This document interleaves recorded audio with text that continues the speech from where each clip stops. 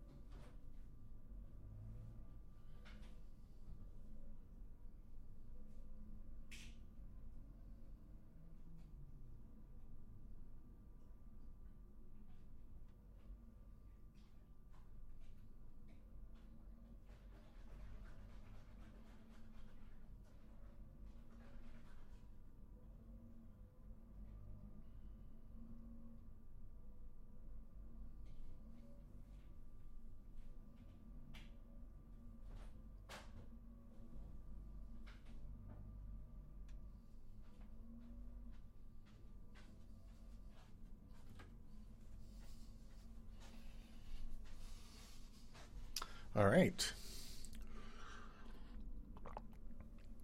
So,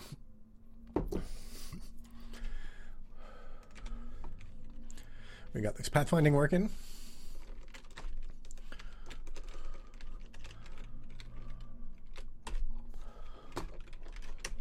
And that one failed because I was in midair probably when I when I did one of the endpoints. There we go. So, um, there's some optimization to do to it, and then I'd like to get things pathfinding, like path following, and I'd actually like to do them in the other order because the optimization will be more important once we actually have them active. But because I have all this stuff set up to visualize what's going on, and I've got to rewrite one of the data structures, it's probably a good idea to do it the optimization first while I have that visualization.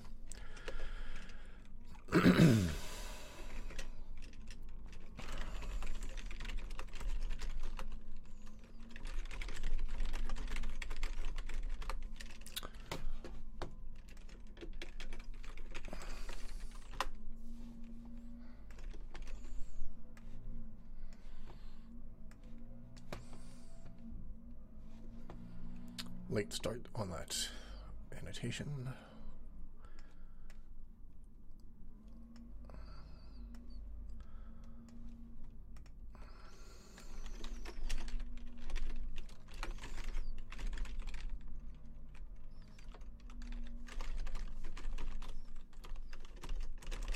All right. So, why is that not quite wide enough? Uh-huh. All right. So, what do we got to do? Um, so, what I want to do though is um, keep the old implementation around so we can compare the performance in a real world situation because here I'm going to be doing it in a synthetic situation with its testing. So, um, I also kind of want to put all these globals into a data structure.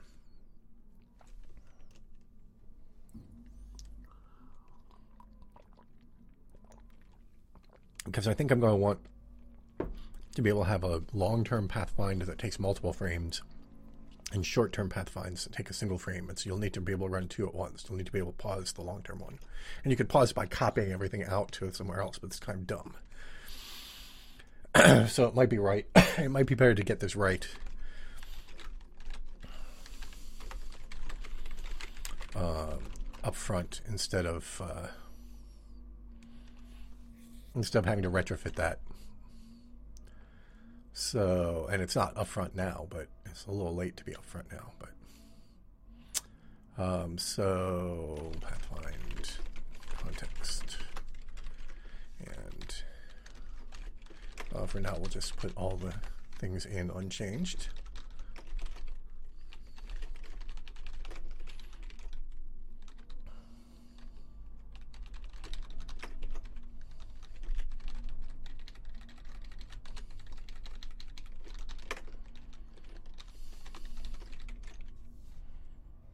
So then anything that uses that needs context.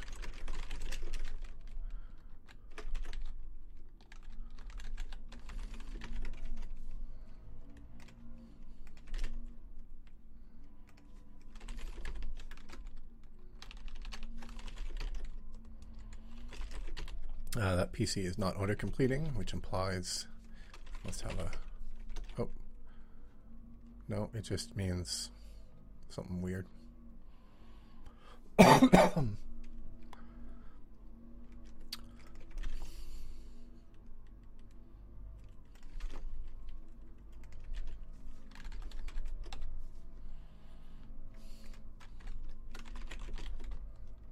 know what that means. That's not auto-completing.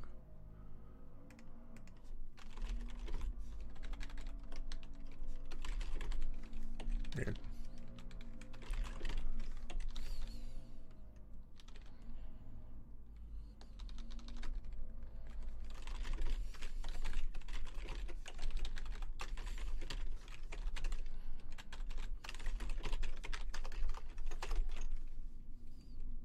Dum, dum, dum, dum, dum,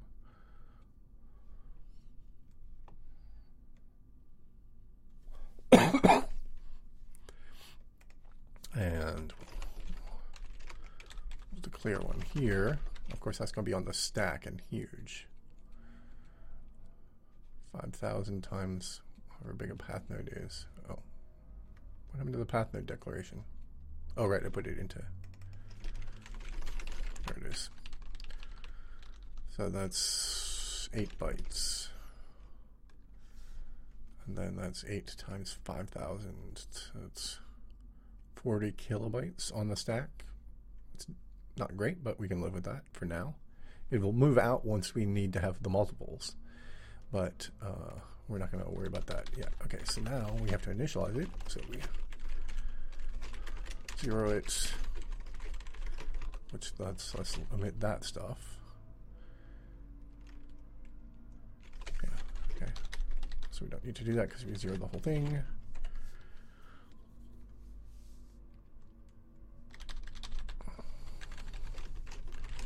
let's let the compiler find the things we forgot and find the rest in that function.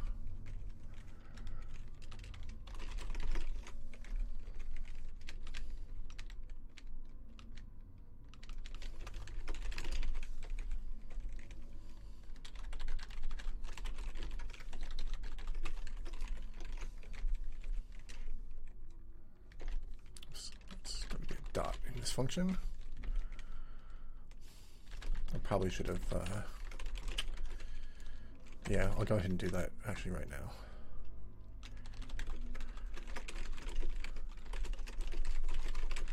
Because eventually we'll be passing it in, so, so we can just go ahead and get this correct up front.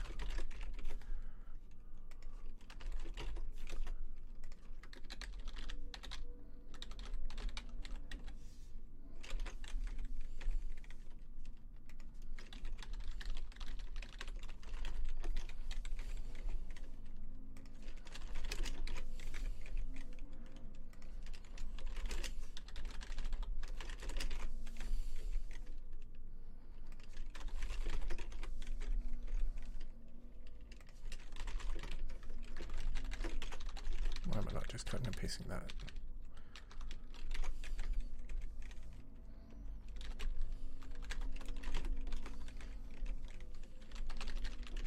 Oops. All right. We don't need to zero that. And nodes. Ah, right. The uh, the visualizer needed to directly access that stuff, so we actually need to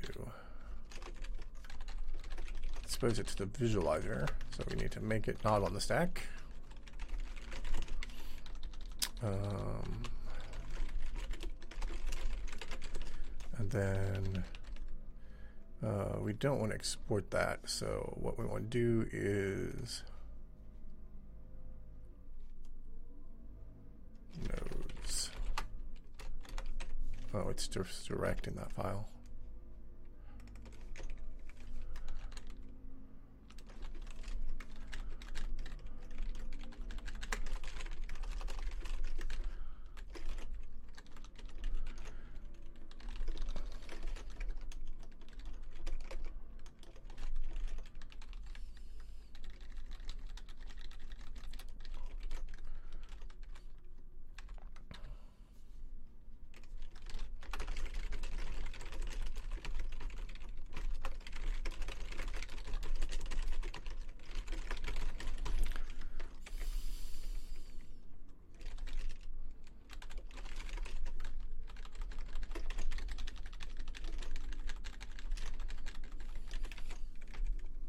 Okay. Let's see if we broke anything with this.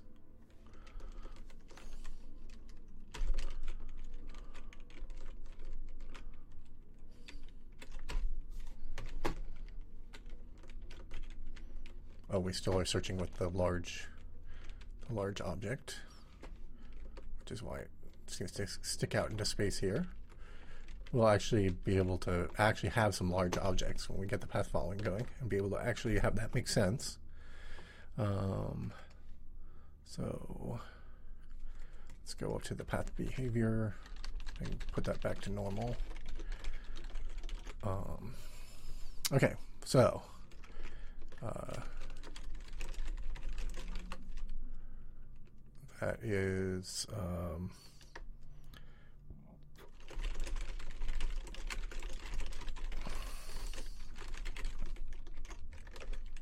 okay. So now we will do the optimization. So let's talk about the optimization. The normal way that you optimize an A-star Pathfinder, not, not normal way you optimize it, but the normal way you fix this issue, which is that I have an unsorted open list, is to create a priority queue with a heap. Heaps are order log n data structures that have the ability to insert, delete the minimum, and to change the value of an existing thing to a smaller value, which are the operations, exactly the operations we need. Update open list is always reducing the cost. but it's log n. I'd have to look it up, and it's got some special cases. And our costs and estimates are all integers, and that lets us do a slightly different strategy. Unfortunately, they're not bounded in A star the same way they are in a Dijkstra. Um, so we can't quite do the super efficient approach that the Dijkstra approach allows. But the basic idea is that in this queue, we're going to have a bunch of items with the cost, a total cost of 20, um, and a bunch with a total cost of 21, and a bunch with a total cost of 22, and then maybe there's one with 35 or 36 or whatever. Uh, but what we can do is keep a linked list for each integer possibility. Um, and although linked lists are you know not great for data oriented uh, design style programming, we're only ever going to be fetching the head of the list. Um, we're never exploring down the list.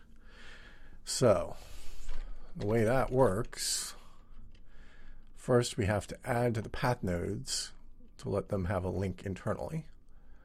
Uh, they probably don't have free storage, right? Because we pushed them to the uh, we we bit packed those down. So, oops, wrong one.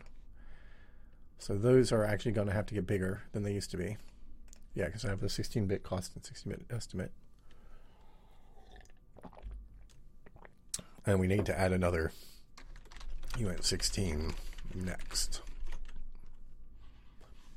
So I'm just going to do that in a parallel array to start with. And that way, when we test the performance of the old version versus the new, the old version won't have to pay the cost of ever touching this array. So next path nodes. Uh, except to do that, I'd need the integer number, and I actually have pointers normally, so maybe I don't want to do that. Just take, going back from the pointers to the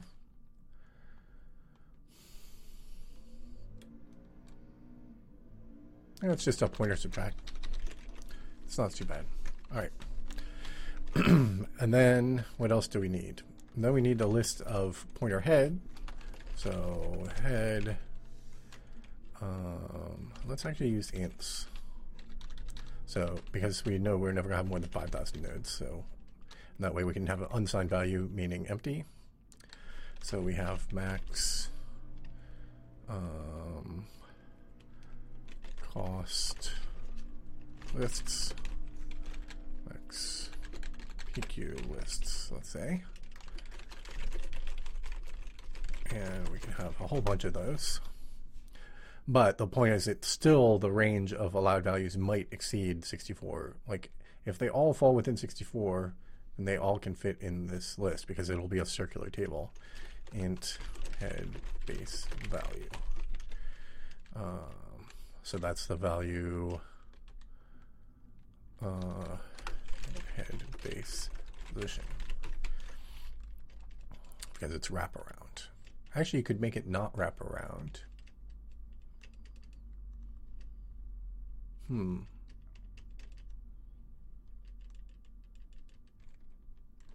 No, it's probably better to make it wraparound. Um,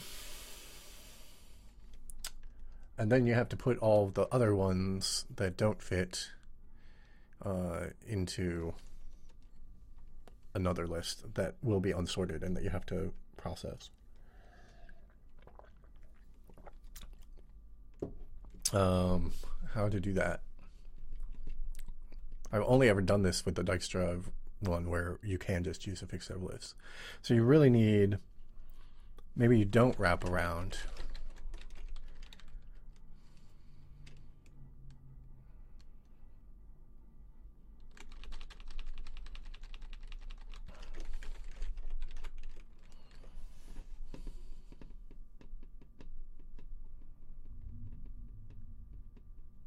how many times do you have to scan that list. Oh, but the update. Update is expensive because these are singly linked lists. So when you want to update and move it to a different list, and it's not doubly linked, so you really need doubly linked. Hmm. Hmm. hmm. Maybe the log n priority queue would be easier. Um, where's my structure go? There it is.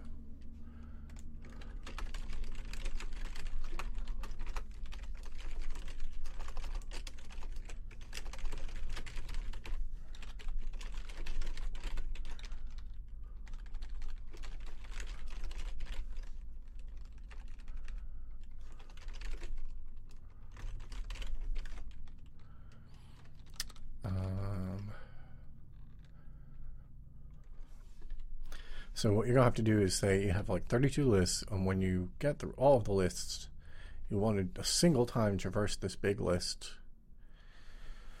and distribute them. So I guess I just can have some spacing. And max PQ list spacing. Uh, secondary spacing and say that they are every 16. So the base idea would be that from 0 to 31, any, anything with a value of 0 to 31 has a dedicated list to dedicate to that.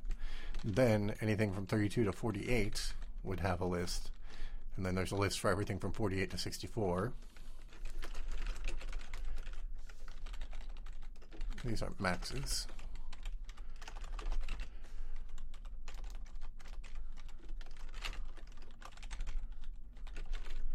And then we would have, say, 16 of these, and I'm going to assume that that spread is enough that a single step should never exceed that. Your single step could, um, you know, fall down eight levels, and so whatever your penalty for falling down eight levels is, plus the amount that that increases your estimate by.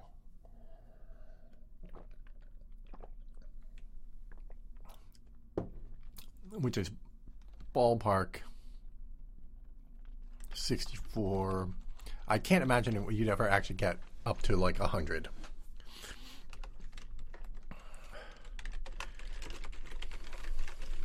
this will all make more sense when i write the code that processes it. Um,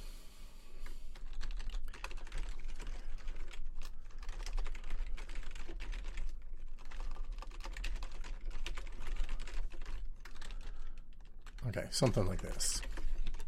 So now, uh, we're replacing this really small chunk of code with a much more complicated set of code. So, uh, if def old path find else new one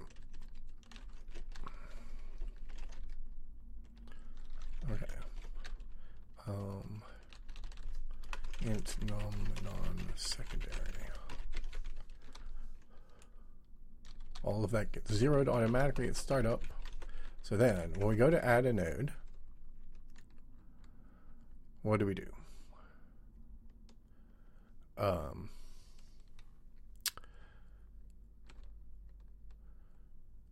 first, we want to handle the special case that it's empty. I guess I should not call it non-secondary. Let's call it primary. So if there are none in the primary lists,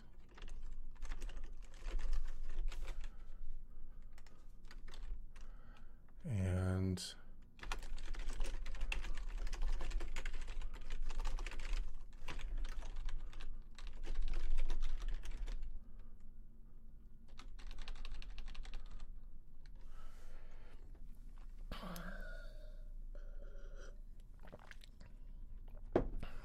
Yeah, make the secondary spacing be half of the.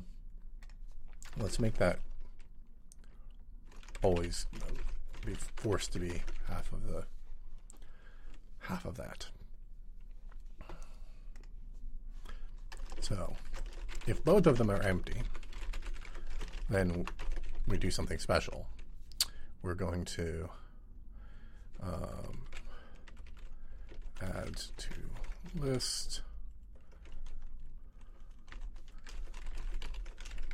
We're going to put it in the very first head entry.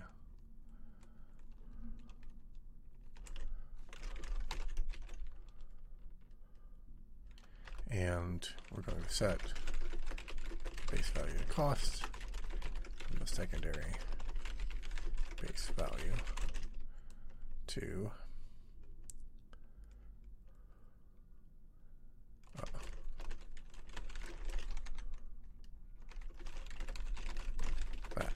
So we're setting the starting state that the first list has, in fact, that whatever that cost was. Oh, it's actually cost plus estimated remaining. Well, you should let me do that differently.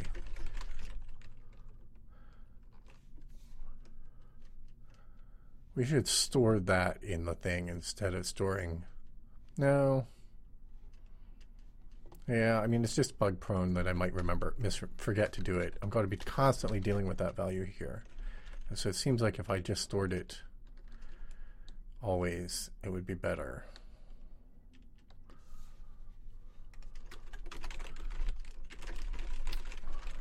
Let's go ahead and switch that, switch the meaning of that. So.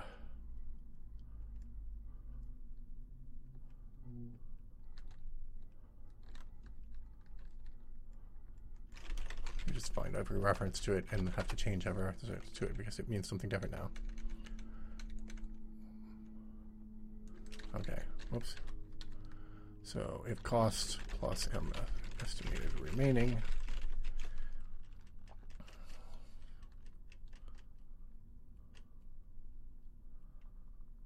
in fact let's just add it here and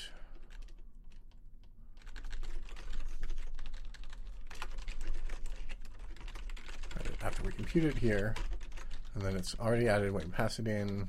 It's already added when we pass it in. Why are we passing in m cost?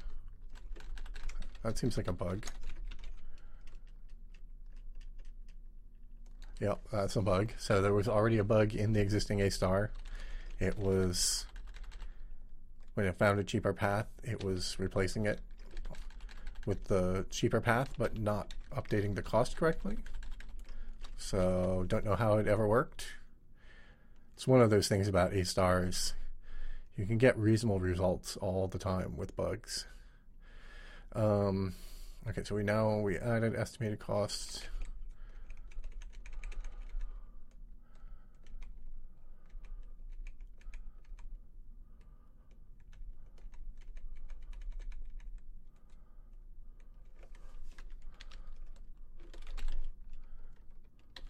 Don't need to do that. And oh, look, we already had a bug in that we were using cost and not estimated cost. Okay.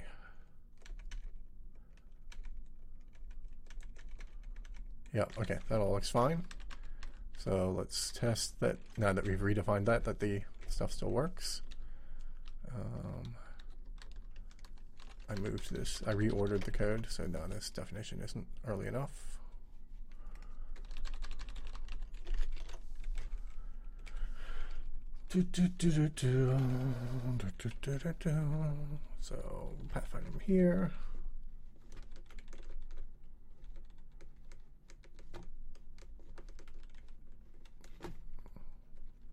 To here.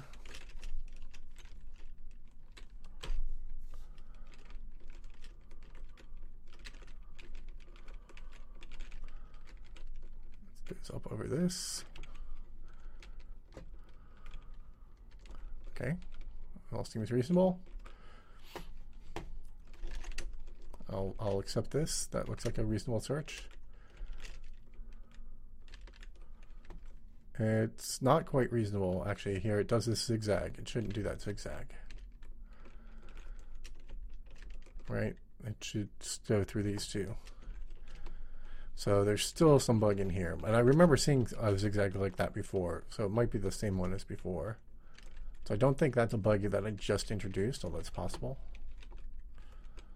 Um, hmm, interesting.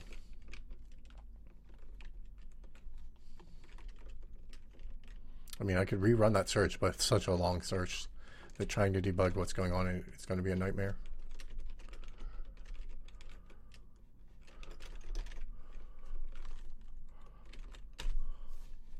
That search failed? Nope. Oh, it just overexplored a lot.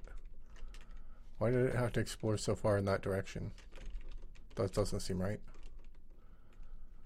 And why is it in midair over here? What what's up with these midair searches? That looks like it's searching the wrong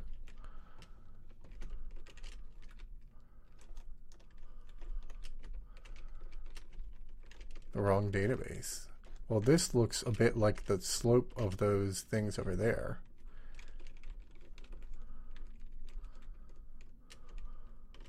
Right, this slope up, this thing right there looks kind of like that.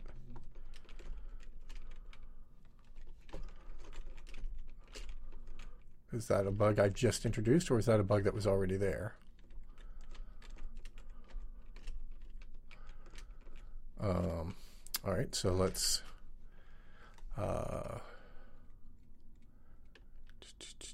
go to UI. And go to here and hit break. And then press L to redo the search and see what it is. The search is from last pause to pre end.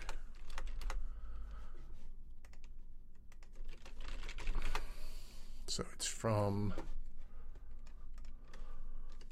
negative 13, 11, 75 to negative 32, negative 26, 74. Okay. And now we will git stash and then git log, git checkout. We want that one, 91AB7. Okay.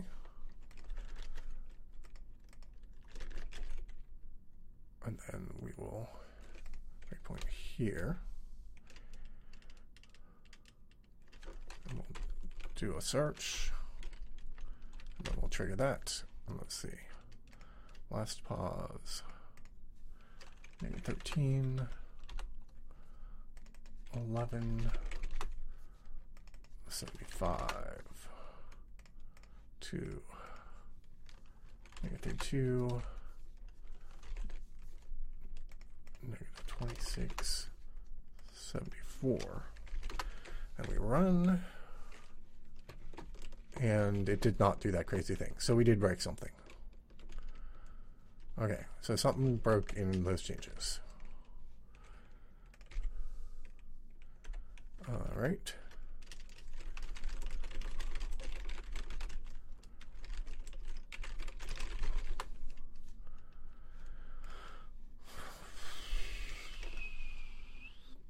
Wait, we turned on the old Pathfinder.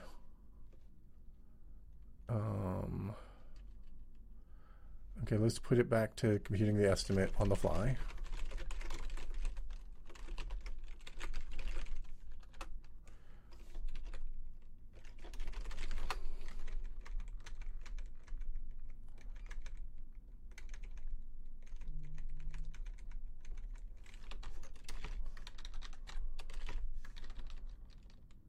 And let's put this bug back. Maybe I'm misunderstanding this code and somehow that's correct, but I don't see how that's possible. Um, and then was there something else? Did I have... Yeah, this compares it directly...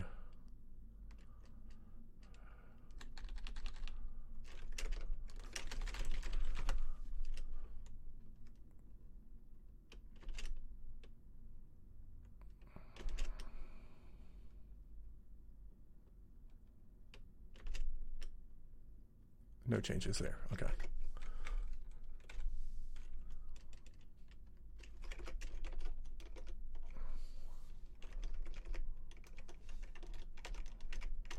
Where is it? Okay. Press L.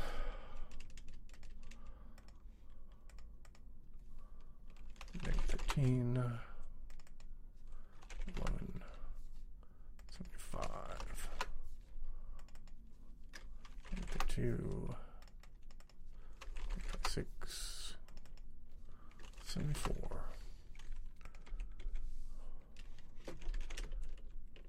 And it's okay.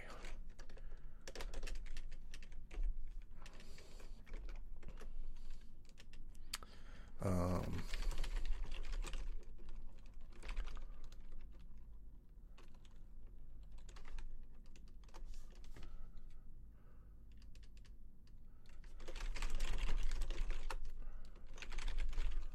okay, the other possibility is that this will be another bug where um, it only happens if you run it multiple times. Like maybe I'm not triggering it because you it depends on some previous state.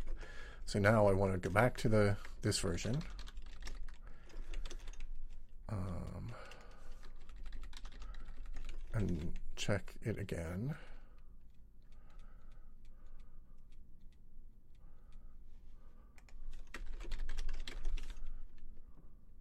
Is that it?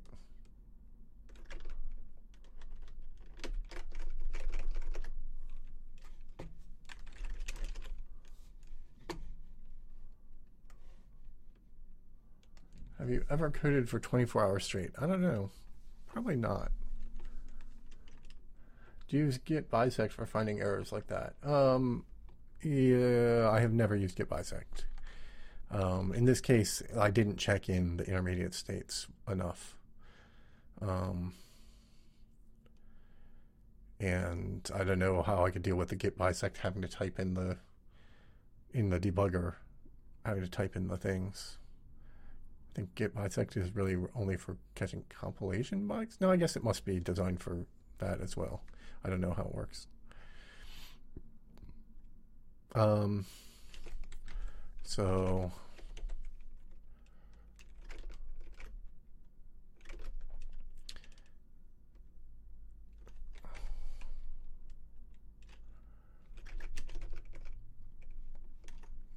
why is this not on the right line? Why does this get moved away from the correct line?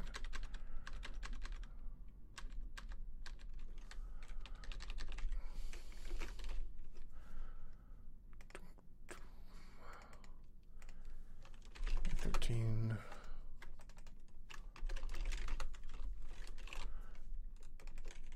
Eleven. Seventy-five. Two. 26. Yeah, it would make a lot of sense if it was stale data from a previous run that would allow the you to get that shape from a different place. Um, okay, so now it doesn't have the weird stale data, but it did extend a lot the wrong direction, which seems wrong. Does not seem like it should. Um, So let's see if we start getting, yeah, here's some bogus data. So yeah, once we run multiple searches, it's getting some stale data somehow. Um, So we need to figure out why it's getting stale data and let's um, check if that happened from just this update or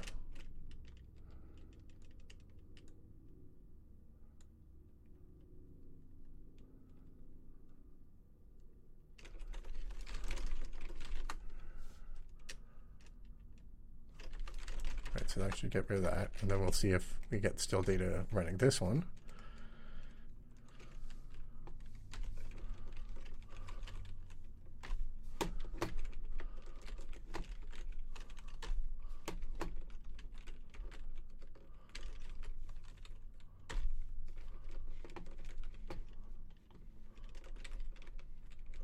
It is extruding out the wrong way.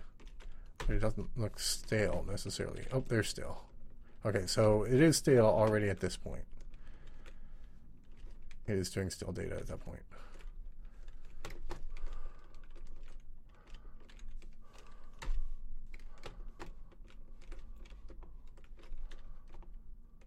Yeah, like look at all these out, out here. Okay, so that's with it stashed. So that's with the version that I checked in that I said was working.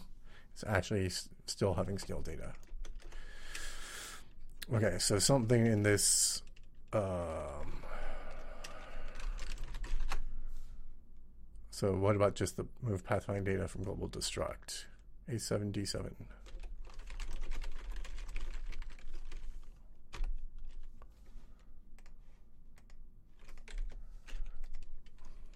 Presumably not the stuff I checked in yesterday. That's I was would have been obvious.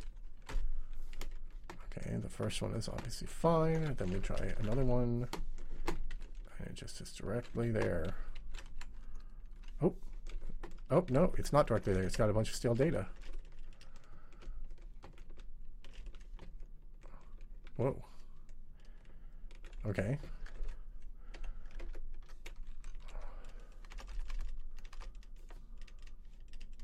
Wait, so let's go back to 91AB7 that I checked before.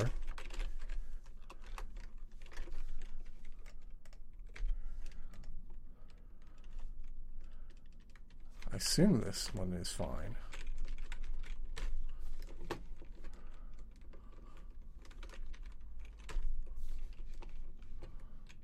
Yeah, that one does not have any stale data anywhere. Okay.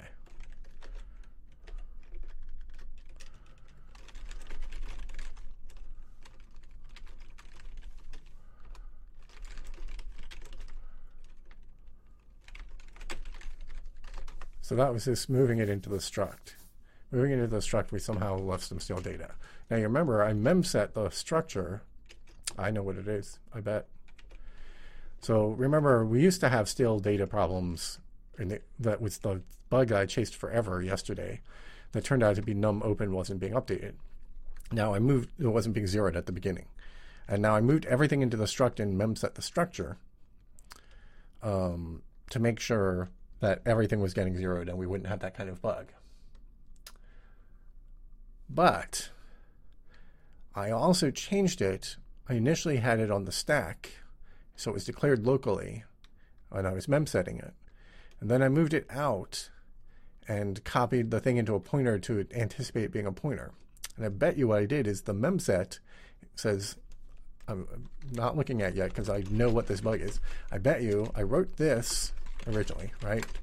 To zero the thing on the stack. But then I changed it so that, right, it was this. But then I changed it to this. Something like that. And I fixed that. But I didn't fix this. So it's only zeroing a pointer. I bet that's what's going on. So let's check that theory. Search for memset. Yep. I'm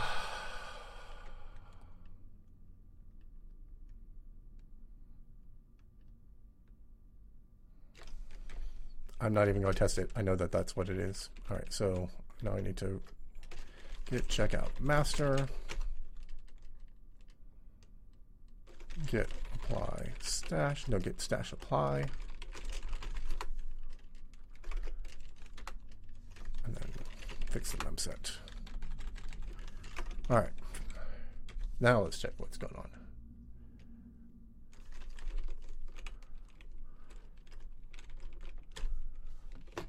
Okay, that's a terrible search.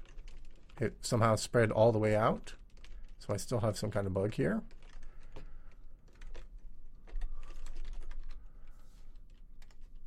This makes no sense at all. But let's do it, since that's the only substantial change I made that I can think of. Nope, now it's still doing the spread search. Um, whoops, one too many.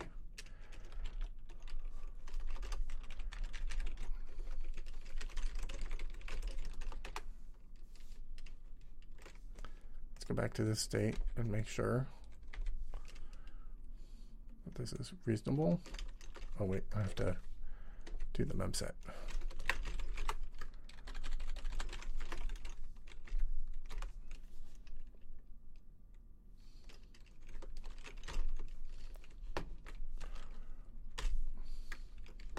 Okay, that's a relatively direct thing. It has a little bit of offshoots to the side, but probably not unreasonable. There's a very direct one. It's a little a little out, but not the big crazy thing. So a little bit out. I guess that's caused by that dip. Like here, we should be able to straight shot it. Yep. It just searches a straight shot. That's perfectly reasonable. The ones next to it, it never actually expanded. I'm not calling the closed versus open, but uh, um, presumably it never expanded these ones next to it. It just had to when it visits this one, it always expands all the one, or explores all the ones next to it and adds them to the open list. But it doesn't. So you, you do have to get them along the edge. So that's perfectly reasonable. And so that means that the stuff I was getting on the diagonals is also probably reasonable. Yeah, this is that eternal problem that all of that data is kind of valid. All of that search space is of valid. You get more of a trick diagonal yeah, um, I, yeah, I'm not sure why it goes one out more.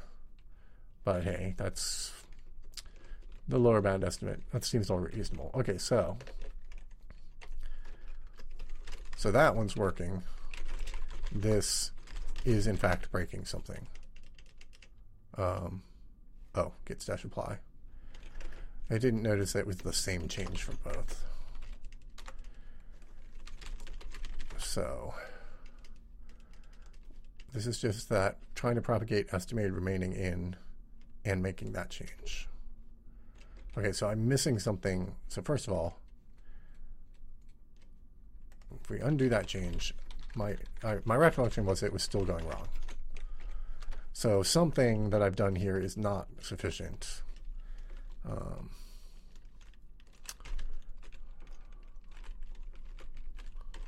yeah, so this is still searching this big area even with this bug fixed. So my attempt here to op- propagate it into cost everywhere, I've like missed somewhere.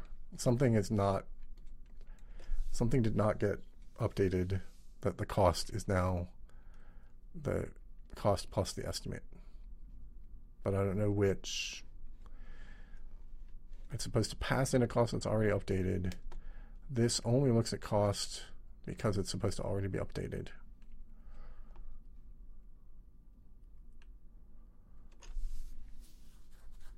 None of these look at cost. We pass in a cost that's already updated. We compare a cost that's already updated to a cost that's updated. Pass in a cost that's updated. It's and let's see what's missing. What have I not done here? who could look at that? Who could be broken by that cost? Do these things look at cost? No. These do, but let's comment it out. Um, how could this happen? The initial node we create, we get create with cost zero. Um, we never said its estimated cost. Oh, that was always a bug. We never said its estimated cost. That's pretty bad.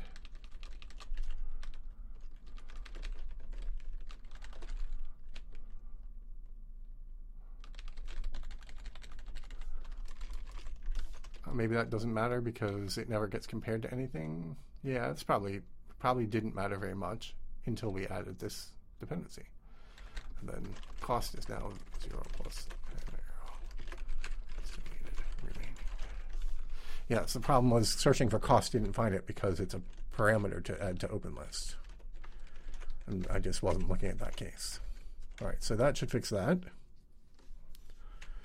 Geez, stupid bugs. We spent almost an hour not even getting to that. Oh, it didn't fix that. Great.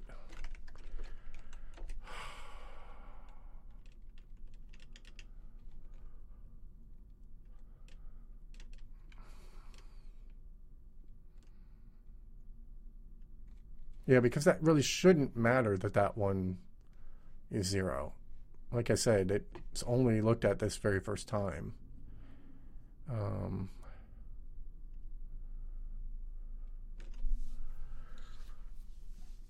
so it actually shouldn't matter.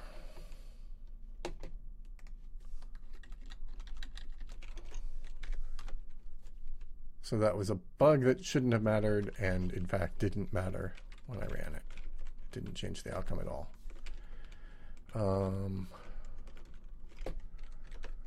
why are we allowed to get that far away? Should I just break in here and try to look at things? It's kind of big.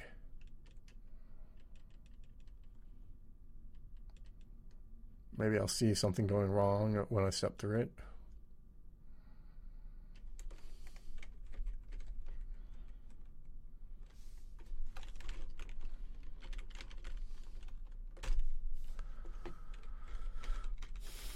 All right, so we create a new node. Compute the estimate costs from there. Why is our cost already so big? We didn't go very far. Because we're starting with n arrow cost. There's the bug.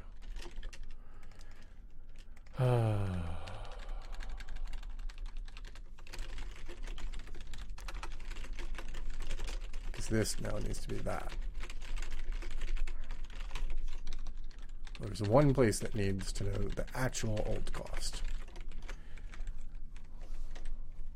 All right, so let's do one thing at a time. Put this bug back in.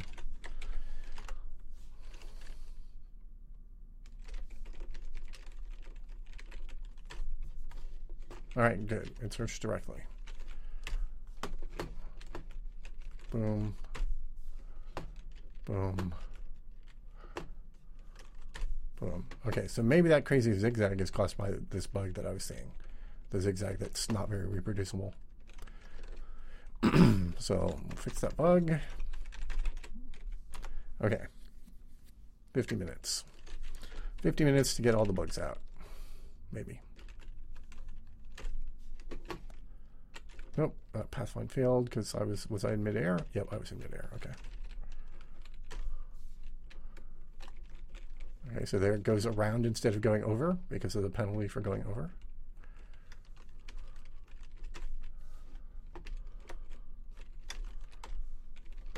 Straight lines. Let's make it go a long way. Oops.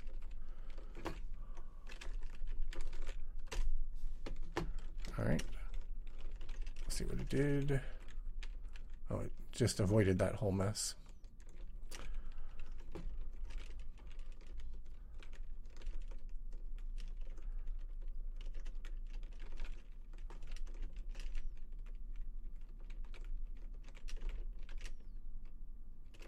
Okay, seems reasonable.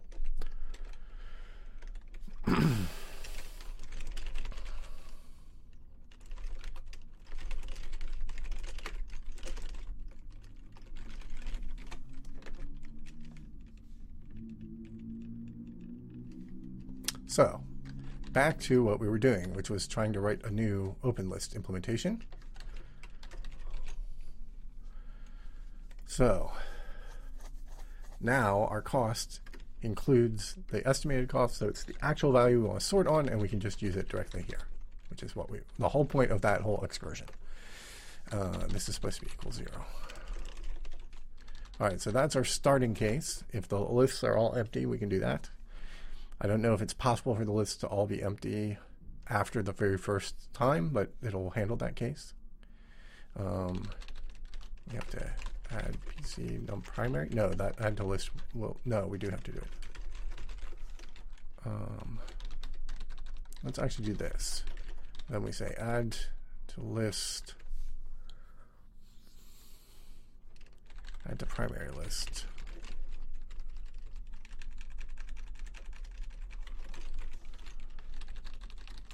static void add to primary list.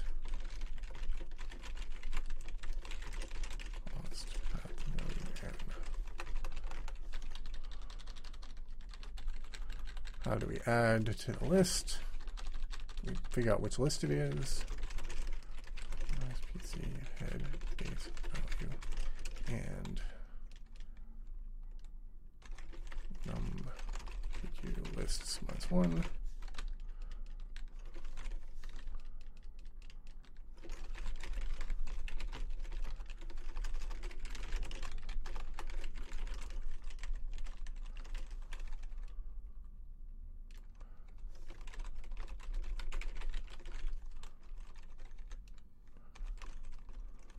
No, num PQ spacing. No, num secondary.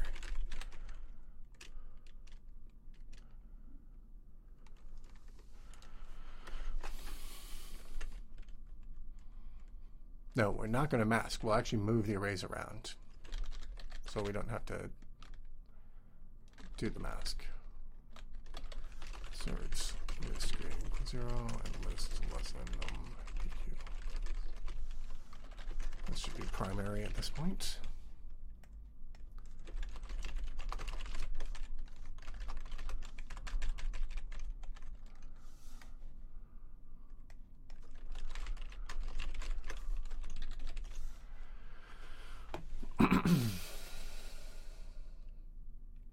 Okay.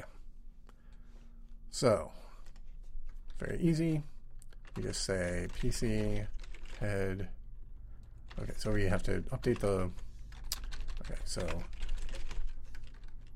x equals n minus PC arrow nodes. So x is our index into the list into the nodes array. So PC arrow links node link of x next equals PC head list. Negative one. PC head list equals x. There's a list insertion into the primary list.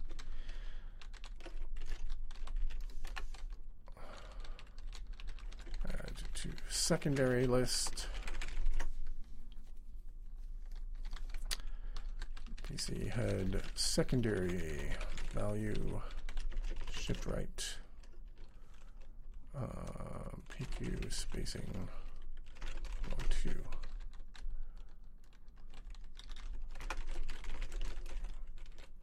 Secondary spacing log 2. Well, that's currently 4. And, um, if your secondary spacing log 2 cycle Secondary spacing.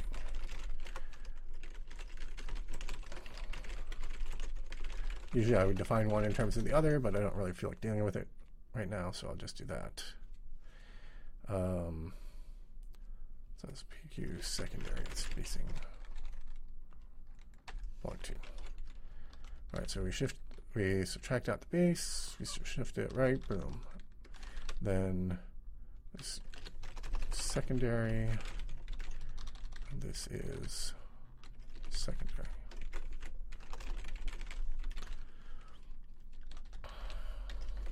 Okay. So we get to here and we say if uh, cost is less than PC head base value plus PQ primary, then add to primary list.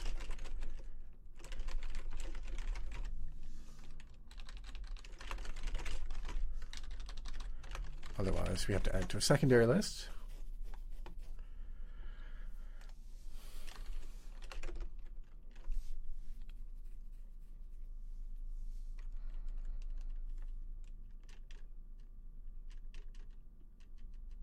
Every time I look like this, I'm looking at chat.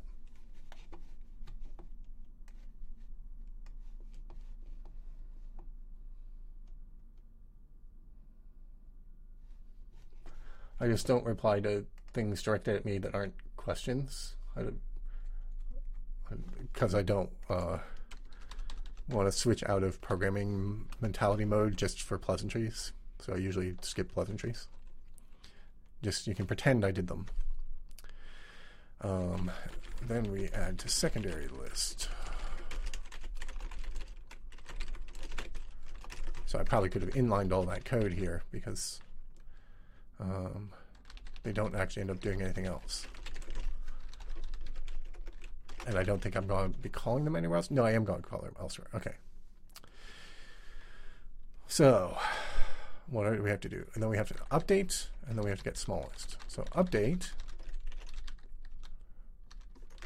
works like this. If uh, cost is less than head base value plus num primary. So we're looking at the existing value of it. So currently on primary list, currently on secondary list. So if it's currently on primary list, then the new cost is lower, so that's also going to be a primary list. We know for a fact. Um,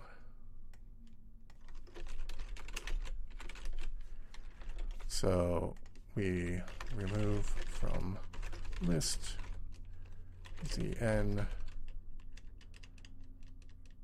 and we never actually set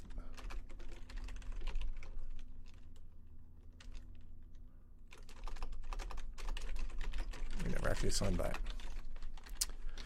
Um, so we move from wherever it currently is, and then we will insert it to the right place, and we know it's primary list, so we can just call that directly.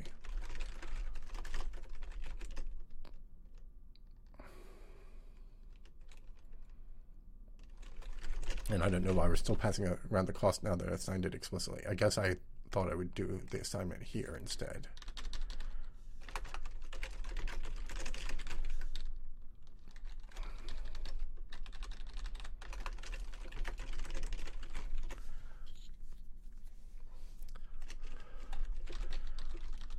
And uh, that doesn't assert. So if my assertion that it should always be on a primary list is wrong, okay. If it's currently on a secondary list, it might be moved onto a primary list, it might be moved onto a different secondary list, or it might stay on the current one.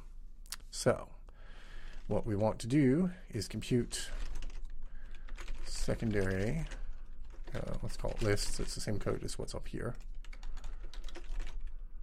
So figure out which list it's currently on.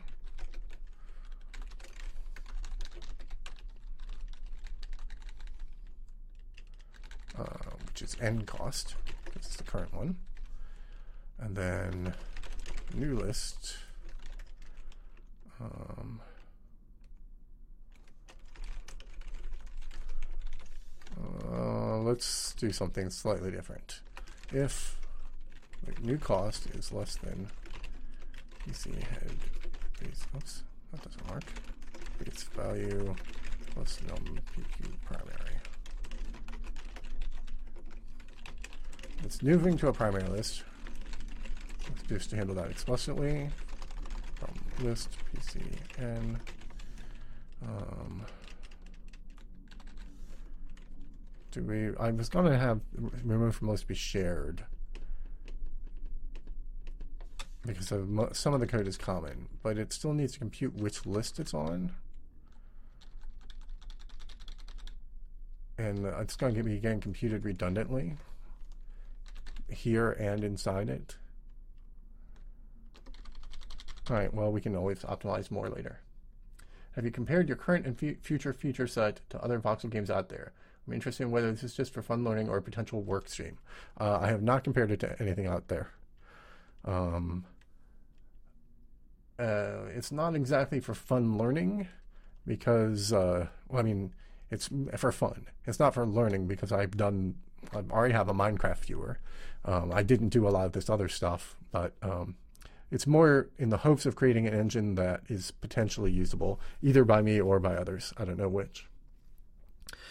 Um, but it's also primarily to create educational material. Um, that's why it's all being pro- programmed on stream.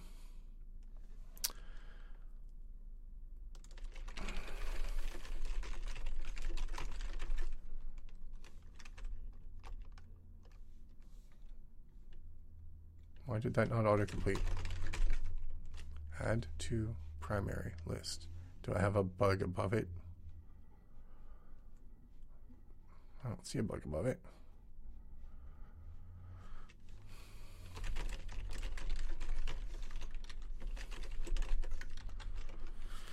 Okay, so if we're moving to a, the, a different secondary list, if we're moving to a secondary list, we need to find out which list it would be.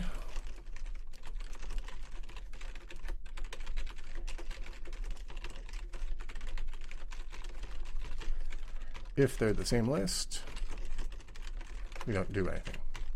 Otherwise, we remove from list, we add to secondary list.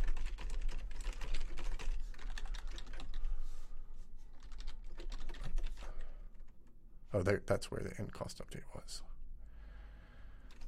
I'm trying to compile it.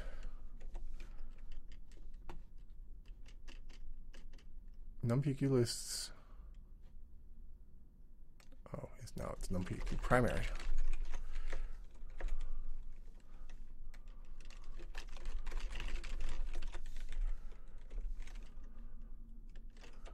What is it called?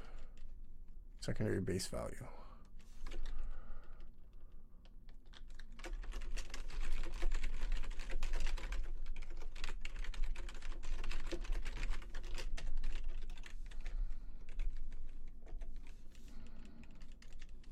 Let's rename the other one actually too.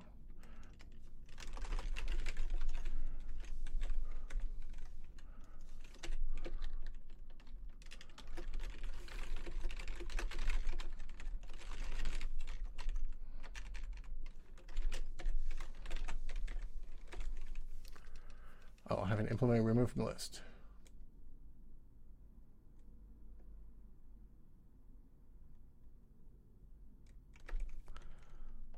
I will answer questions. I just don't do chat. Don't do chit chat. Um, so yeah, this won't compile because I don't have remove.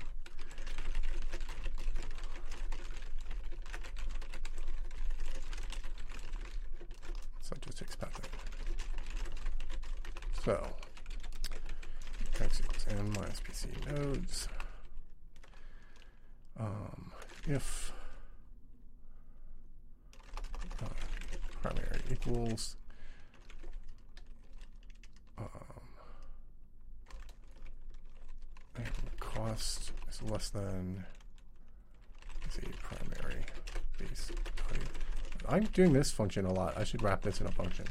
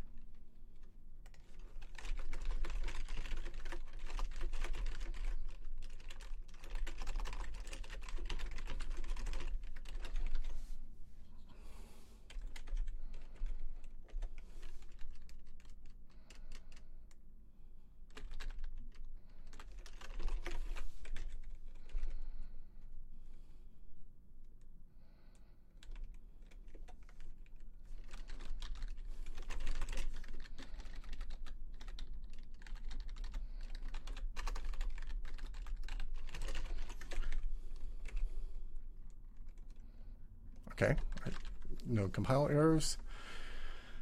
Uh, I have to actually finish writing remove from list though.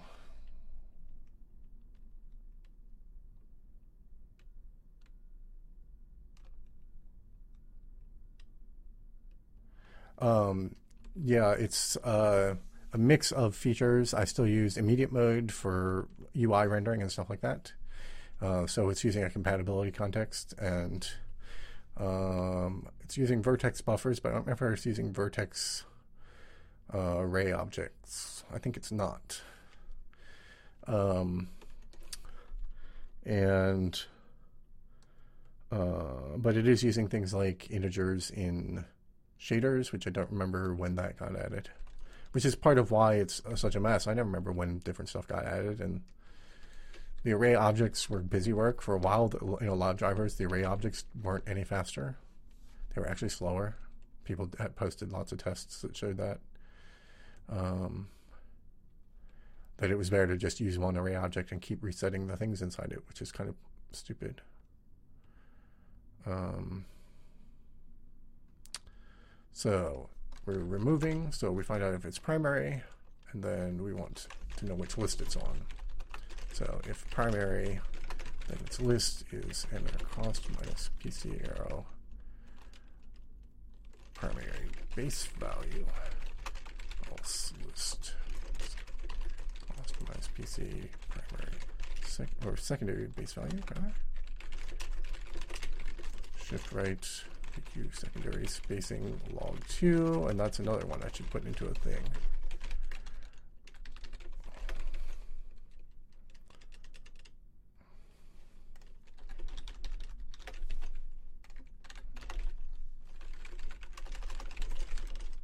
Secondary list index.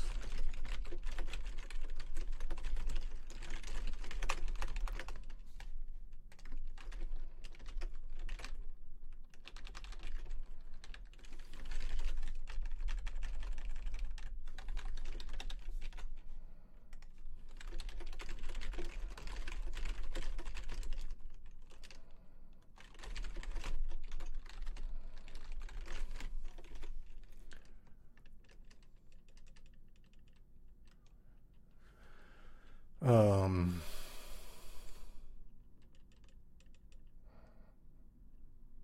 yeah, I'm working on an open OpenGL framework. I've mentioned it before, and one of the things it does is it provides uh, is it uses a core open OpenGL context and then provides its own immediate mode API. That's just a clone of the GL Open API, immediate mode API. You should be able to use it on, with unchanged code, but just so because like the Mac is. Uh, doesn't support compatibility contexts. With it, it just has two modes. One's a an old compatible context that's like I don't know 2.0 or 1.3 or whatever, and then the 3. Point, whatever that Mac does 3.2 is core, so it doesn't have a immediate mode. On the other hand, OpenGL uh, is kind of dying on Mac because they want everyone on Metal, so it may not matter. But I figured it's worth doing. Just not ever have to depend on the compatibility mode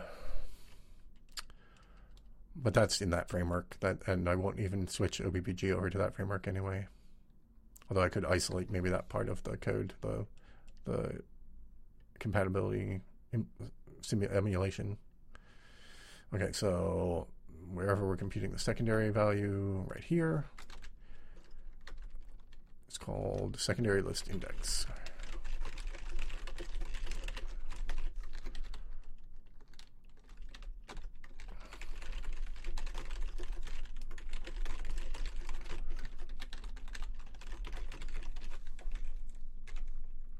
Okay, we're back to get smallest open. So we still got to finish remove list here.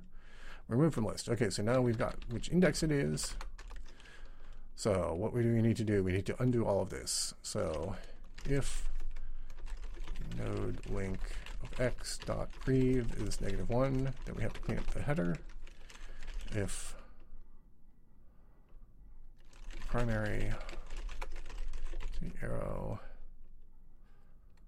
um, um, head of list equals PC node link of x dot next. Else PC of head PC of secondary list equals PC node link x dot next.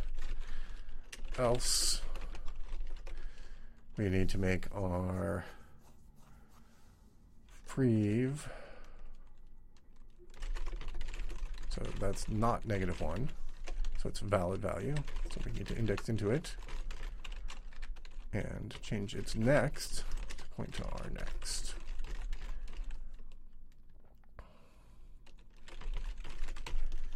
And then finally we have to do the reverse of that. So we want to change next.prev to prev. But we only do that if this is not negative 1.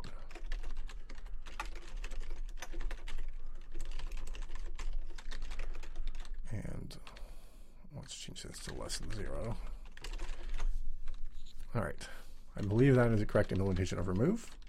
We clean up the header, we clean up the previous, and we clean up the next. So at that point, it should be removed. So I think we've implemented that all correctly. Now we have to finally get to the big part of this. And a reminder, this was what the old implementation looked like. That's it. That's all we did. But it was super slow because it was doing a linear search every time.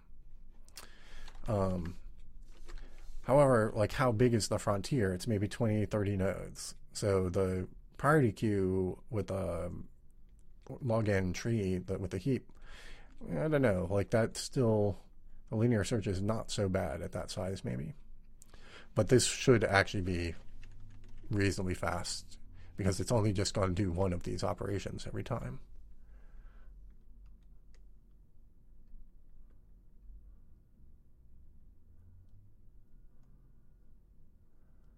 There's just no sign that Mac is going to ever support a new version of OpenGL ever.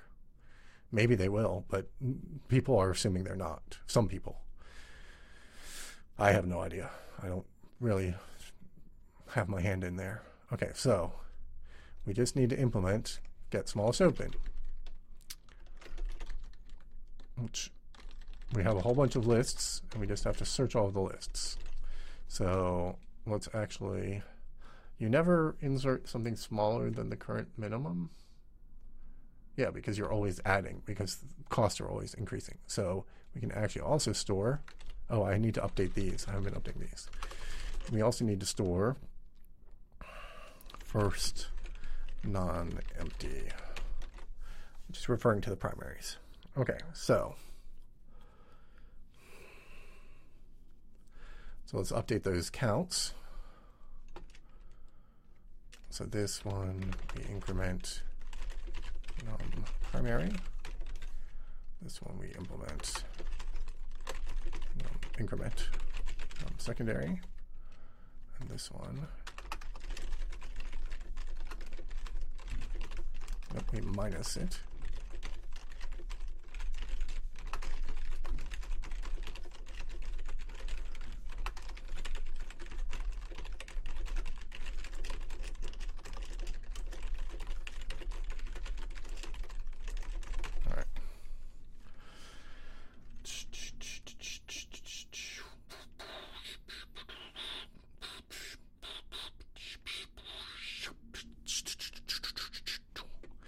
Okay, so what do we actually have to do here?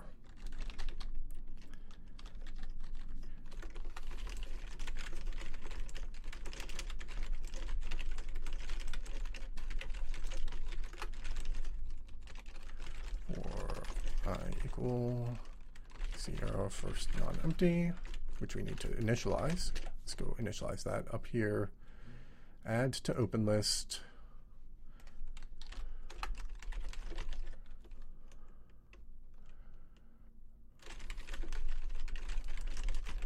Probably don't need to do explicitly because the whole thing is initialized to zero. Um, and then we're going to loop that to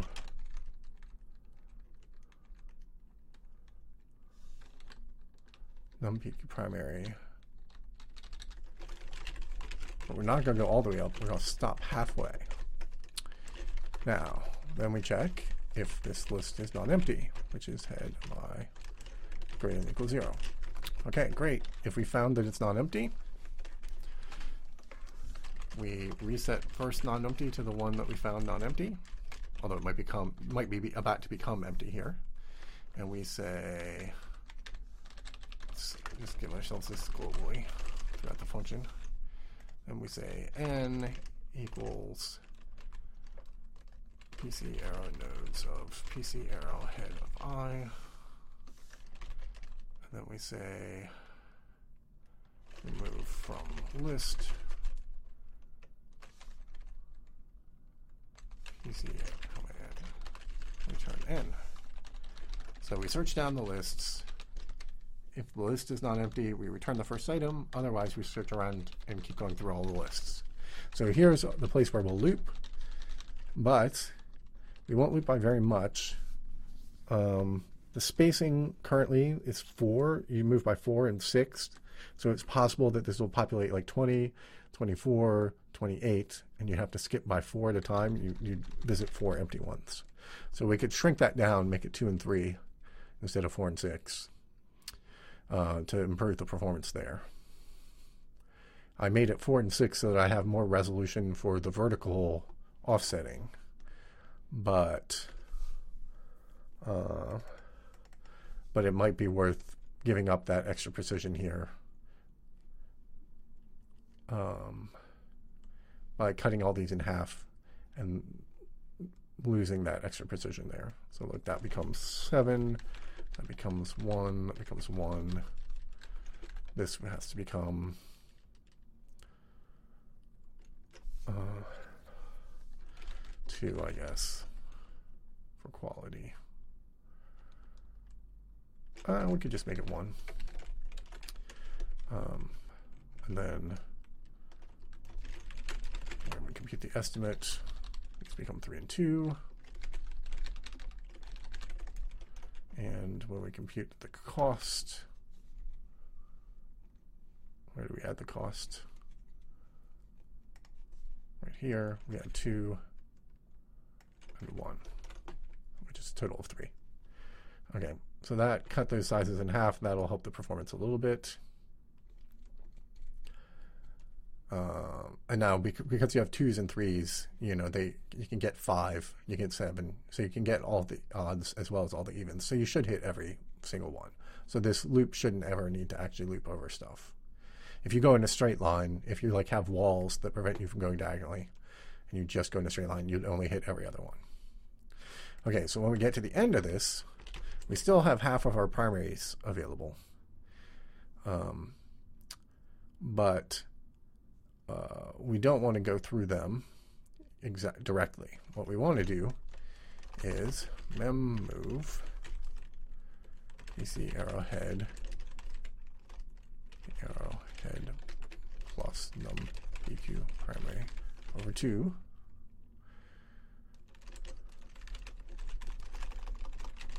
we want to move all the remaining ones down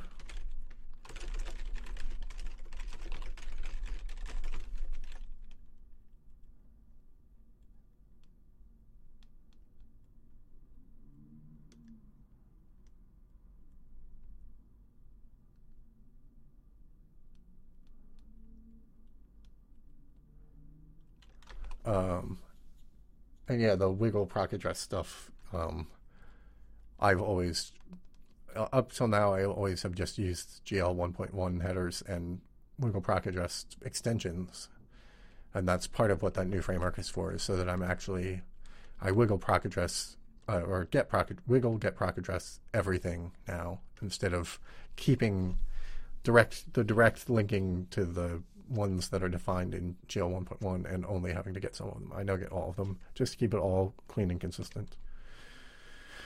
Um, and and you don't link with the GL OpenGL32.lib at all since they're all coming out of the thing. Okay, so we move all of the primaries. We move the second half of the primaries down to the first half, which means we have to change the primary base value by this much. And then we move the secondaries. Well, let's not do that yet. Okay, then Now we need to replace, uh, we need to memset. Um, well, let's use a loop for i equal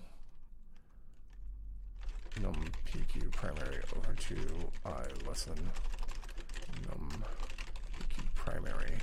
Since we just moved all of these, we want to store them back to negative 1. Now, we want to take the first secondary list because it corresponds to this set of things. So we want to go through the first, the, the secondary list. Um,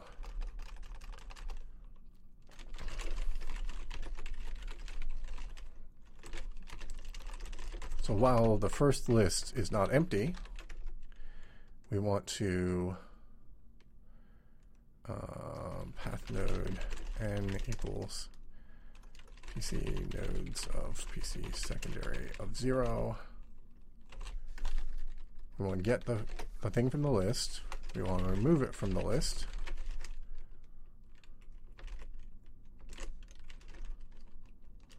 that it's currently in, which we know is that list. So I could, I could try to optimize this and remove it directly here, or walk down the list rather than what I'm doing is deleting it and always checking the first one. I could also just walk down the list.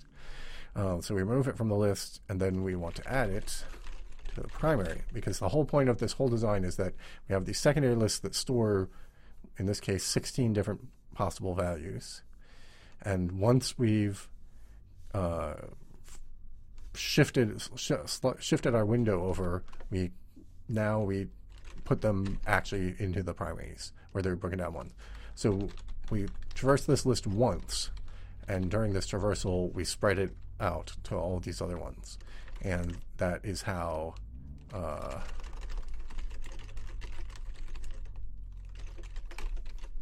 um,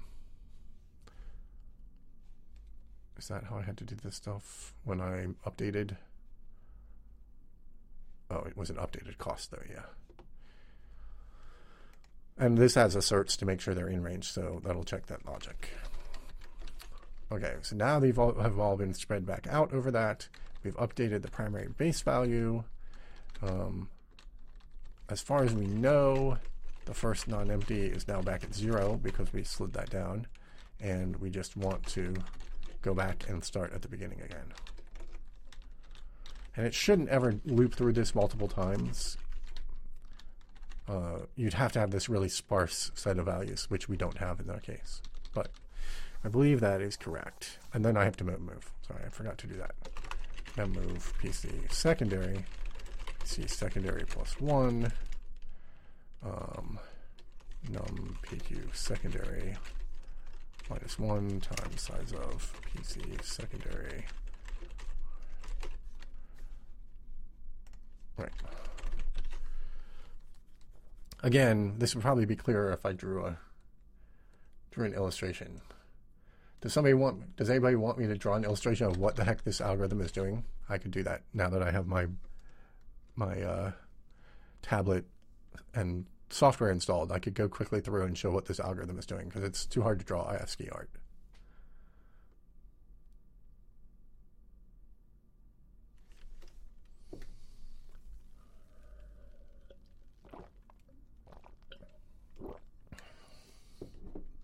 Yes. I assume that's a yes to my question. Should have done this first, but I didn't think of it. Oh, hey look, I still have this old thing. How do I... New Milton calculus. All right.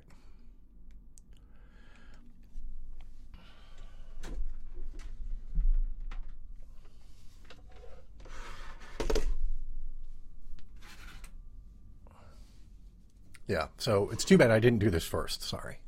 Just didn't think of it. So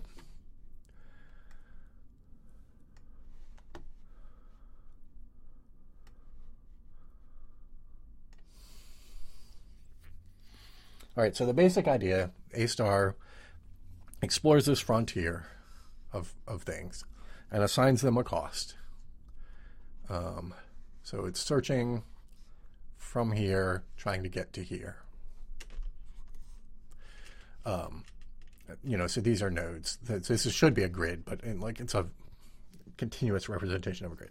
And so at each node, the cost that it's storing. So in a normal depth first search or Dijkstra search, you're expanding out and you're storing how far you went from from the origin to get here at each at each of these things. So it looks like this. I was just going to talk about the priority queue, but I'll give the quick quick explanation of what the A star is doing as well. Um, not how it works, but what it's storing. Um, right, and then these are all ones around this. So it keeps doing this, and eventually one of them expands to here, and voila. Um, and you have to be a little bit careful because you know this one says, "Oh, here's a thing I can get into in seven, and maybe here it comes around and says, "Wait, I got to here in five, and I can get to here in six, but I've already stored the seven. So you have to still be able to update the priority queue in this as well. Um, the value you've added in the past. But once you process it, once you finally hit this seven or six, maybe it turned into a six. Once you finally process it, you can never get to this one again in, in this algorithm. You'll never come back to the six. It's once it's six, once it's explored, you can never get back there any cheaper because you've already explored all of the cheaper nodes. So anything you explore after this has to cost at least this much or more to get to, just to get there, and then to get to here again would cost even more. So you'll never go more than once. In A star, we don't store the cost from here to here. We store the cost from here to here plus the estimated cost to get there. So if like the total distance vertically here is about 10, right? We start with an estimated cost of 10. When we get to here, this one maybe has, an, has a cost to get here of 3, and its estimated cost is like 8. So it has an 11 here. Uh, and this has an 11 here. And in the case of a straight line, what we'll find is our, if our estimate is perfect, as we explore down this way, it'll just keep saying 10 all the way to here. And it'll get to the end with 10. And all the nodes next to it will be 11, and it will never have explored them because they were all cheaper than 10. I mean, all more expensive than 10. But if there's an obstacle or you have varying costs, the A star is particularly interesting when you have varying costs. Or if your estimate is not accurate, like maybe your estimate says the cost to move in that direction is one, but it turns out in the area you're exploring, the cost to move in that direction is two. Then what happens? Um, then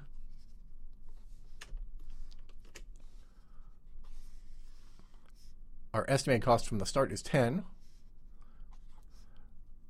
And when we go one thing here, it took two to get here. So it's 12, and then it's 14, and then it's 16. So eventually, this is what we're going to discover, right? And it's going to take us all the way up to 30 to get here. Um, and so since that is that expensive, this one right next to it is uh, costs us two to get here, right? Because I said every move is going to cost two. Costs us two to get here, but our estimate is still uh, a little more than 10. Let's say the estimate is 11. So this is, say, 13 is the estimate. The low, the estimated cost it thinks, because it thinks it might only take 10 to get here, because it doesn't, hasn't looked at all this yet. When it computes this, it doesn't know what the state of all this is, doesn't know that all this is going to cost it two.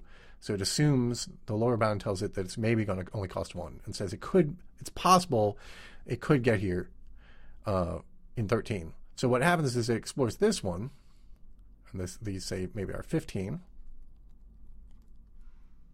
Um, and then it's looking at this and it's like, I'm not going to explore 14 now, I'm going to go explore 13. And so it explores these two. So the number that it's storing in this queue, it's this different number that increases in a different way and can result in when you're in a slow area, can result in you having to expand out and do a lot of irrelevant searching. But compared to a thing that always just goes out from the center without prioritizing going towards a destination, it's still cheaper. So that's the basic idea of what's going on in A star. And the important thing here is that these numbers so here, these numbers are just constantly increasing, right? They just go up as you explore out, and there's it's very easy to do. Here, the numbers never get smaller um, because the you're, you're, supposed to have an admissible lower bound, which means they'll never get smaller.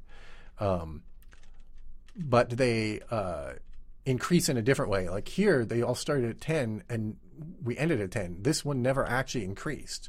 All of the things it was searching were 10s. Uh, and then the, all the other ones were 11s.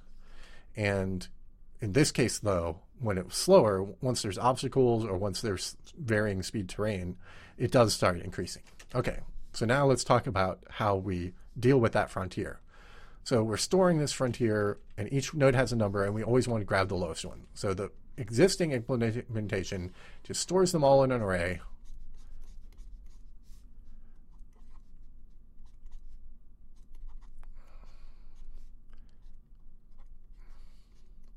That's randomly sorted.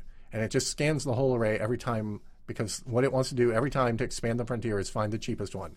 So it'll, you know, first time it'll search that, second time it'll search that, next time it'll search that, and it just scans the whole array to find them.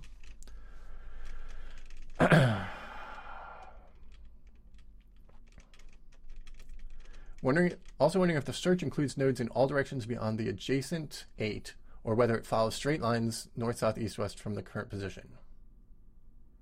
Includes nodes in all directions beyond the adjacent eight, or whether it follows straight lines from the current position.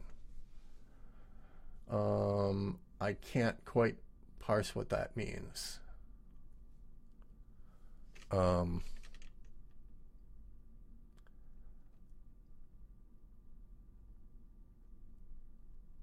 every time you expand a node, it looks at the adjacent eight. Well, it's worse because it's actually in 3D, but pretending it's 2D, it looks in the adjacent eight and then relies on the frontier expansion beyond that.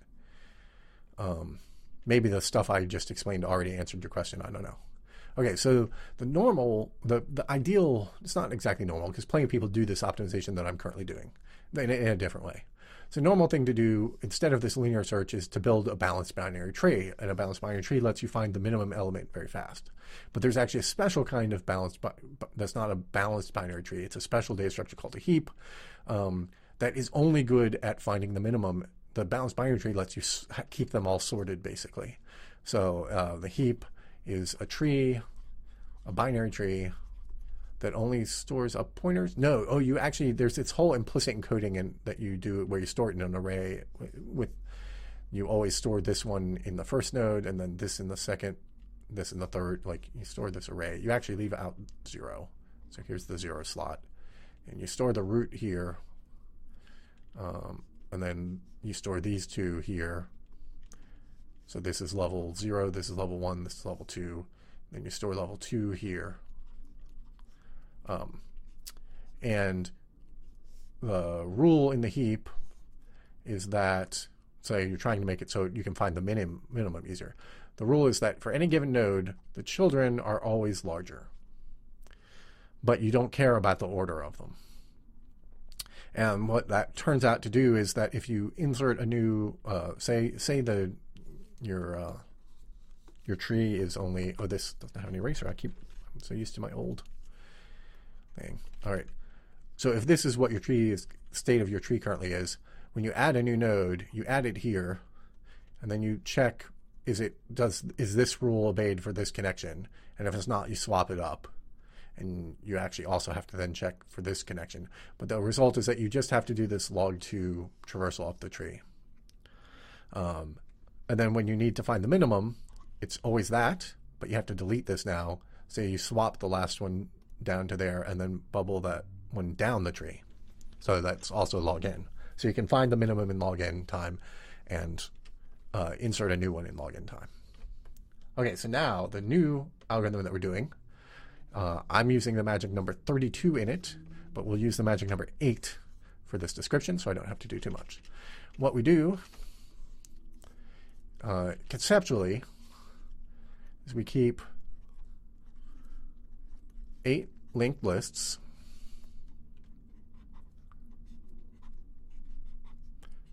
With all the values of that thing. Remember in this I had two 11s and one 10, right? So here I have three things of zeros. Well, this is the head.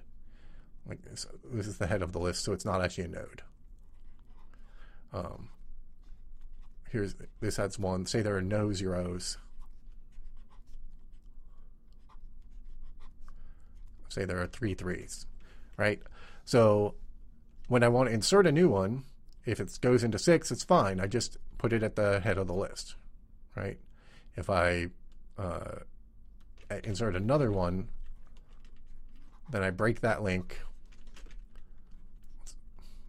Let's start over. I insert one at six. I'm going to draw it like that. now I insert another one, right? So I break this link, make the head point to the new one, make it point to the next one. It's just standard list insertion. So that's I can insert things at six. Now in the this case, the Dijkstra one, this one, where I'm always expanding out, if I know the maximum edge length is say four, right? Um, then I'm always going to expand and visit all of the twos. I'll visit all the twos before I get to the threes. The moment I start doing the threes, the if the maximum edge cost is four, then as soon as I start doing threes, I might start inserting sevens. But when I was doing twos, I couldn't insert sevens because from a two, the edge cost to get seven would be five, and I said that the maximum edge cost is four. So the range of valid values while I'm doing threes is three to seven, and the range of value values while I'm doing two is two to six, and the range of valid values while I'm doing one is that. So what we can do for the Dijkstra algorithm, not for A star, if we have that edge bound, um, is I only needed five lists. So what I can do is I can have five lists. And then when I'm done with the zero, I reuse this list and start using that as the five list. And when I'm done with one, I start reusing that as the six list. And so it's like a circular buffer. I recycle these lists uh, to larger and larger numbers. Now, I do have a bounded edge size, but it's A star, so there's the computed value is this weirder thing. And I don't know what the, even though I know what my maximum edge size is, I don't really know what the constraints on that are. I don't know how that works out in A star. So I'm just pretending I don't know. I don't have a very, very good bound. I do have a bound. So instead of doing this, I'm doing something a little bit different. I know that I might have to add things outside this list. So what I do is I make another list, which is 8 to 11. And then I make a list that's 12 to 15. And then I make a list that's 16 to 19. And I keep making these lists until I have enough lists that I think I'd never run out. Like, and so I go up currently to, you know, uh, in, in this scale, maybe it's 64. Say, so a lot of these little lists. Okay. And each of these is a list, and they can have things on it. And where these lists appear, everything on here is a zero, everything in this list is one, everything in this list is three, everything in this list is eight to 11, but not in any particular order. So there might be an 11 and an eight. And as I keep exploring nodes and adding to the lists, I just keep pushing them onto this list. Boop, boop, boop, boop. Occasionally, I need to update things and say they're cheaper than they used to be. So to do that, I delete it from whichever list it's currently on and add it to the, whichever new list it is. So if I have an 11 and, well, say I have a 13, and this 13 gets revised to 9, then I delete it from this list and I put it on this list. If the 13 gets delete, revised to 7, I delete it from this list and put it on this list. Right? Straightforward. Um, straightforward when I can visualize it here and show you what's going on. So now the big operation, so that's what the add and update needed to do. It was just all that. No, that's all very straightforward. And we, we saw how with the Dijkstra one, there's this rotating uh, circular buffer style rotation through the lists. They change meanings. And I was going to do that for this, but the handling of the secondary lists meant I needed to do it a little different. So what I do for this is in the Dijkstra one, as soon as I was done with zero, I could reuse it for something else. But I'm not doing that for this. So for this, whoops, why does it think the mouse is down? It's not down. What? It's not down. Stop being down. okay. Uh, tablet's fault, not Milton's fault, I'm sure. Um, so what I do in this algorithm, since each of these is, covers four, a range of four values, I block this up into groups of four values. So I have the first half and I have the second half of the primary. And what I do is when I when zero is empty and I start looking at one, which is the first empty variable, when we go back to the code, the first empty is telling me where I'm looking. So like once these three are all empty, first empty will be pointing to here. Uh, I don't do, I don't do anything with these. But once this one goes empty and I move to this one, now what I want to do is basically swap the meaning of these two lists, but I actually just do it with a mem copy. So um, I copy this list down to here. All right, so this is becomes four, five, six, seven, and it has whatever is currently here.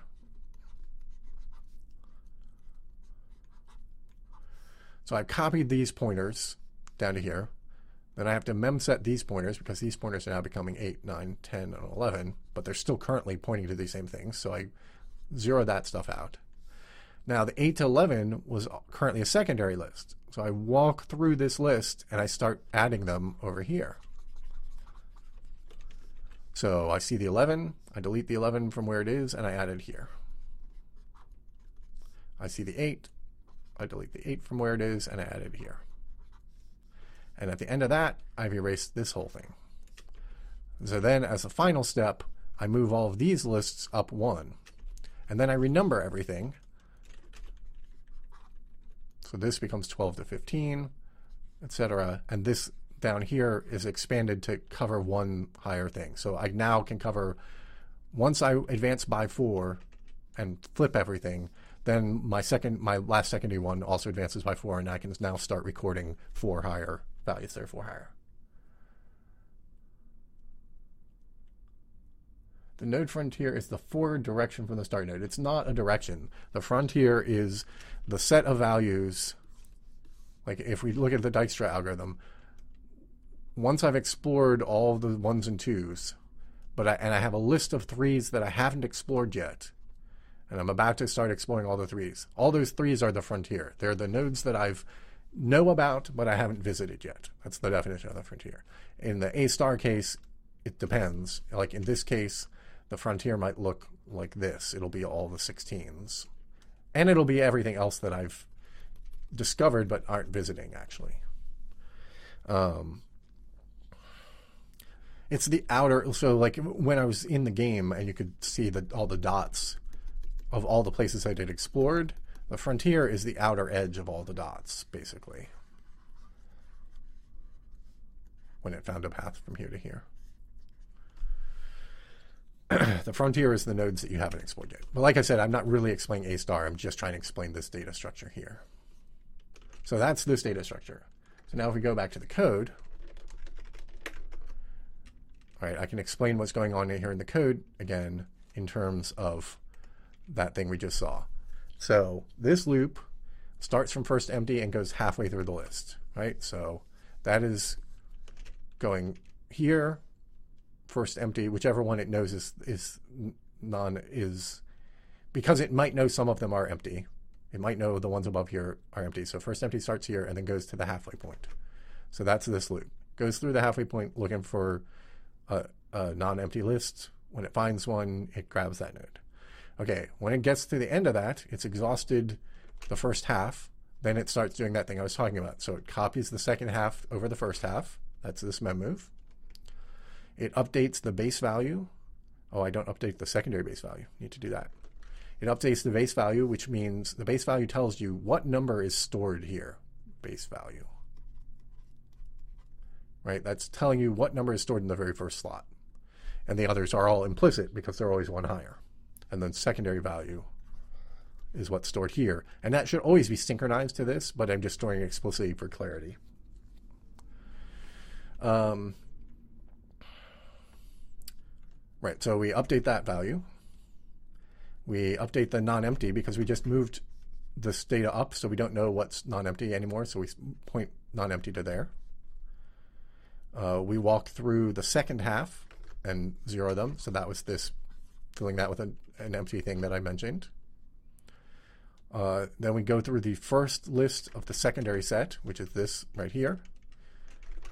And we remove them from that list and add them to a primary list. So that's what I was saying about taking each of these values and inserting here.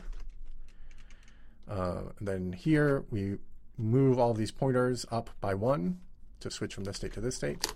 And then I just need to add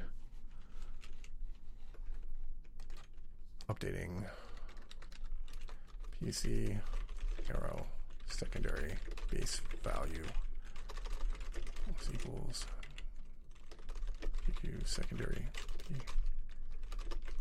spacing. Yeah. Okay. That's the end of the explanation. Does anybody have any any questions about that?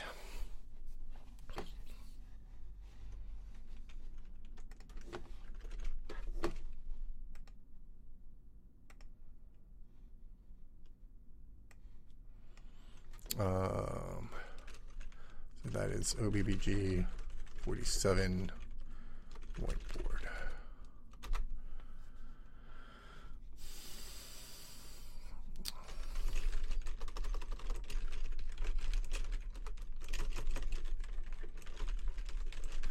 It's not actually done yet, but it's close.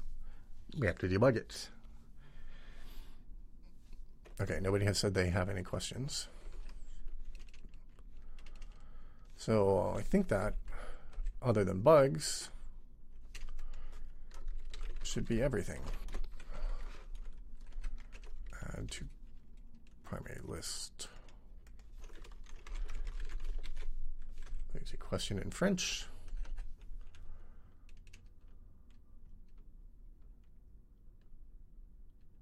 All right, so we're going to run it, and it ain't going to work.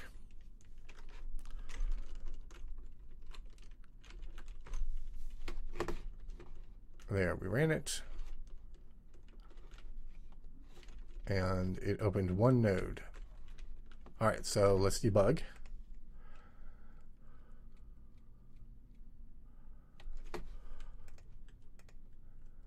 Oh, we have to actually record them open, or we have to change this to be a. Uh, that's that's actually the data structure. That's using accessing the data structure. So if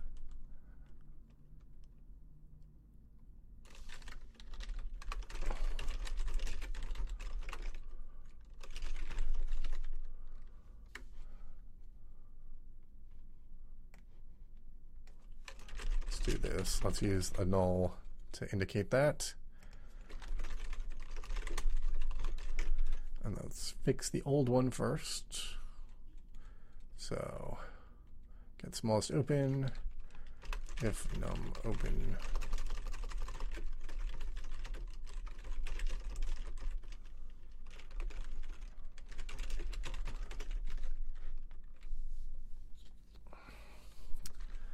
then this one we had this whole thing where we're incrementing primary and incrementing secondary so then when we get to smallest one thing we can do is if num PC arrow uh, num primary, we don't even need to scan it if we know there are no primaries. And if we get to the end, and there are no secondaries, then we're done. And we didn't ever actually need this path node n to be global. We just needed it here.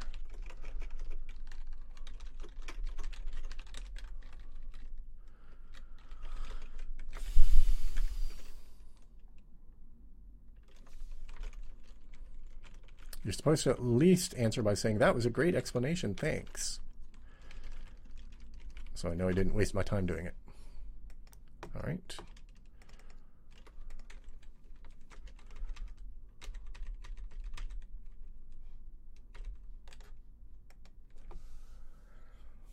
right?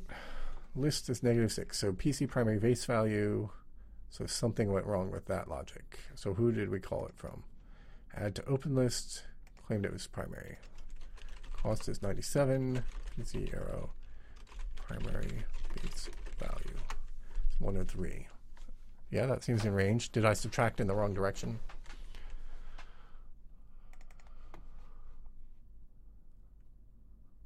Did I pass in the wrong cost? Oh, did I look, when I was looking at this, was I looking in the wrong direction? Yes, 97 is less than base value. That should never happen. How did that happen? Is that pos possible? No.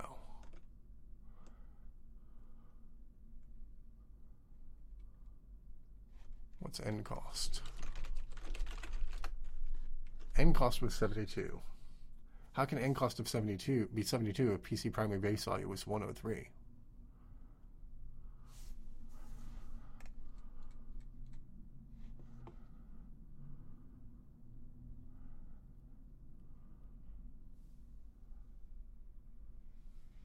Okay, thank you for the feedback. Um, like I said, that all would have been so much clearer if I just did that explanation first before programming it. That's too bad. Uh, maybe I'll put in the video, jump forward for to here for the explanation, and then jump back. No, I probably won't. um, how? I guess I just got to step through.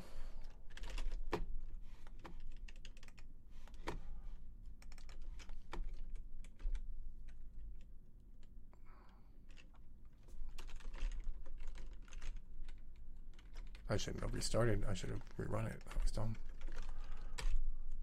Okay. End cost 72. PC primary base value 72. Okay, let's break in this.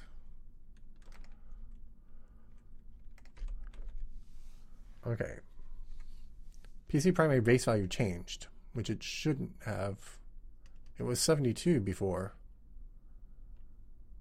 Oh, but we deleted the last one, so it was empty again. So it could reset it. And when it resets it, it needs to actually zero everything. I remember saying I wasn't resetting everything because I didn't need to. So I need to set everything here. What else is there to set? Num primary, num secondary are zero. Num open we don't touch. First non-empty is the only thing I actually need to zero then. So I shouldn't have broke because that is already actually being done.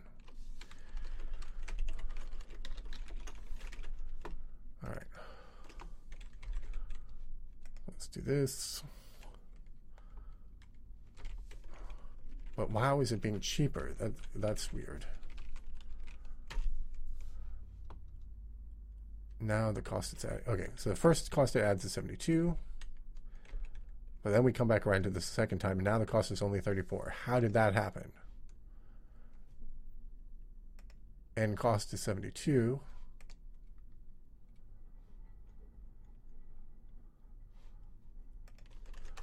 How did that get cheaper?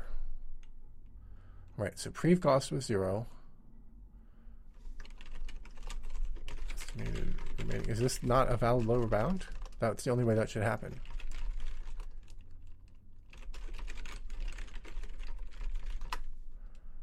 How did that lower bound change by that much?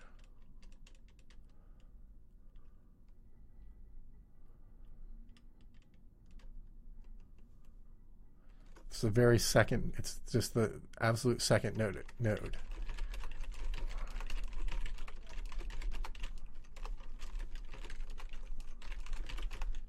Zero zero zero to one one one.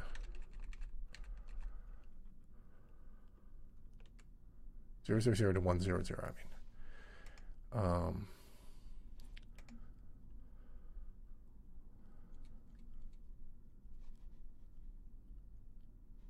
estimated distance lower bound. We're supposed to pass in dest. Do we pass in dest, or do we pass in start? Pass in dest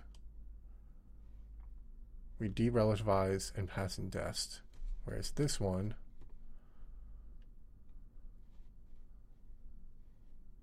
we don't derelativize. All right. So the very first one had a bogus thing. Not sure whether that causes the problem, but it's certainly bogus. And it probably didn't matter. It wasn't affecting anything else because the cost, as I mentioned before, the cost of the, the starting node doesn't actually matter to anything. The, the, the value stored in the priority queue. Okay, so now we come around the second time. The new cost is exactly the same as the old cost. So that's good. Um, let's just run it. Oh, it worked this time. Oh, now it fails. All right.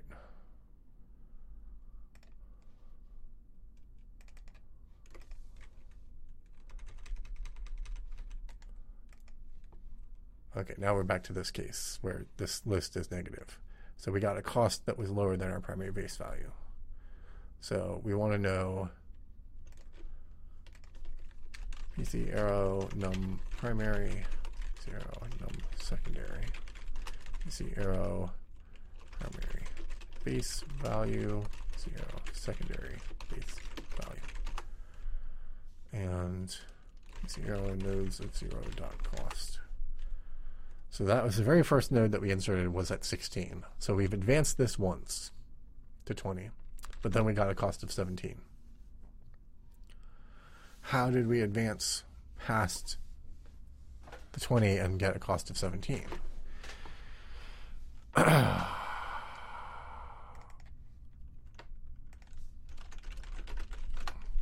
we pulled out a thing of 16. Ah, okay. I see how this happens. Yeah, we're not going to see the performance difference, unfortunately, because the performance wasn't visibly slow.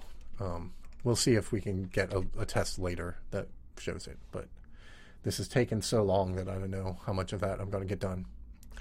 Um, okay, so uh, as long as so, what happens? Here's what's going wrong.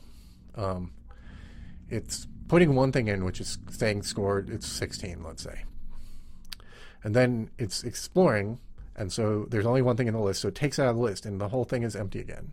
And the thing it has is 16. And one neighbor of the 16 costs 20, and one neighbor of the 16 costs 17. So it goes to add the 20.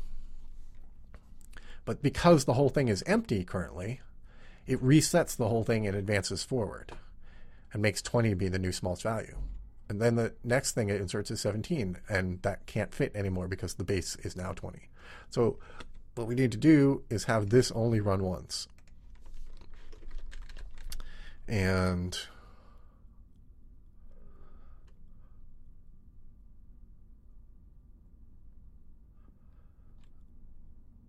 and I think the way to do that is to just do it outside of this. So this is not old pathfind.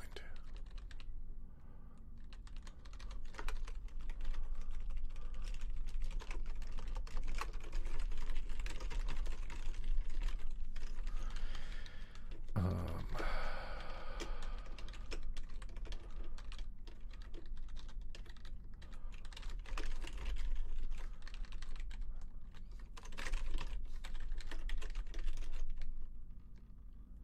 So something like that.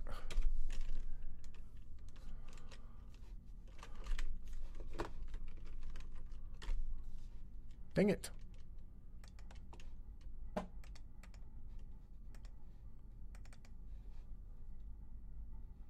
So somebody isn't incrementing these things correctly. But we're doing it when we add to the lists and remove from the lists, right? So that it should just always be consistent.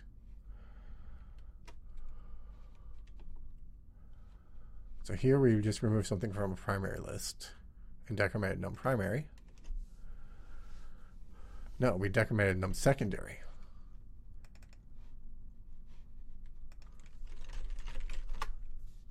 Why is that set to primary? Oh, because we've already updated. Mm-hmm.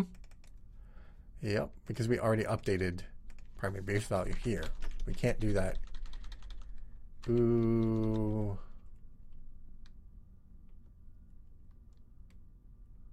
We can't add this. Mm. So what we have to do is lie about the cost here to add it to the correct spot. But then it'll store the wrong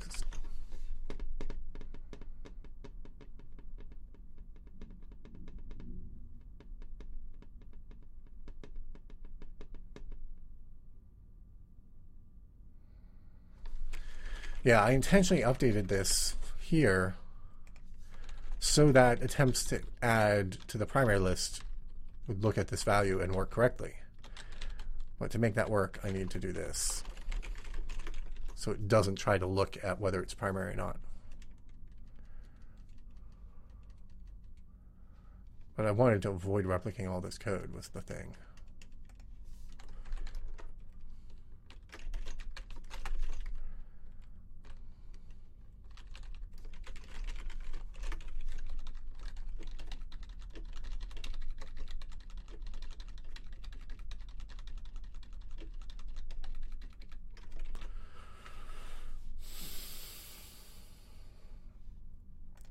Which case, we might as well just do them all. This is moving from a secondary list. This is moving from a secondary list. And then we change this to be from primary list.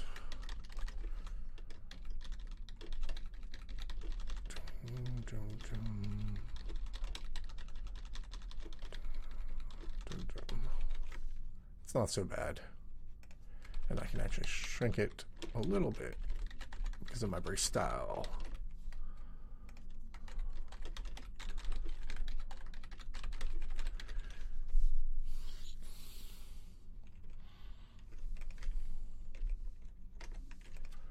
Uh, this is always coming on the primary list.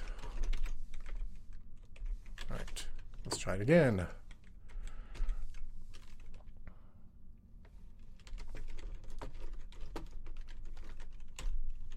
That failed, but I might have been in midair. Yeah, I was. So that'll fail again, and then this should succeed. Uh, no. It explored a little bit and then failed. Explored a little bit and then failed. Yeah, so exploring exactly one and not managing to pull anything out of the open list. It's never finding anything from the open list. All right, so it'll find the very first one. And then when it gets here again, no, it found something.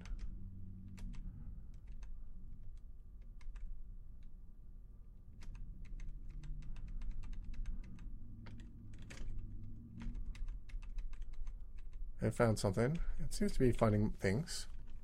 Nope. It's never actually adding anything though. All right, let's rerun it. Okay, finds the first thing. As its neighbors. See, let's see somewhere where we added there. Boom.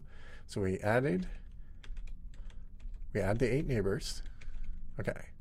Now we come in, find another one.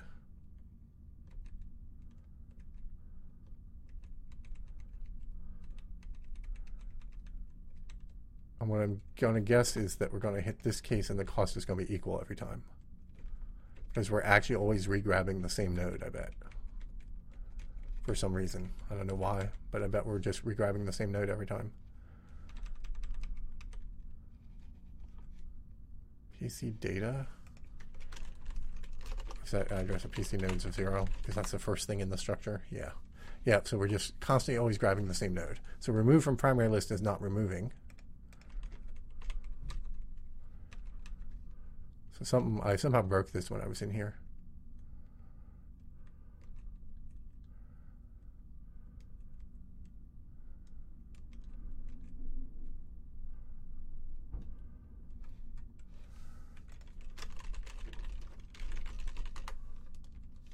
Still zero. This PC node link X next. So some the remove is no, I don't know. How did I I was pretty careful when I deleted that stuff. I don't think I broke anything while I deleted it, did I? Primary. It should all be in the primary.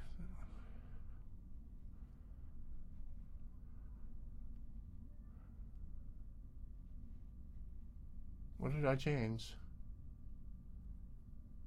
Add in your FAQ while you are coding in C. Hmm. Do I not have that in there? No, I don't.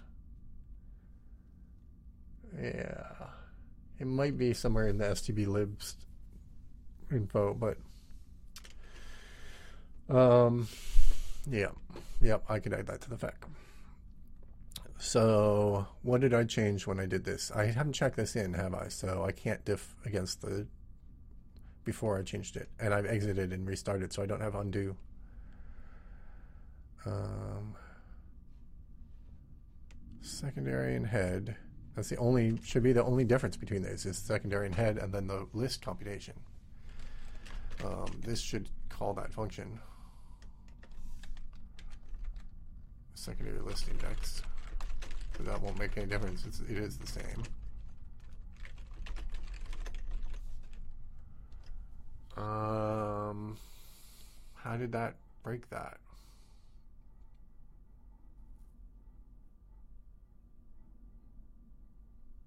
My only thing I changed was the remove, right? Did I change something else? I changed these to explicitly call particular ones. Currently on the secondary, so both of these should be removed from secondary, and this should be removed from primary. And then the get has to remove it, so get removes it from primary, removes from secondary, adds to primary. When we add to the primary, we've already updated primary, so that works. We remove from secondary, haven't updated secondary, so that works.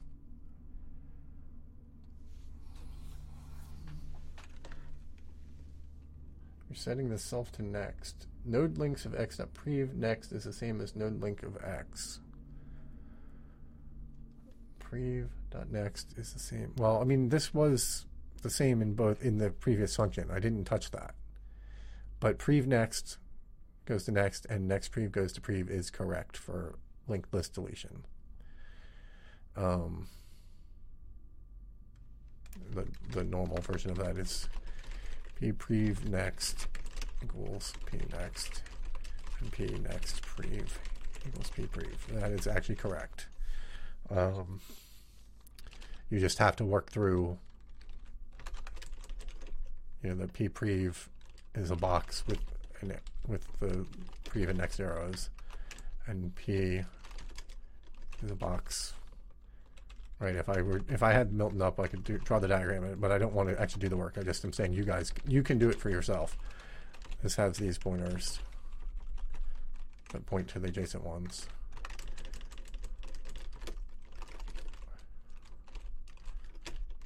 Right, this is, so if this is X, or P, I was using P for that example here. So if this is P, then P arrow next points to this guy, and p arrow prev points to this guy. So then p arrow prev next means go back to this guy and change this pointer to point to p next, to point to this guy. So you're trying to edit that so that this so this guy this pointer points to here and this pointer points to here. That's the whole point of that code. And I didn't change it, so I don't think that's what I broke. Um, it's just using indexes and a little grosser to read because of the the indexes and fetching it out of the context. Um,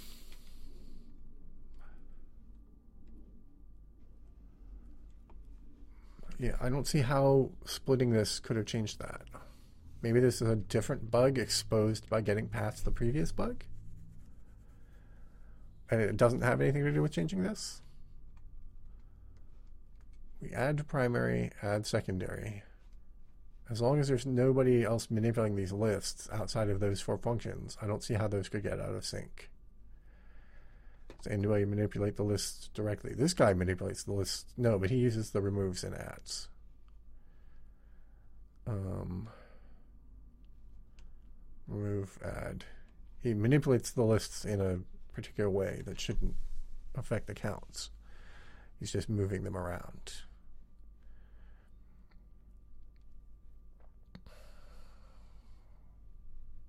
Yeah, I don't see anything here that should affect the counts.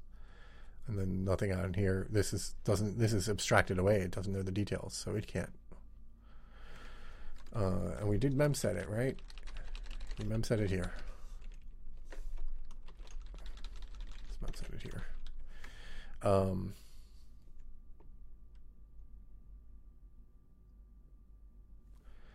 so that seems reasonable to me. Goddamn bugs.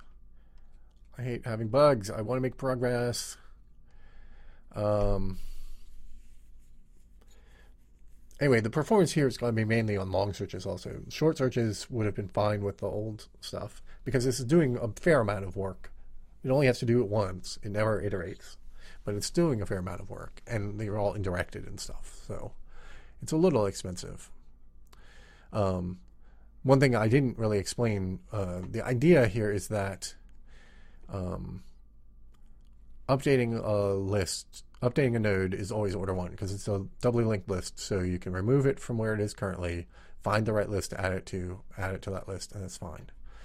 Um, then the so the main extra thing that we do here is this while loop, but we're taking nodes from a secondary and expanding them into the primary. So any one node, this can only happen once to that node. That node, if that node is ever in the secondary list that gets expanded, it gets deleted from the secondary list, added to a primary list. Primary lists never go through this path. So any node, single node, this can only happen to it once. So what that means is that this is amortized over the cost of all the nodes. So it is still order one per uh, uh, per um, add. Every time you add a node to it, uh, it's order one amortized. This thing might, on a single call to this function to get smallest open, might iterate a bunch of times here and take a little while, but it will be amortized. Uh, it does have to, if you do have sparse values, I, I changed it so we don't have sparse values anymore. If you had sparse values, you could loop here multiple times um, and pay a potential cost.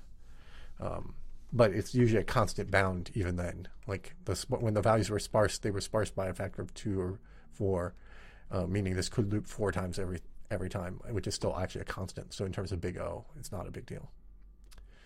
And this and it, the amount of work it does while looping, it's just testing this value, which is a 16-bit value, so it cranks through, doesn't touch much memory, it's pretty fast.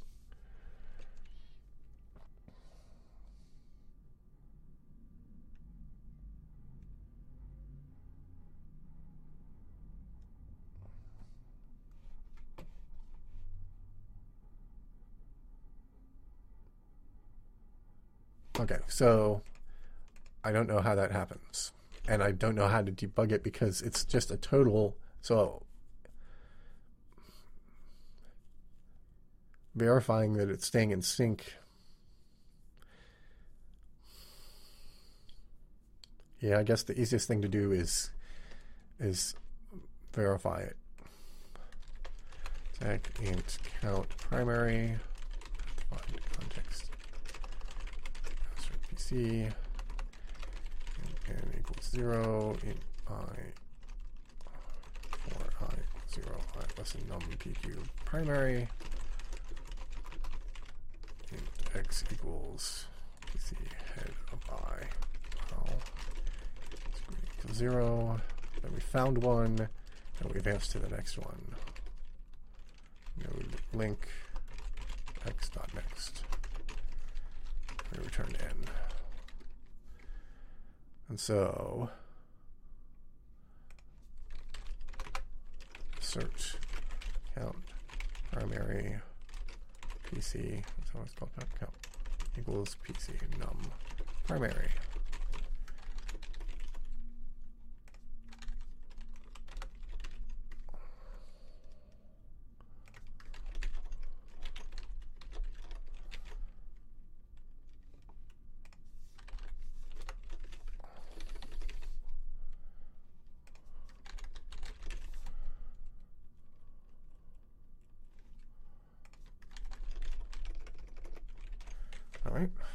So hopefully that'll catch it when it goes the first time it's wrong. Unless I have a bug in that and it's always wrong, which is certainly possible. I got caught in an infinite loop so that I have a bug in it that infinite loops. I forgot to increment something. Oh, my cursor is, okay, there's my cursor. Um, I always advance X. i is always incrementing it's to the fixed size. So this would only happen if I end up with a circular loop. Um, so let's check that, that that's what's happening. Oh. Oh. Yep. All right. All right. N is garbage. Oh, N is garbage. Yeah, X. X is zero. Okay, so it's linked to itself. So there's some problem in the remove. Even though I don't see how what I changed could break anything. Um, well, actually, let's uh, let's check. Like, I didn't check what I was inside of at the time I broke. Let's see which function is calling it.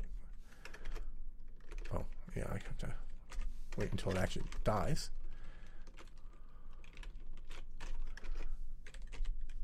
Uh, we're in add to open list. And I can't move my mouse because of SDL. So I can't step up the stack to find out which uh, where in add to open list I was, but okay, we'll add to open list. So either add to primary or add to secondary. And we turned to that and did this assert. But add to primary has that assert at the end. So it must have been an add to secondary that it went wrong.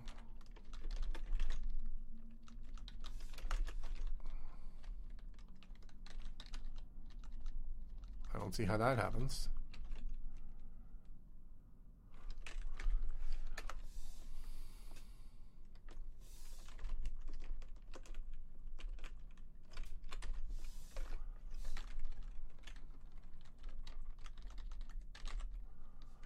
Add to secondary list.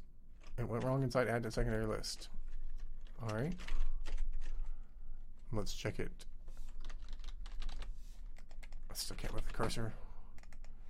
Do I have a thing in SDL to deal with that? I think I do.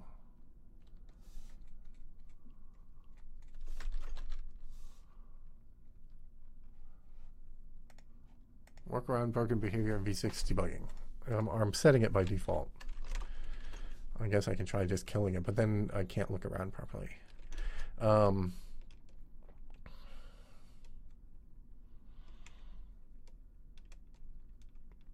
so uh, it was happening here. So let's try before we update anything, see if it's still wrong.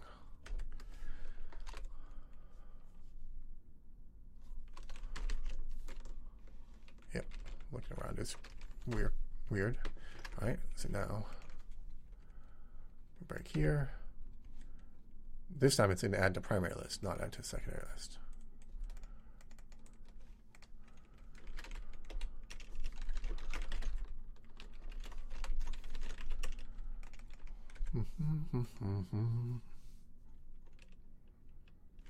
Which could just be that the test is broken still. That I'm missing something here. This time it was added to secondary. It's at the beginning. So it was already broken before we got here. So it was already broken when we came in here, which is at the very beginning. It's broken at the very beginning. How is that possible? Why is it adding to secondary at the very beginning? It shouldn't be adding to secondary.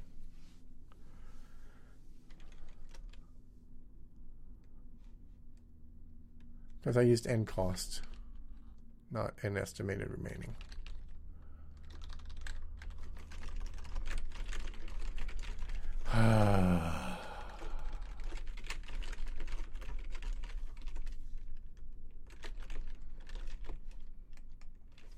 All right.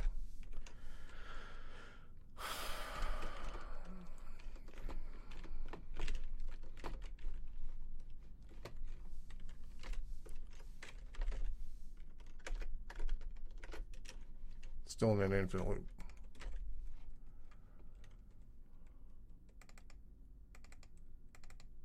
Still at the beginning, it's in an infinite loop.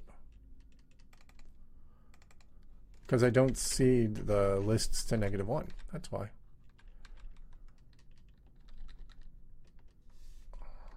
Dun, dun. Dun,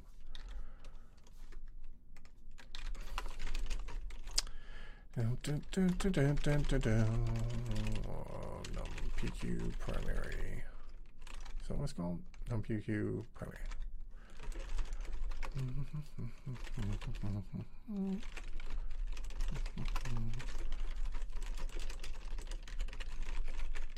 It's kind of important. They're all set to zero instead of being set to one and to negative one. So that would in fact make it totally break. Initialize your data. memset to zero is invalid notice negative one. Aw, somebody explained it and I didn't see it.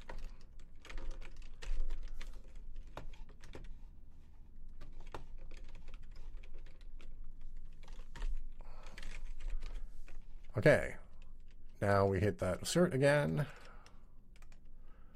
but this time it's after we did the remove from primary. 72, it seems unlikely we'd have 72 nodes. Um, don't know what count returned. Let's uh, step out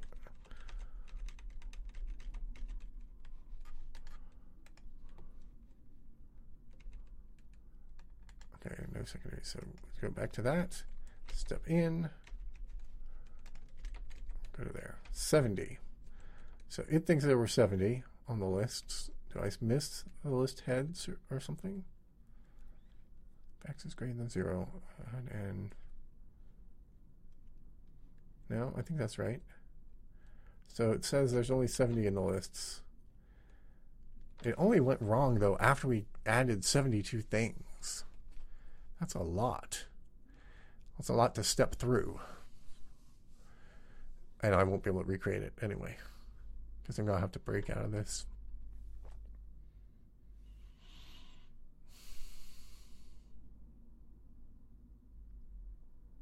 What did I do wrong?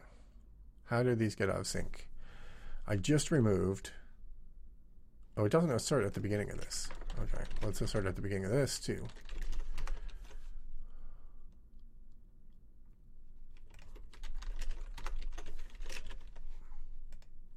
so that we have a good bracket on where it goes wrong. Oops.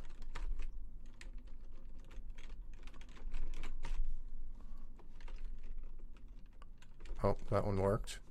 Darn it. That one worked. There we go.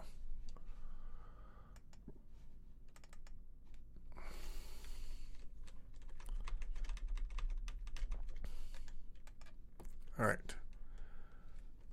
Failed here. So the count from there to there changed. So the count there matched. PC primary is now 25.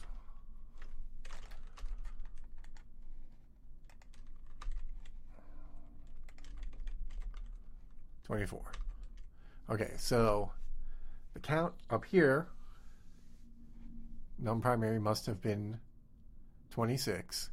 So when we're up here, the count must have returned 26.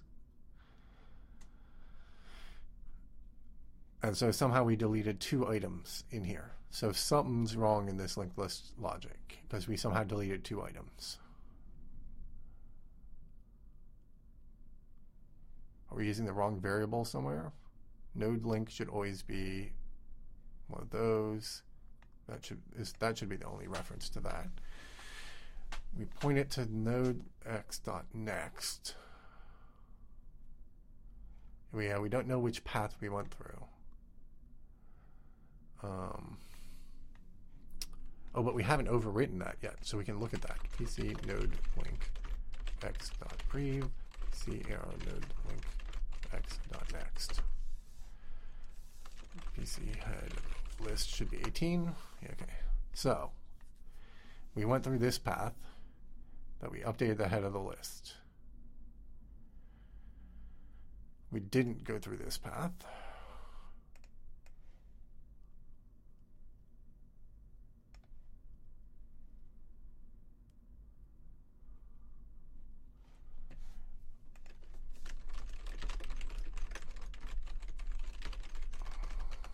We updated this.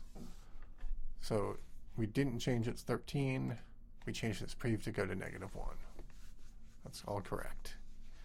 How does this subtract 2 from the list? How do you lose two items from the list by running this code?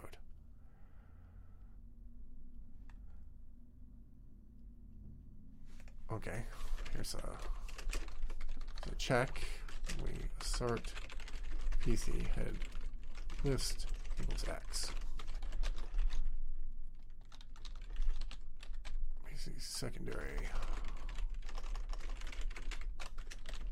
If this got out of sync somehow, that could cause badness.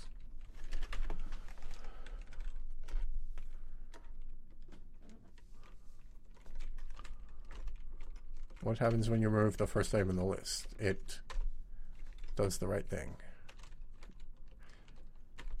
I mean, it's it looks like it does the right thing. It changes the head to point to the next item in the list. I don't know what it takes to trigger the bug.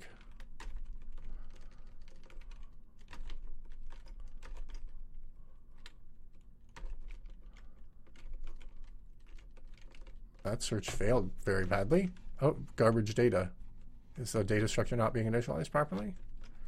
I'm getting garbage data. Maybe that's the problem. I can't rotate properly because I disabled the rotation stuff. So it's hard to look at the... Oh, shoot, I hit A.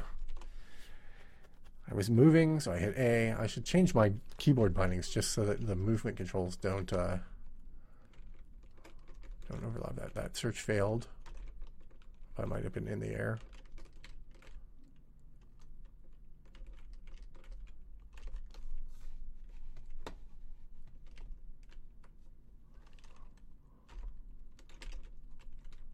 Garbage data.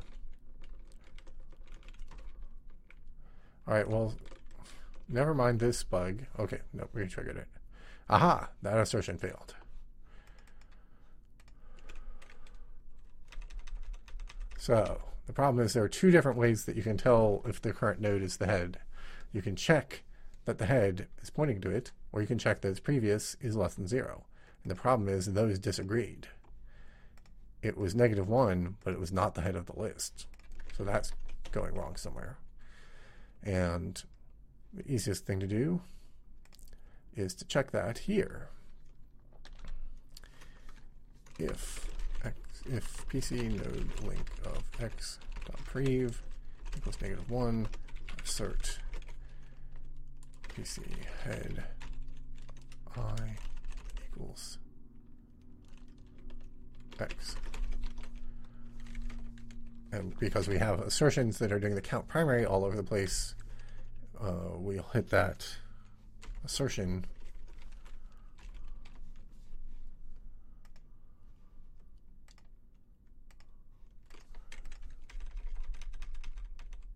as soon as it goes wrong, hopefully. Okay, we hit that assertion. We hit it here after add. So we made the head point to x, and we made x's previous be negative 1, and we forgot to make the next if pc head of list is greater than equal 0, then pc head of list pc node link pc head of list dot prev equals x. It used to be negative 1 right here, and we change it to point to this guy. So we forgot to update when we added it to the head. Forgot to update the previous, the following. Forgot to update the next node's prev pointer. That's why I always use singly linked lists instead of doubly linked lists. Too many cases. All right. No crash, but I can't see. Why? It didn't. The fat pathfind failed. Oh, I was in midair though. Okay.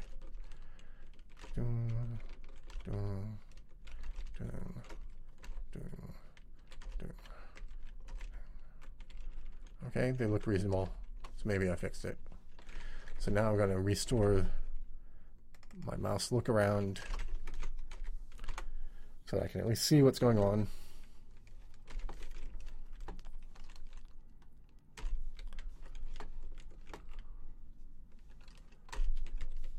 Okay. Maybe it fixed all the bugs. This is why people tell you never do linked lists by hand, because you have linked list bugs. And who needs to spend half an hour debugging a linked list bug?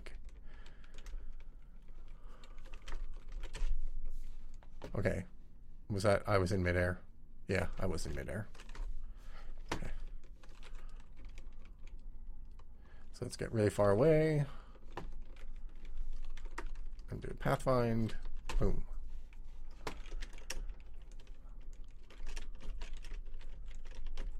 And you can see it just went directly very with very little spread until it got to here and it had to start going uphill again. So it started spreading around looking because it's going uphill even though the target is down. And so it starts looking because it doesn't know that there isn't a low route over here somewhere. So or going all the way over here looking maybe there's a route that goes down. Maybe there's a hole right here.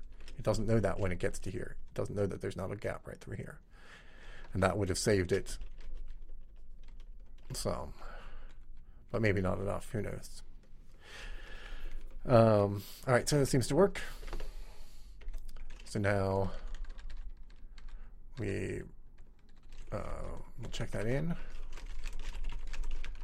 New pathfind working.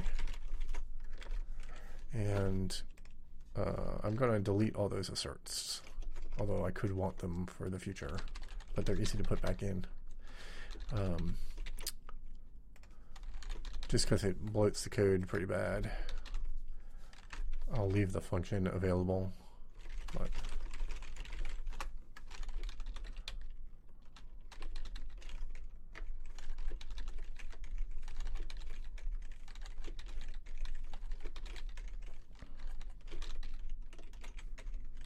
All right.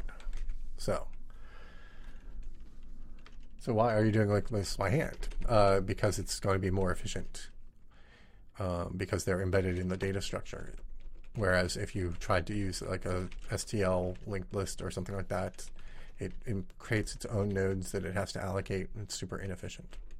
So since this was a, a whole point of this was to do an optimization, it was necessary to do it by hand. But but there's true it's a truism like it's a thing that people say and it's generally true. Don't do linked lists by hand. I do them all the time and i still get them wrong. Um, doing them indirected through the array makes it a lot worse though the code it's less obvious. I, and having that whole having to have two copies for the primary and the secondary and all that stuff just was added an extra cognitive load that made it more likely that i'd have a bug there. All right so we think we have this working I did a really long pathfind and it looked pretty reasonable. We fixed multiple bugs since yesterday.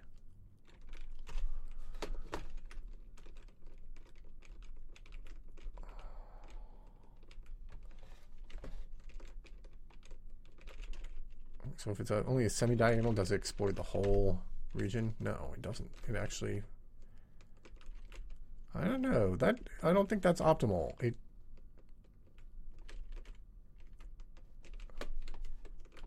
Oh, no, I guess it is. Yeah, okay, it is. I thought it went up and down, but it doesn't. It just goes consistently down the whole way. It seems like... Yeah, you might prefer it to go more that way some, but you can't control that when you just have orthogonal and, and this. It basically tries to go all orthogonal and then all straight in this particular one, although it's not guaranteed to do that. There's nothing in the algorithm to guarantee that. So yeah, the so the we'll come to this in the path following. So let's talk a little bit about the path following since that's what I'm about to start. Um, this is perfectly viable paths in a discrete world. Like if you had a turn-based world and everybody just moves on tiles, this is all perfectly reasonable. But if these are going to be, you know, creatures and they're trying to get from here to the point which is like there, I think, because it's because of the way the path turns. Um, oh, it's closer to that. Yeah, it's here. Then you go on this weird angle that isn't doesn't follow the the things, And you could try to do that in the path by going, uh, you know, diagonal then straight, diagonal, straight, diagonal, straight to get sort of the approximate path. But uh, it's hard to convince the pathfinder to do that. And so um, there are really two issues with the continuous uh, path following kind of thing. One is that you might kind of would like the path to cut across more directly.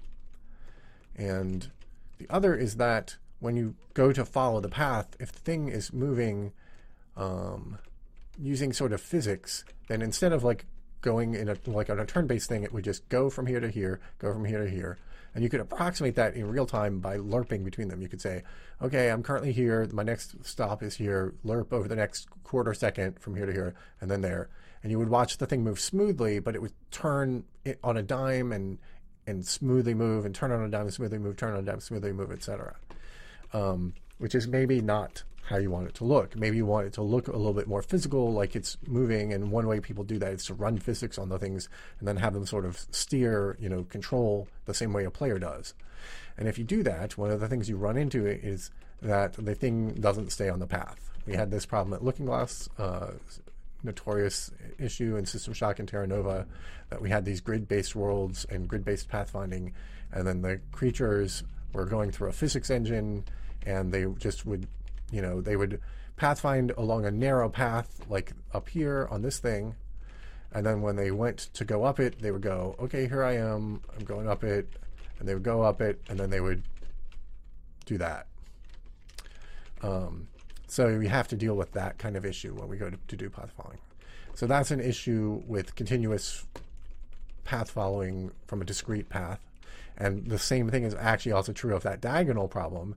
It's a problem of continuously following a discrete path. The whole point is that we actually want a continuous path that isn't even a discrete, doesn't even, can't be described as a discrete path, because we really just kind of want to go straight at this thing.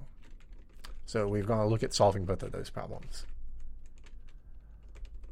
Is there any other way to do, asks someone. Uh, do they mean to do the pathfinding so that you don't have this problem? Or do they mean, uh, is there any other way to do pathfinding other than a star, or do they mean is there any other way to do pathfinding, uh, or did any other way to do path following? Um, path following, um, th- there is a, an approach that works probably better with nav meshes than grids, which is instead of thinking of these as points, you can think of them as blocks here, little square. So you can say, well, there's a little square that I'm allowed to be in here a little square I'm allowed to be in here. And you need to do it a little bit differently, like you wouldn't allow uh, diagonals to do this method. So you would have to uh, only allow straight things. And what you would do is, well, there's a square I'm allowed to be in here, and a square I'm allowed to be in here, and a square I'm allowed to be in here, and a square I'm allowed to be in here, a square I'm allowed. And then you move always only crossing between the edges between the squares. So you're like, while I'm pathfinding, following, I'm allowed to go anywhere inside the square, and then cross into the square. And now I, I shouldn't ever go back to that square, but I'm allowed to go anywhere in the square, and I just need to cross this edge, and I can optimize where I'm crossing that edge and do that. But you'd end up closely following the path still. You wouldn't ever cut across the diagonal. So you still need something else to solve the cross diagonal. So any other way to do the linked list was what the question was. You don't use third-party libraries, I think. Um, you want if you want the linked list embedded in the data structure for performance, it's difficult. People do make libraries that support that, but here I'm using 16-bit integers instead of pointers, and probably the libraries would use pointers and stuff. So there's just no way I was going to do it for this. And I'm using 16-bit integers uh, because that uses less memory, and using less memory means more things fit in cache, which means they're actually faster. Now, of course, it has to turn those 16-bit indices into pointers while it's processing things. but that's just a shift. It's a small shift. It's eight bytes. So, or four bytes. One of the data structures is eight bytes and one's four bytes. And the x86 actually has a multiply by has an address calculation that multiplies by eight or multiplies by four embedded in it. Um, and on the old machines that was actually a single cycle or whatever. On the modern machines, it's multiple microops, probably possibly still. It might be cracking that and turning that into a. It might not have a custom times four multiplier anymore. It might throw it into the regular multiplier, but probably it does. It probably reuses an adder for that, but I bet the shift is is free, but maybe not. Who knows? But anyway, so often that stuff is free and then you're getting the cache savings. So it's potentially worth it. Depends how big the data structure ever gets. If the data structure is only ever 64 nodes, none of this really matters. The performance is going to be reasonable kind of no matter what you do. But um, since I allow a 5,000 node expansion, then keeping that data structure small definitely helps. The linked list is of what object? Of the pathfinding nodes, the nodes that have been explored in the pathfinding. All right, so um, I just removed the assertions, so let's check that in. And we've been going for 243, so uh, I'm just going to, not even going to take a break. I'm just going to take a minute to get a drink. I'll be right back.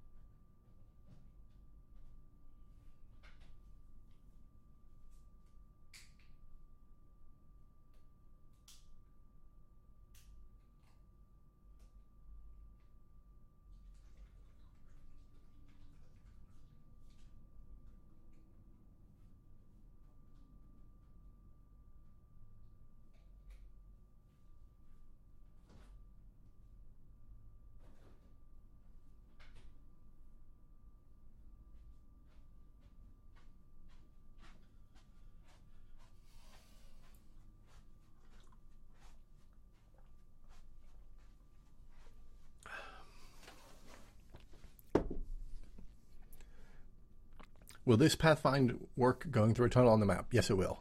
Um, the uh, when I was doing this yesterday, I had it pathfind a thing that was four units tall and was showing how it could go under this, but couldn't go under this. Um, but, and I actually went down into a pit.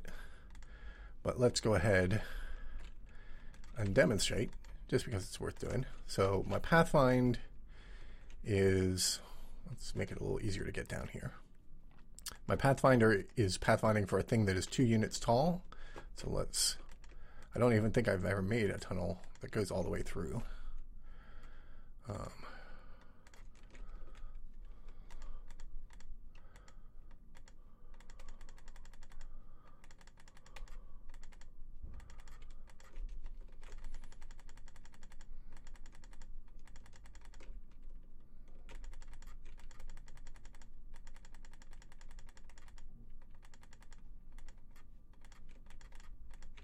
just because it's nice to see that kind of stuff. I that's why I did a a, a demo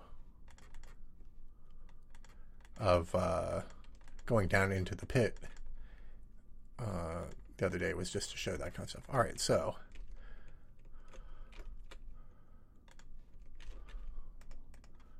All right, so if we're here and we pathfind from here to Where's this pit? So if we pathfind from there to here, it might go through. It might not. I don't know. Uh, or didn't pathfind at all. Was this one not? Was it? Well, was I in midair when I did this? I was in midair when I did this. Okay. So now, boom, it path found through the tunnel. There you go. And then let's get it to pathfind not through the tunnel. Let's say to here. It should, I think, go around. Yeah. So here it didn't go through the tunnel. It just went over the land.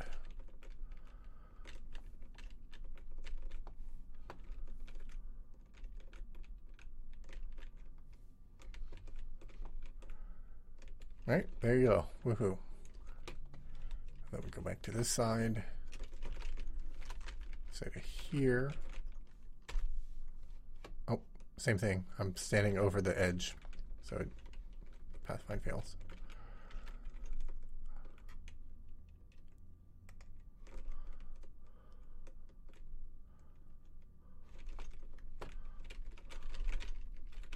Oops. Come on, get back. Get down. There we go. Um, there's no path. It explored all the way and then didn't do our path. That's very odd. How does that happen? Uh, it didn't actually go to the right place. It's some kind of bug. It's actually, the height is wrong here. If I go down, yeah, it's under the terrain. So there's some kind of stale data bug again. Um, yeah, these heights are wrong. Yep. It's just shifted off. It's an old Pathfinder that's shifted by a little bit. When having multiple AIs, do they share the pathfinding info? It's what we're about to do, except I just found this bug. Um, what they'll do is they'll call this to generate the path, and then they'll copy the path out and keep their own private path solution. That's really sad that I found a bug. Okay, how do you get stale data? I memset that whole thing to zero.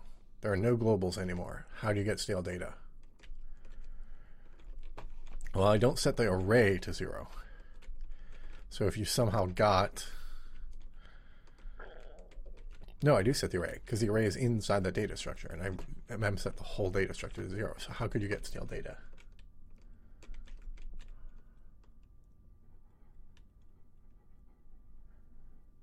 Okay, I'm going to just have to stop.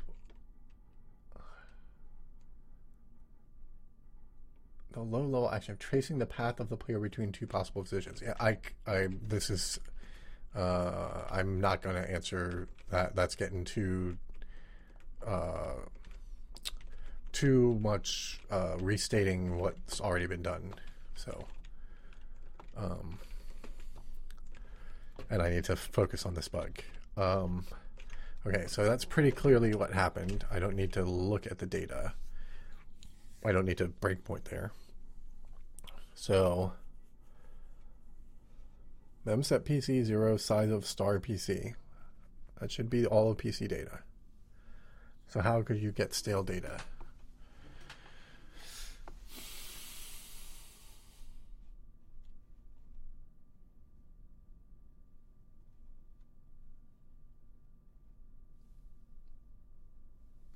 But if someone else wanted to explain that, to try to answer those questions, they should do so. Um, how could you get stale data here? It's mem setting. It is mem setting. Every call mem sets the whole structure to zero. So how could you get stale data? We, the data we're displaying is this. We're just storing a pointer to the data inside the structure. That's what we're displaying. But all that data got overwritten. How did the pathfind fail is also a question, but um, or I could just move on and have a lurking bug. That seems kind of bad. We memset the whole thing. How does that? How does that happen? That doesn't make any sense. I guess I should see if I can reproduce a different example of it. See if I can get more data about what kind of thing is going wrong. Don't know what I did to do it. I mean, I was making that tunnel, but I doubt the tunnel had anything to do with it. It was a very long path, well, relatively long path, so I can do that to try to replicate. And it was weird because it showed all the nodes but didn't show a path. So maybe if the path failed, but the nodes were bad, how would the path failing, and I don't know why the path failed either.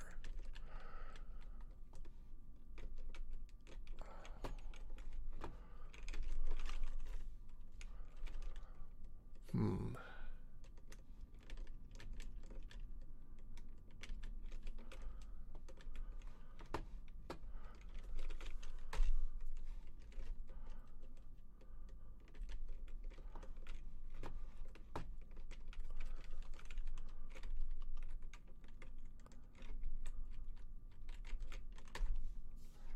You gotta replicate. If you don't replicate, I can't fix a bug.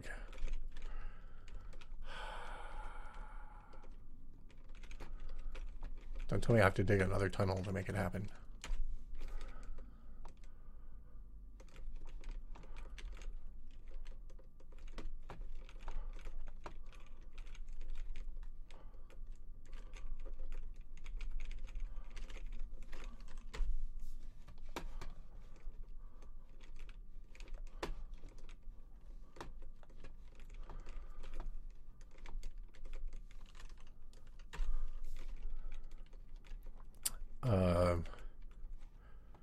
No, the paths uh, fail in midair.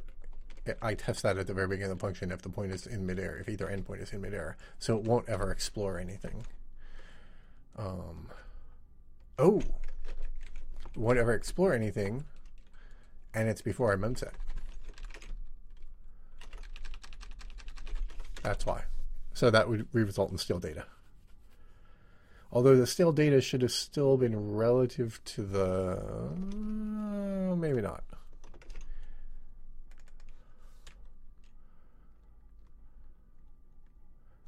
I'm not sure why I didn't always see that, but that's possible. Debug notes plus last post. Yeah, okay. That was why. You're right. Okay, so nothing to worry about.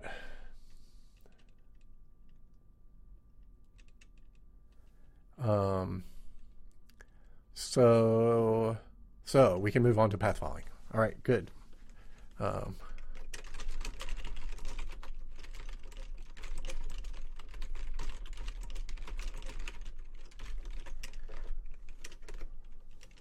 okay, so to do pathing, we need some creatures in the world or somethings well, we need some blocks that do things. And we have some blocks. We have the test and the bounce. But let's go ahead and make an O-type critter just for the heck of it. And we just have to go to world and uh, here, add an O-type critter shape. And let's make it the same size as the player.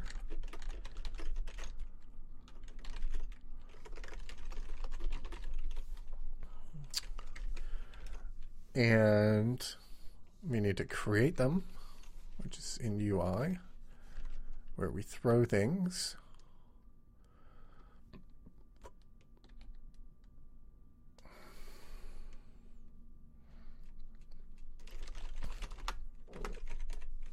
Scan code T. Throw thing is even its name. And we do this, and let's change it to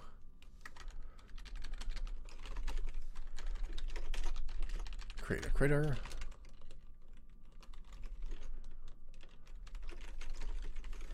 And then let us change this to move it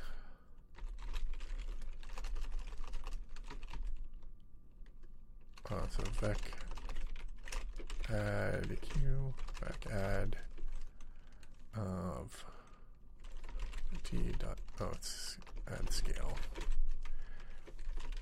take its current position as velocity, moving by a second, store that to its position, zero its velocity,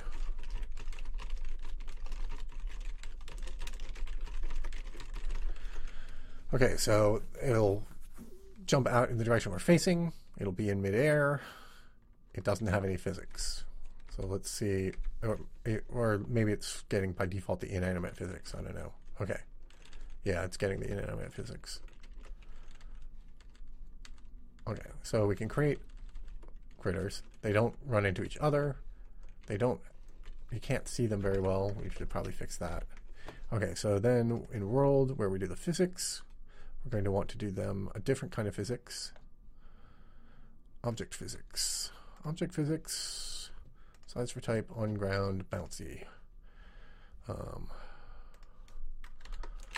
so uh, that says inanimate. So we want to do a switch O type case type test case O type balanced.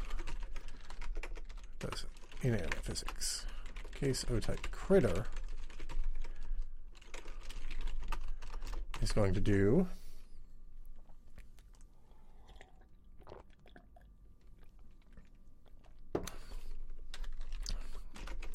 AI tick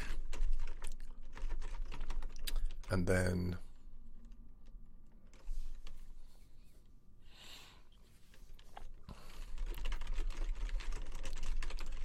move animate.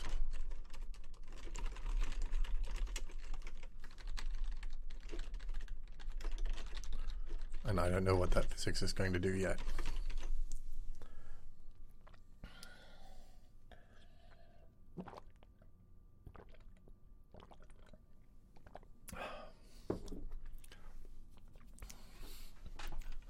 Okay, AI, here it is. What do we do for our AI? Well, if we're not on the ground, we flail helplessly and do nothing. So now, if we're on the ground, what do we do? um, what we want to do is we want to have an AI pointer or index, but we'll make it a pointer. And we're going to look at that. So, um, brain B. Oh, brain. So if B has target, then that means we're pathfinding, or path following rather. And we do stuff with that. So now let's declare that type. So where's our object? Here's our object. Type def struct brain. And we can't have a brain.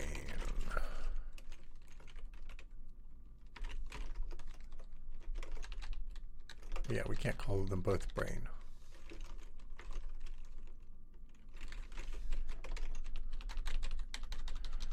Brain. Okay, so brain state. What goes in a brain state? Well, we have a, what was it called? Has target. And we have the target if we'd have a target. And then we have a path. Um, let's say we'll have 64. And find max brains. So how many critters can we have in the world? Say 4,000. Then that's going to be 12 bytes times 64 nodes times 4,000, which is ballpark 2 to the 4 times 2 to the 6 times 2 to the 12, which is 2 to the 22 which is about four megabytes. So we'd be storing four megabytes of path data. Most of it is never used. That's why I wanted to see how much it is. Most of it won't ever be in use. That's probably okay. Int path position, int path length.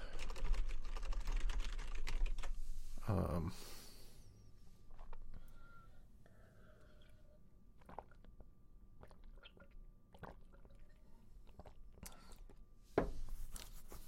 So, if we have a target, we look at our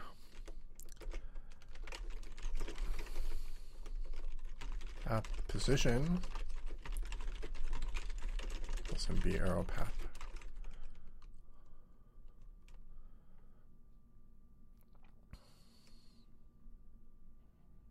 Length.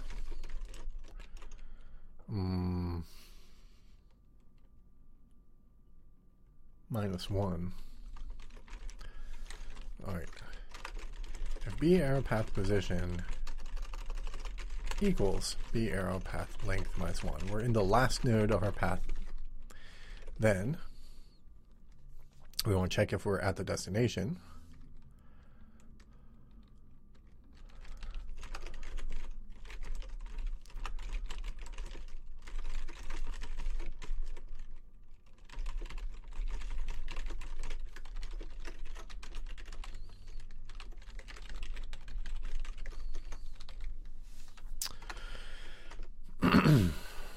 We check if we're at the destination.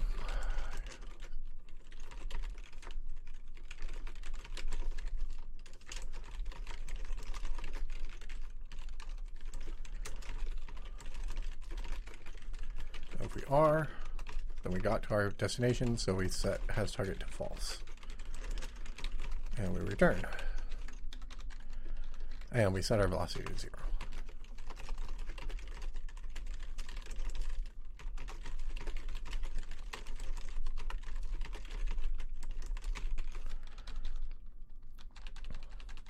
If we're earlier in the path,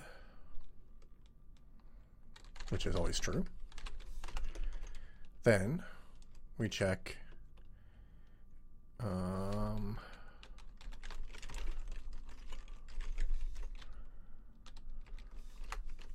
cur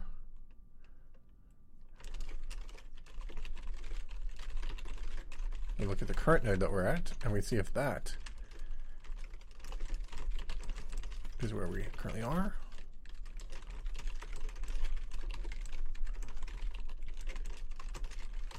And if it is, we don't have to do anything because we're currently processing it. If it's not, if it's changed, this is the crucial one. Let's see, how is this going to work? When we, oh, we have, still have to do this case, sorry. Uh, this is not going to work. This is going to happen after we get a new path. We're in the current one.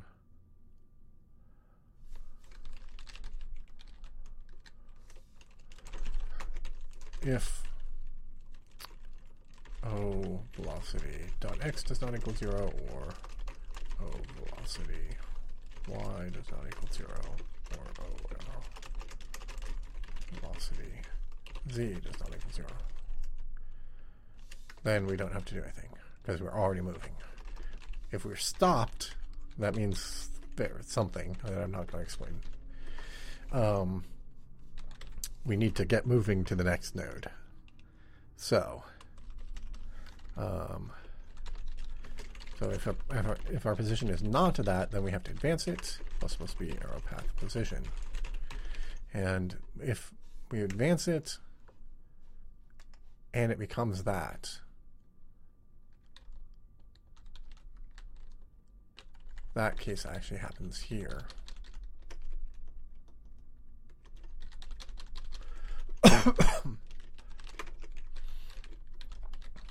if we advanced it and we got to the end of the path, then we do this stuff. Um, refined path. You could store path as relative from start pos, then keep a much smaller footprint. Yeah. I mean, it would be half the footprint. Um, and then I'd have to pepper that relativization into all this code everywhere. So, not sure it's worth it. Because the cache properties aren't the same, because this is going to be accessed really infrequently, sparsely. Um, you only ever access one or two path nodes at a time. And the, you're only accessing it once per frame, as opposed to the Pathfinder where it's iterating over all of them constantly. So I'm not sure it actually would help. It would save memory, but I don't think it would help performance. And it would be more complicated code, more buggy. So I think I'm going to stick with it being the way it is. If I were wrong about that, then yeah, it would make sense to use the exact same kind of relative coordinates that it already has. And it could even just return the relative coordinates without converting them back to global coordinates. Is that vegetable juice? Yeah, it's V8. Um, so the idea is that there's a fixed length path in the brain, and when you find a path and it's like 200 long, and the brain only can store 64, you just store the first 64, and when you get to the end of the 64, you'll refine the path. It's not perfect, but it avoids memory management from storing variable length paths. And often, if you're pathing like to another creature or something, you'll want to refine the path periodically anyway. So it actually doesn't hurt to do that, which is why I went with that design in the first place. Okay, so you get to here, and these are like, okay, I need to move to the next thing. So, um, if the arrow path position plus one is outside of the array, then we have a problem. But we already handled one of those cases here.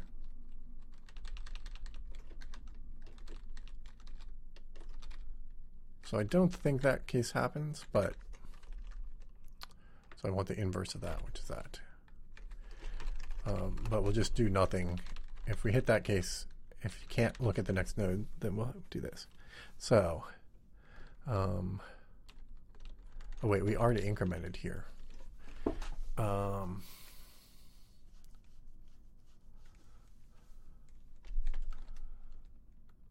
right, yeah, that's right. Okay, so, um, so we want to know what our next target is, vec3i. Next is b arrow path of b arrow path position plus one. And uh,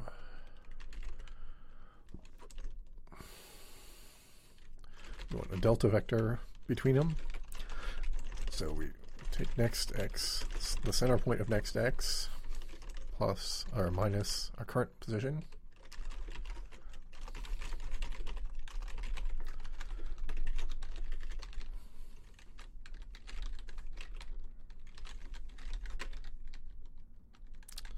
And we don't go to the center of this one. We go to size for type O type of 0 of 2.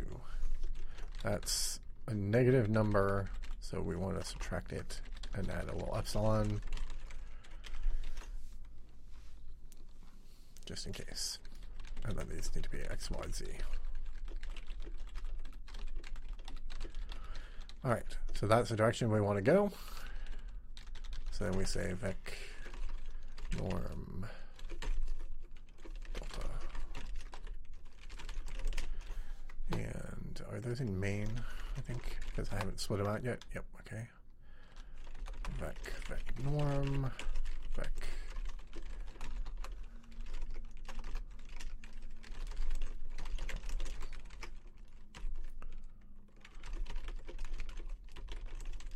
Oops, that's times.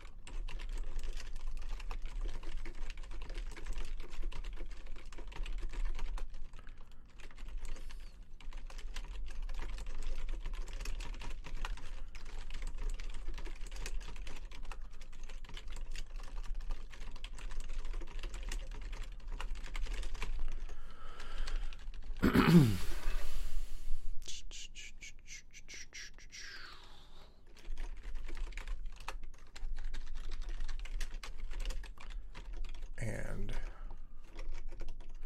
then we can set our velocity equals delta x times critter speed.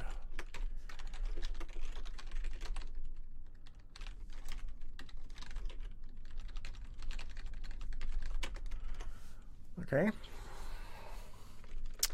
So that should get us moving in that direction, assuming the physics will make us move along our velocity. So,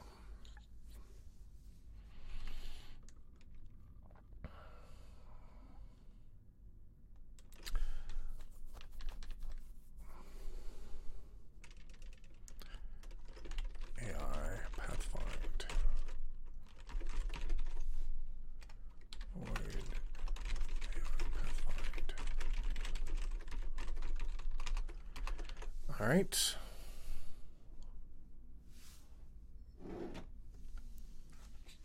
Um, so now let's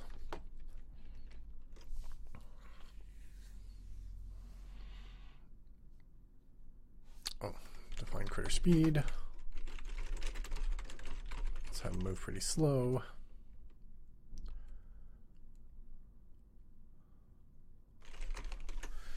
Um,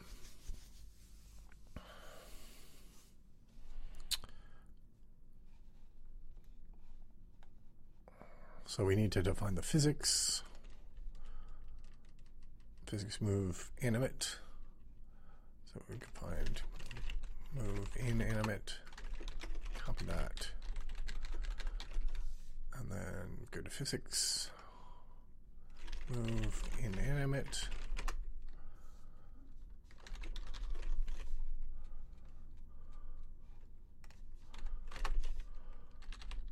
Physics move animate.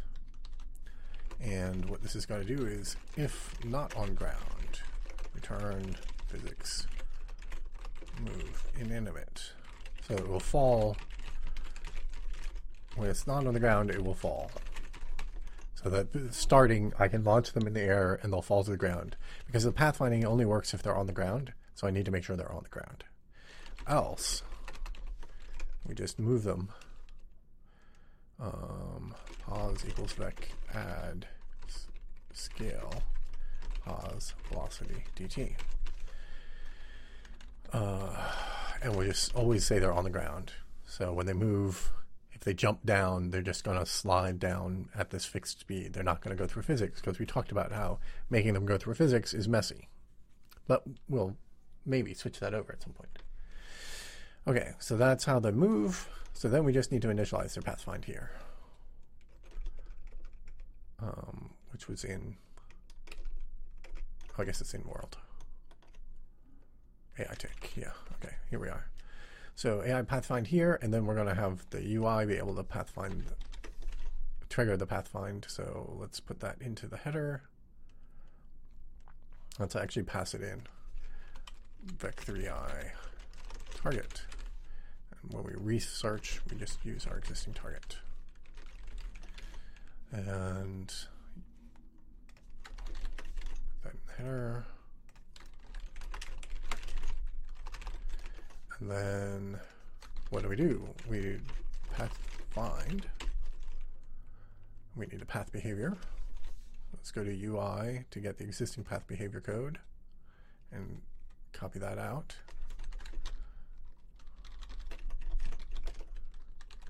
And this can all be critter dependent eventually.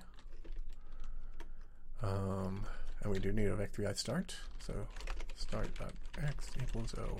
Oh, it's this code right here.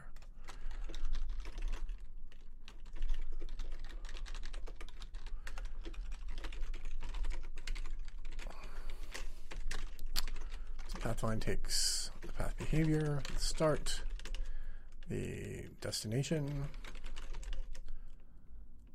and then a path and a max path. So.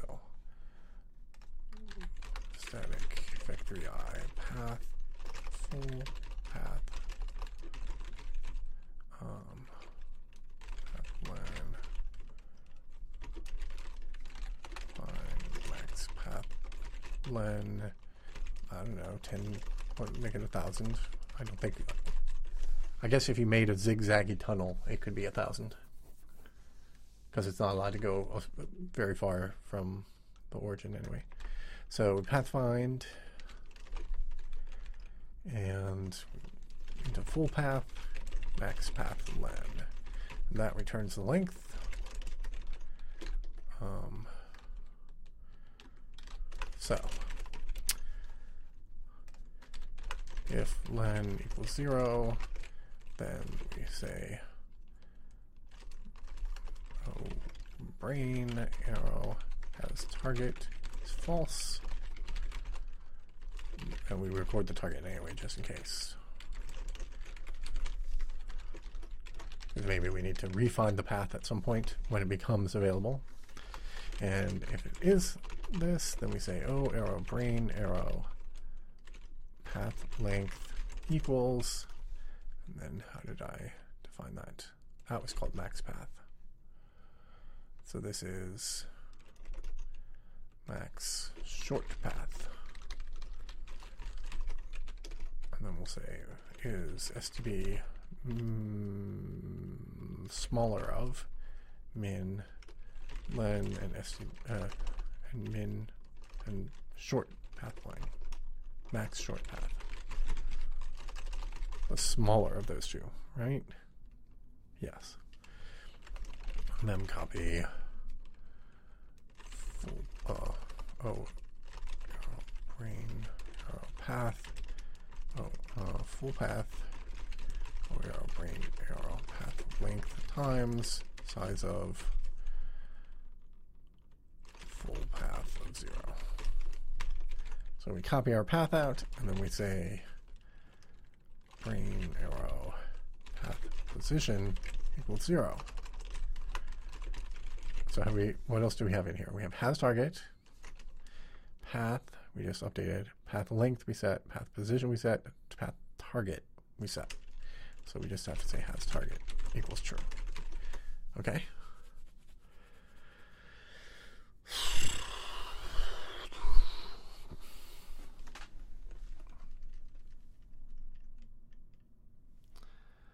And is there anything else?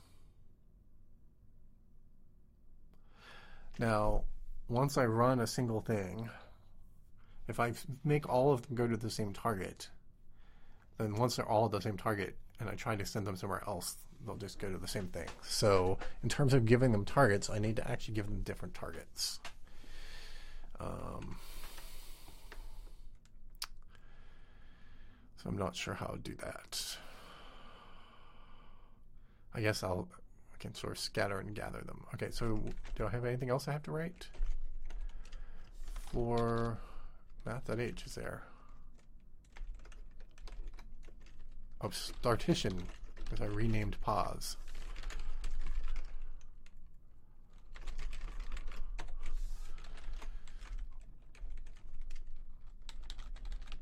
On ground.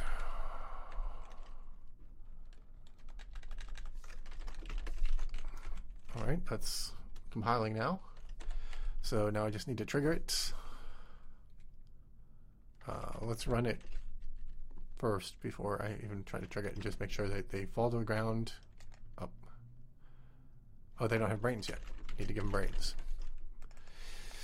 Need to give my AI some brains. So, the whole point of that, where is our object array? When we create objects, if type equals o type critter, then we need to allocate them a brain. So the whole point is that these brains, max brains, brain state 4000.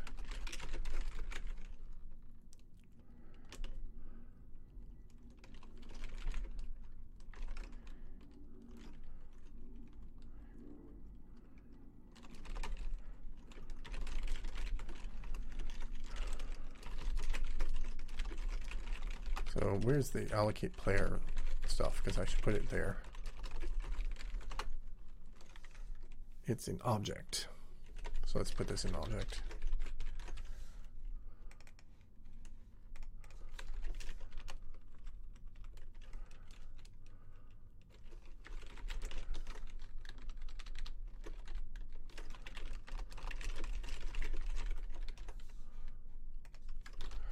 And allocate brain.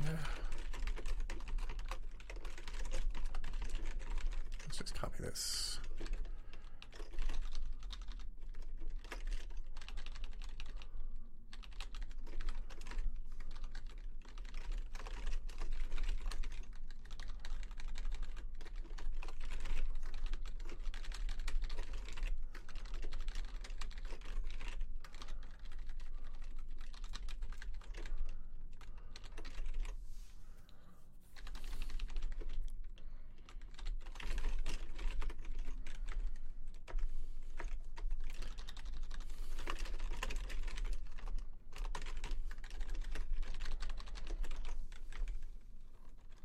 Okay, now we have allocator.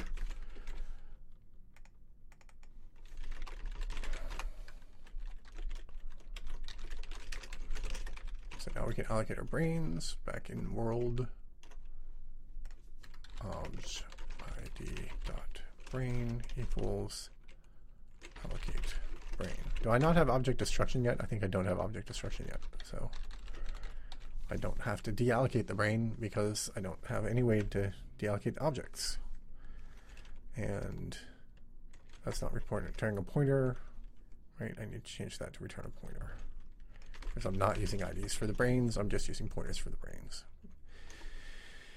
because I decided to be lazy and not size efficient on that. Um, so that fixes that. And then the object has to brain data return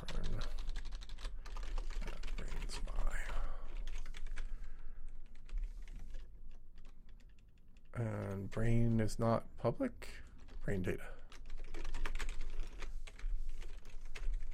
And then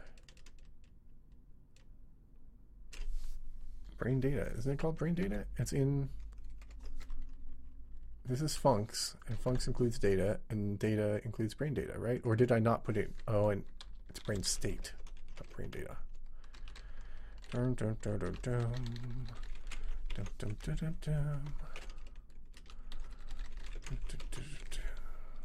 Okay. Uh, what did I forget to do? I don't know what I forgot to do.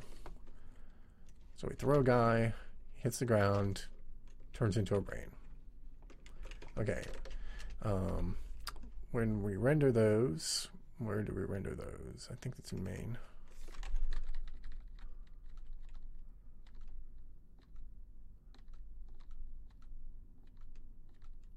Render objects. If O arrow type equals O type critter, let's give them a different color.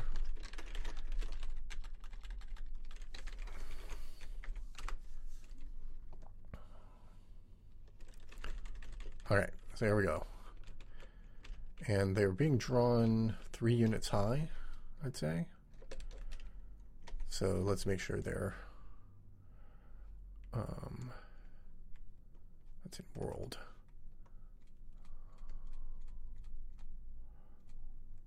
Let's make sure their pathfind request says that they're three tall. And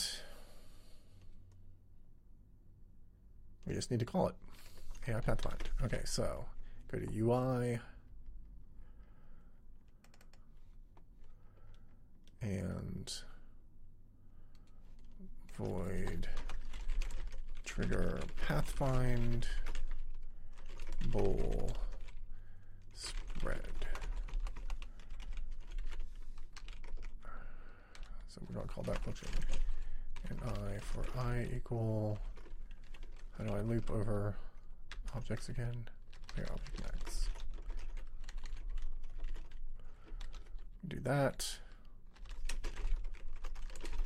Object O equals at of um, I, oh, O valid, and O arrow. Type equals so type critter. Excuse me. Then we want to call the pathfind.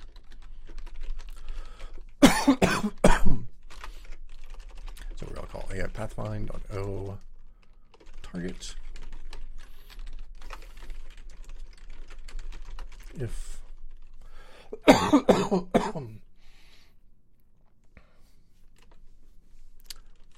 spread, then target equals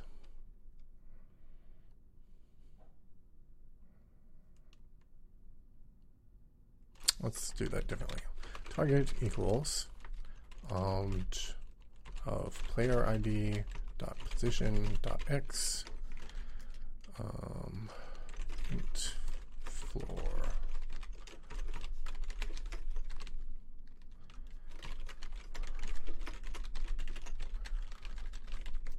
So I'll go to the player.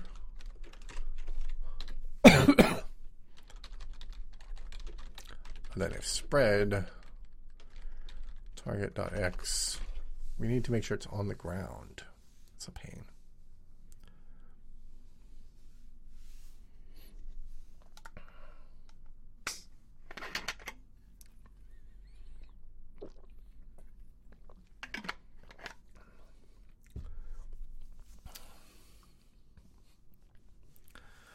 X equals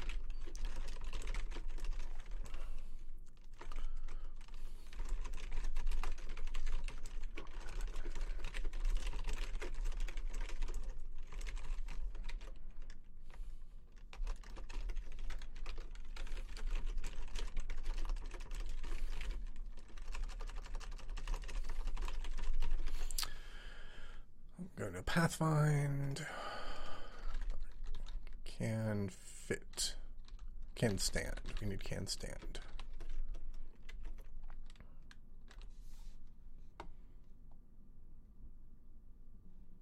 Put that in OBBG funcs.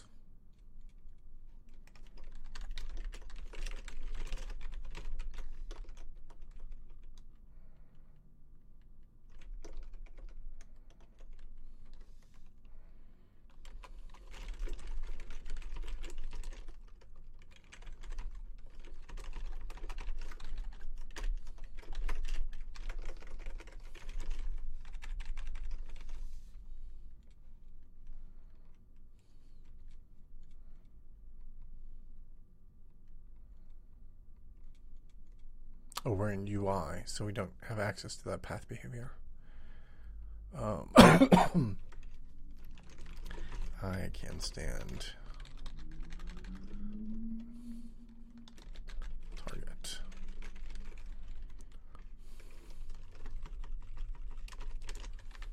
So if it can stand there, then we're done. If it can't stand, we try a higher Z.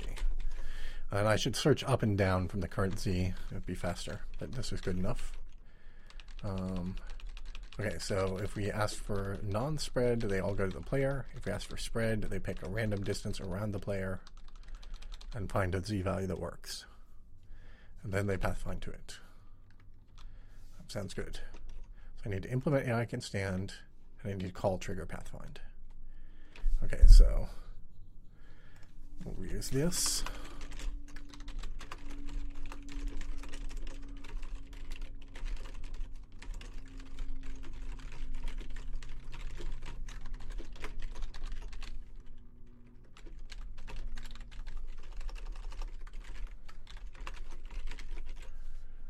And I have to write that function.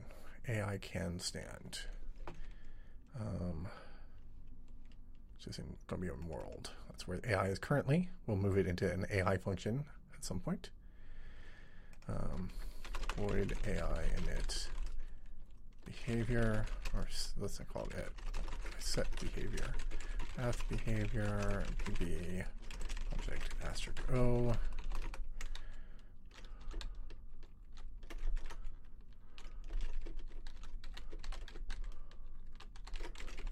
dot becomes pb arrow. Call AI set behavior. Okay, now we can make the function full AI can stand object asterisk O. And it's going to have path behavior be AI set behavior be O return can stand. Path behavior zero offset from oops I forgot to pass it in. Target. Like 3i target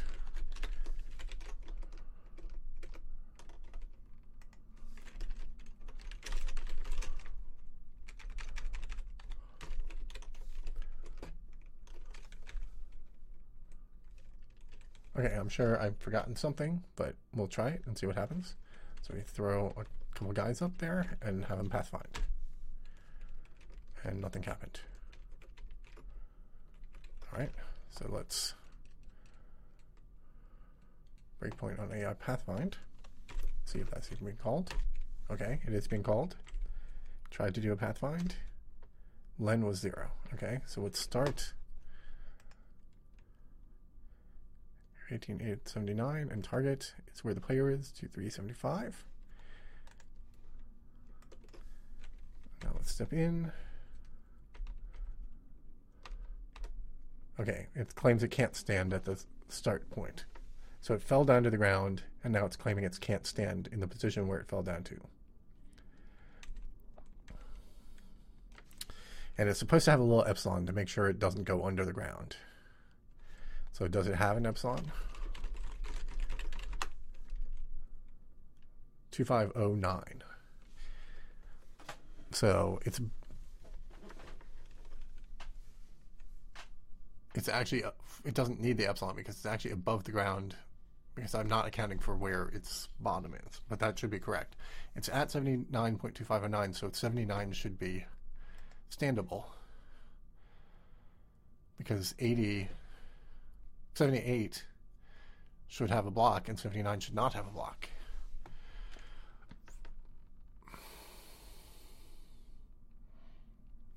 Because it fell to the ground.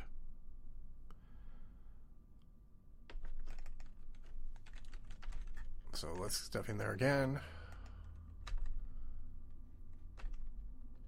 And step up. Step to right. Step in here. See what happens. Alright, we're iterating over the whole size. All three things fit. Then we're checking for ground. So this is the crucial one. So looking at 78. Claims that's 8192.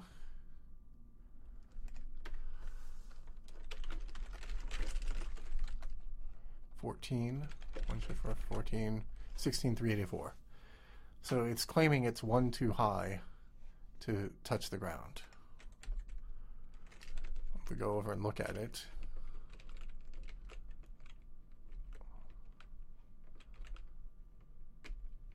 uh, it depends where its center point is.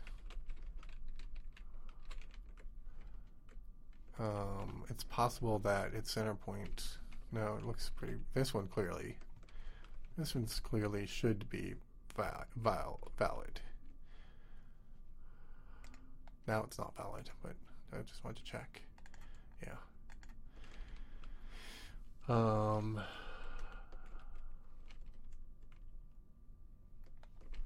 So what's. How would this not be valid?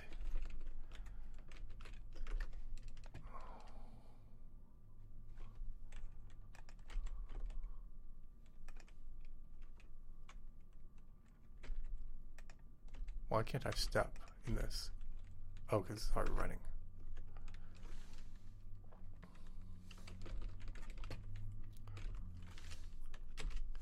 Okay. Tries to see if it can stand.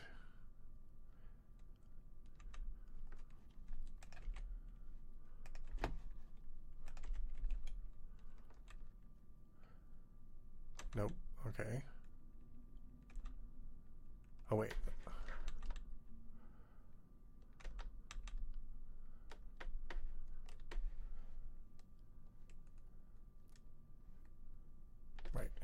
did not get any ground. It's not flying. I could turn on on flying. I could just make them be flying, and then it would just uh, let us focus on this and not worry about this other problem. But the pathfinding would fail. That's right. Oh, the pathfinding would fail. Right, the pathfinding has weird other code for flying, but um, okay, and then the other one when we get here. Trying 76. It's 12 is 4,096. That's off by two.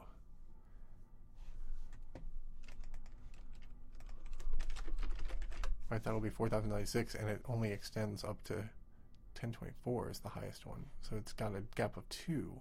That doesn't make any sense.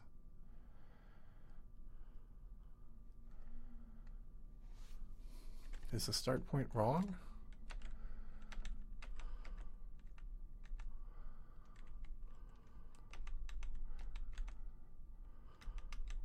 How are we computing the start point? Start.z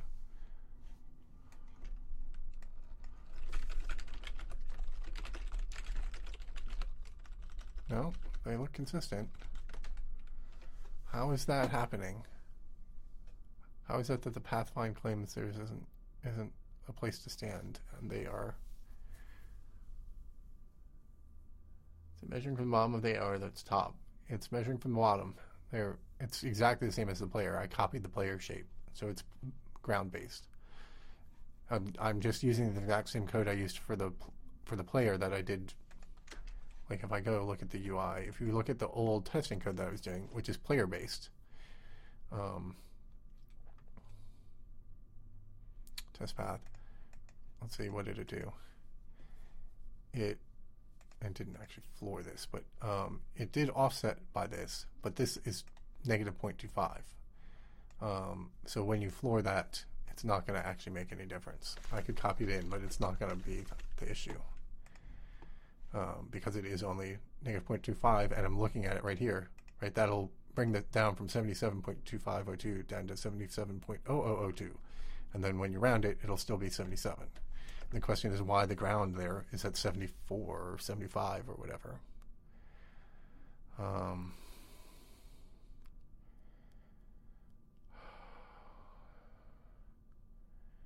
I mean, and visually you can see it's right. So it's, I, I could go look at the physics and try to see what the physics is doing, but that doesn't make a sense because you can see it's right. Yeah, I always measure from the feet, basically. I'm not sure why I added that extra 0.25 into the at the bottom, but it's just a standard thing in, in 2D and 3D. The the gravity axis measure from the feet and the other axes measure from the center. just makes everything in your life easier.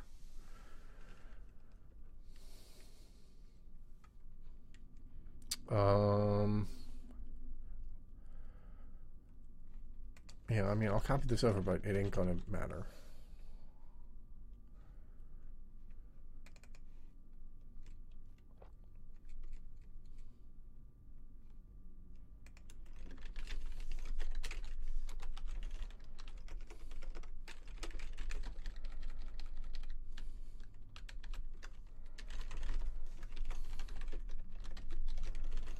Then the current start point is in world.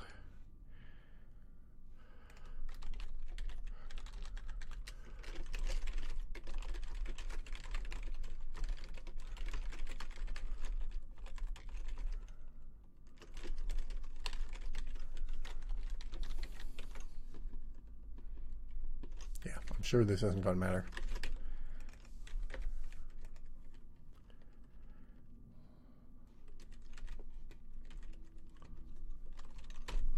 Oh, well, that one's now able to go. It's going in the wrong direction.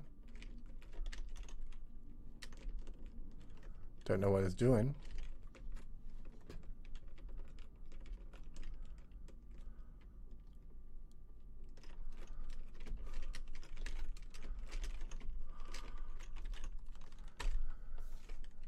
Did I just set the velocity in the wrong direction?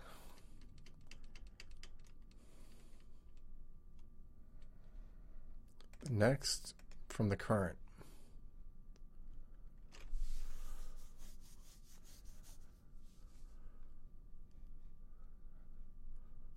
Center of the next.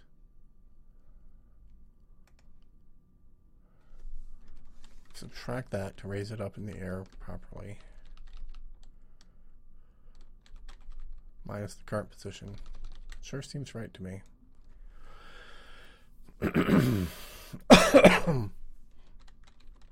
now, there is an issue if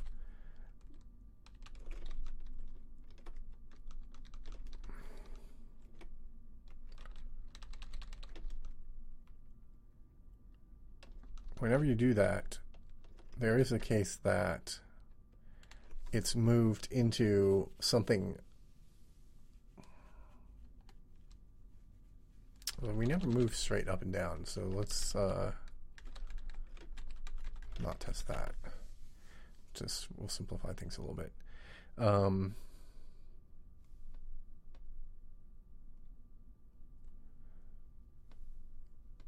it's the question is whether we've advanced path nodes here, but we don't check that we're actually in the node that we just advanced to. I'm just assuming this other code will do that. Uh, if it's not in the thing that it pathed to, um, then the next time through, it'll check that again and it'll still not match and it'll advance to the next node. So it'll just wind through all the nodes. Um, so there is this issue that when you move from one to the next, um, it really should be checking that you reached the one you were trying to get to, not checked that you got out of the one that you're currently in. Um,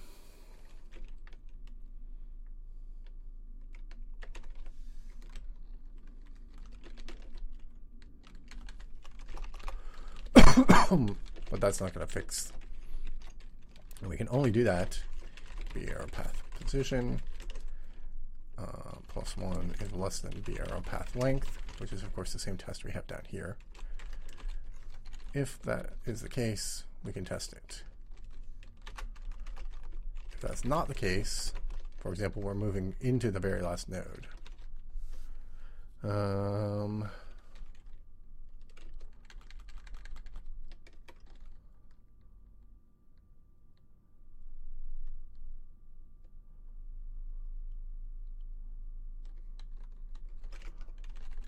then we have this case.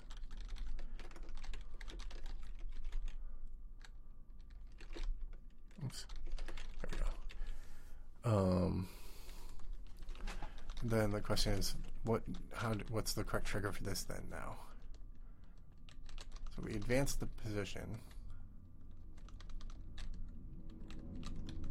Now it should be the one that we're in because we just checked that we weren't in it right here. So we weren't in it or our velocity was zero. So if our velocity was zero, we don't want to advance it. We just want to else and do this.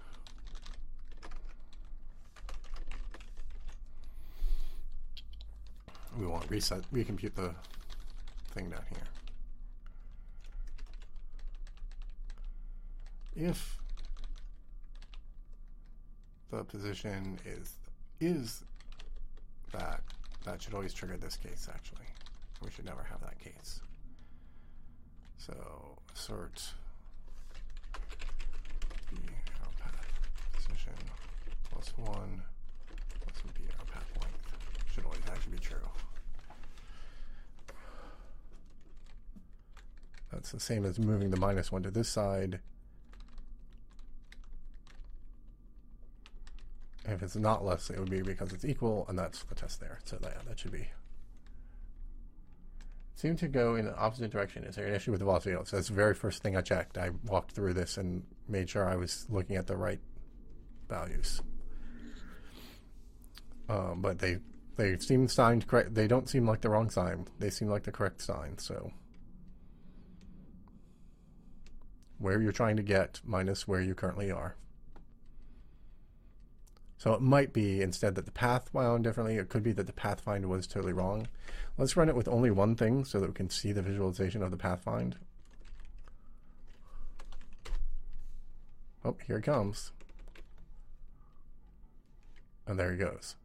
So he like jumped straight to the end of the path it looked like. Oh, and then that assert failed that I just added. It looked like he went to the wrong path node. Um, because he moved it directly to the thing. He didn't go through the intervening steps. He just moved directly to the end point.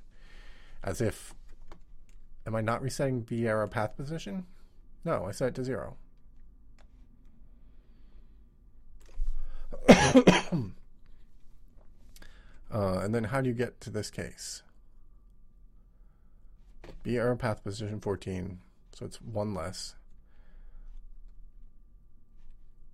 So somewhere we increment it boom, when we increment it, if it's one length less,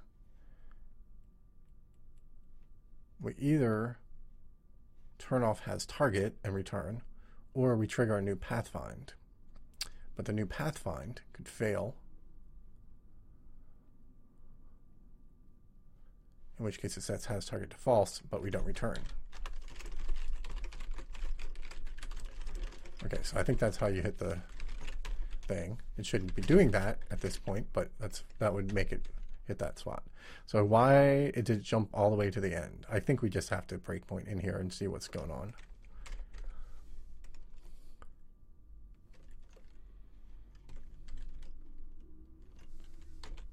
All right.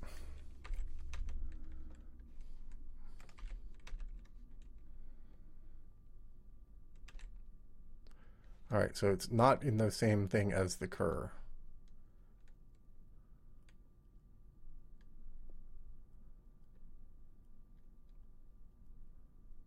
If it's not in the target,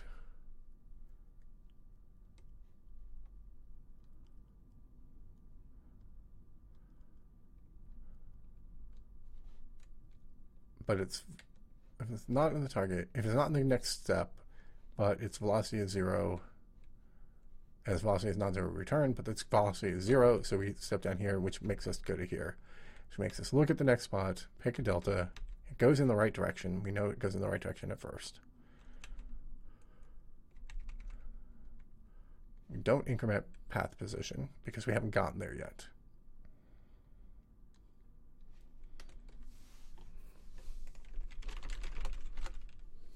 Okay, but it picked a weird direction. I need to step through that and look at what it was. B arrow path here, path position. Oh, the path comes in backwards. That's why. I made the path come in backwards so I didn't have to deal with reversing it in the other place. So I need to make the path get reversed here. Uh, boom, boom, boom, boom, boom. Here we copy it out.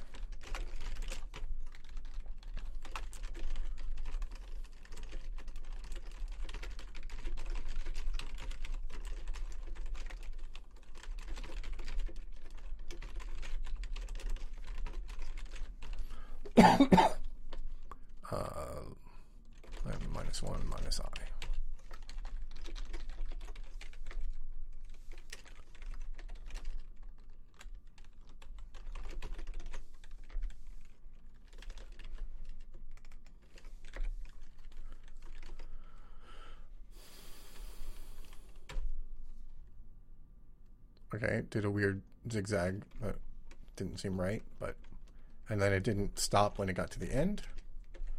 Did I put in stop when it gets to the end? When it increments, if it what it incremented to was the end, then it checks whether that's correct.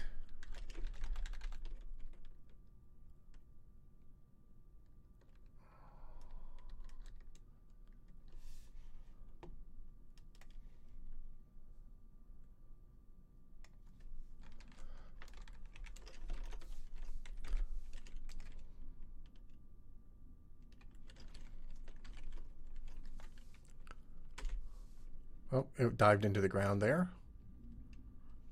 That just ain't right. Why is it in underground like that?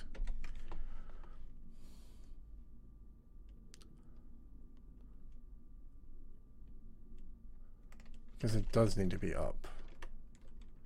Right, I want it to be up extra, not down. Okay. I want to hover a little bit just to keep things simple.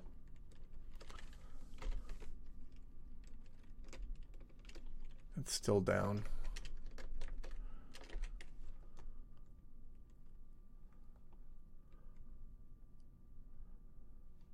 Delta Z path position plus 0.5. What is the thing I'm subtracting?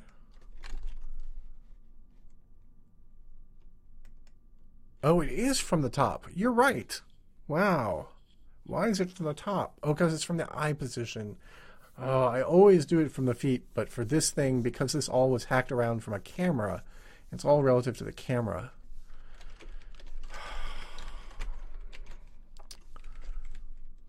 Which I should fix. All right.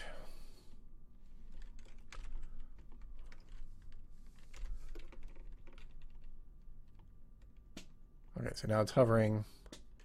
Now let's get rid of the hover.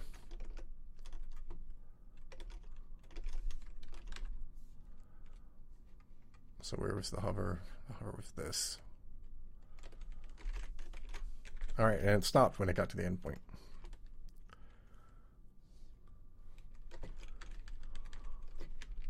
All right, here we go. They all converge on it. Now let's do L. Let's have them spread, see if that works. I guess so. And then have them all come to me again. Oh wait, that guy's still going.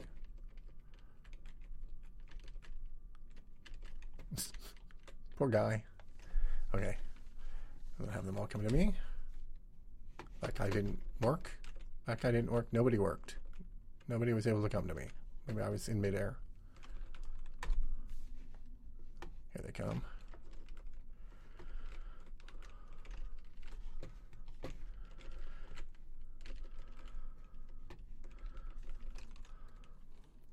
Okay, spread it out.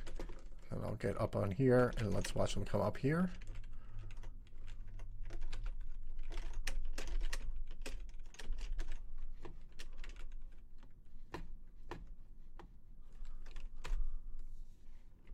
They can't get to here. I'm standing on a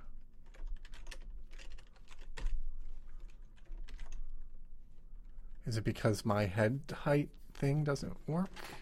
No, because I put in the fixed code. Why can't they find me now? And why don't I see the debugging? Shouldn't I still be seeing the, the Pathfind debugging? I haven't seen that. It should show the most recent Pathfind, shouldn't it?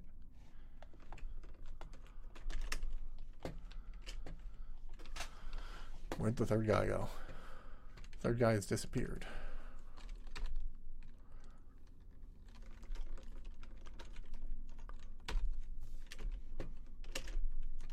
Is he under the ground somewhere? Where'd he go? He's lost. He's way over there. He moved so far he fell out of the pathfinding data. And he fell out of the world. Yeah, because there was no physics, so he fell or something. Or he's still going? I think he's still going. Yeah, he had some kind of bug and just kept going. All right.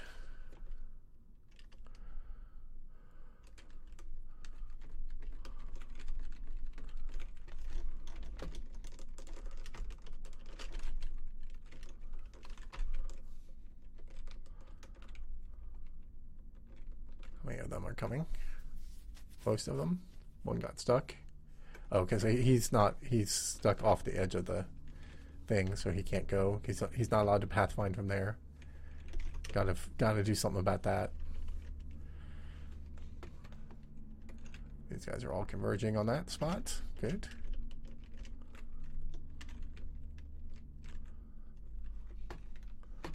And let's spread them from here.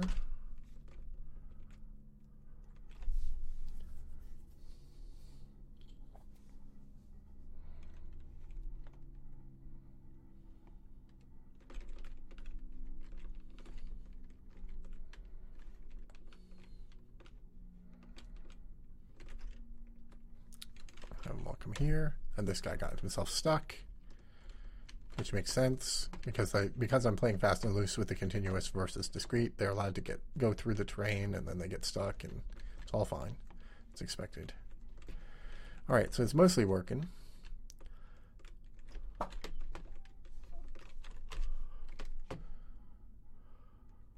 Now a bunch of them come over here. Let's get up on this. Whoops. And then let's spread them. And then from where they are currently, tell them to come to me. That, that didn't seem to override their path pathfinds. When I triggered a new one, it seems to not be updating. Hmm, that's interesting. I think it breaks it. If I run a pathfind while they're already moving, I think it breaks it. Which could be what happened to the first guy who got lost. Um, so when we trigger a pathfind, let's uh, set their velocity to zero because that's what we're checking to decide whether to update it. So what was happening was it was seeing that it, the path was already non-zero, the velocity was already non-zero and not changing it. It was assuming it was already on the correct trajectory, but it's not when you retrigger it. It needs to stop and restart. So I think that works modulo the fact that they go through the terrain and get stuck and all that stuff. So cleaning that up will be the next thing to do. Um, so let's see if we can get them to go up on that thing again.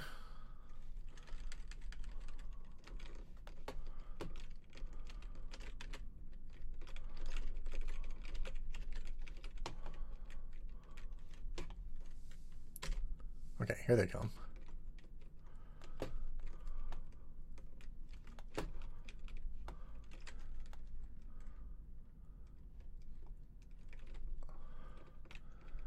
All right, and now let's have them spread out.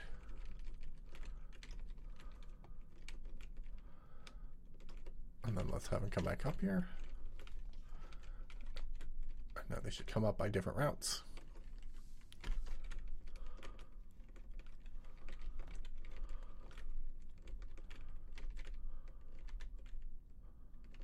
Oh, a bunch of them got stuck.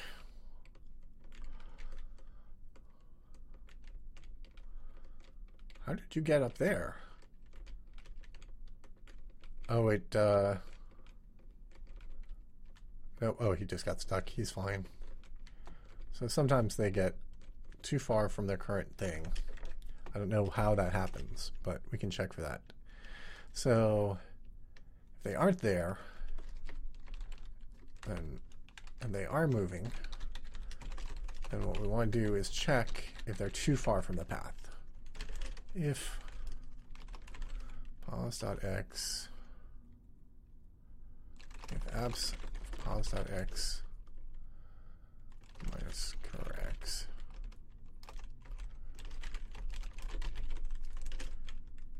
it's greater than 4 or abs of pos y minus cur y and actually it's just greater than 1 probably. So yeah we'll just do greater than 1 then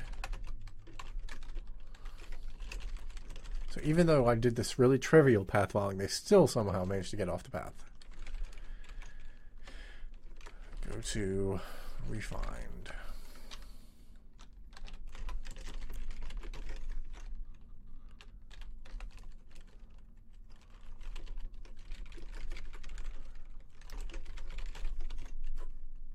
and they might not be on the ground, so they might just stop dead when this happens.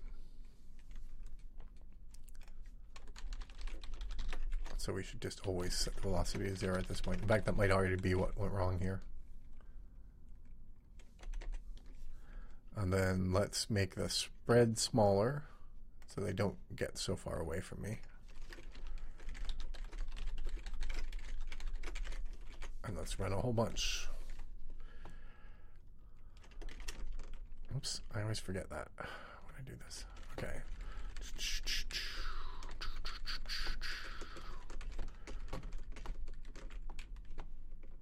All right.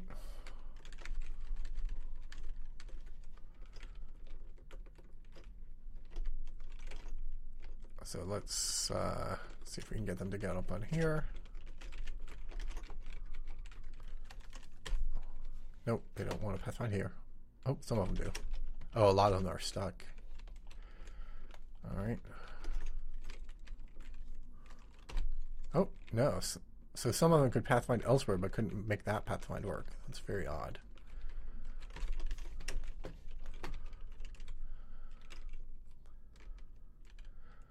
So there you go.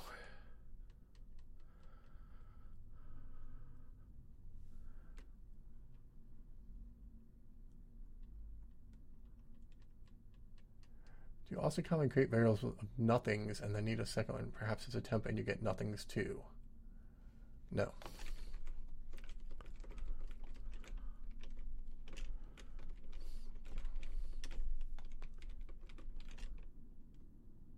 All right, so I think that's good enough. I think I'm going to stop there. Four hour stream. Um, so the obvious thing you could do here at this point, though, is just have them, you know, idle and randomly pick a place a couple squares away and move there and idle and do that. And that would give you something like, you know, my Minecraft sheep. And then you can have them pathfind to the player. Let's do that. Let's have them automatically repathfind to the player every couple ticks. Although they get stuck. And I need to get have them not get stuck before that'll work. Um, but we can we can try it. But I think they're just going to get stuck and it won't work that well. Um, in fact, I can just keep hitting O every so often.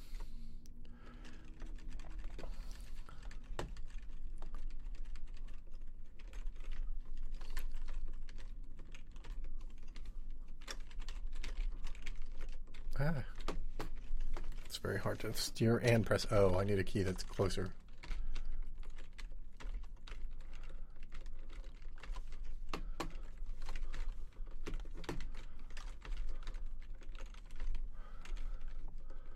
Yeah, they just converge too much.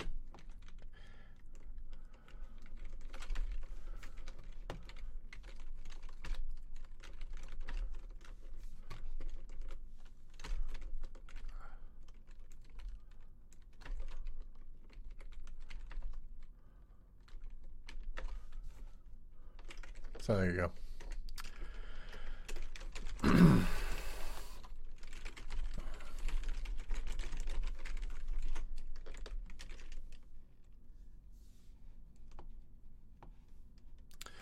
You are, Sir Fred, you are just in time for me to stop the stream.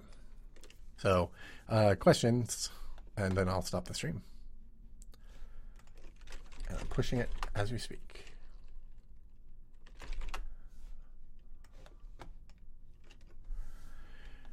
I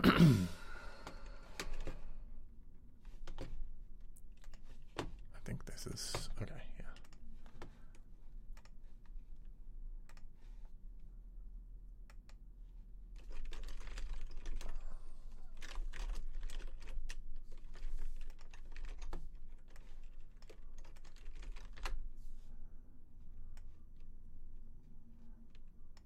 Oh, the frame rate. Yeah, yeah. So now we wanted to test the. I, I, should test what the performance difference is with the two pathfinders. So, what we can do now is.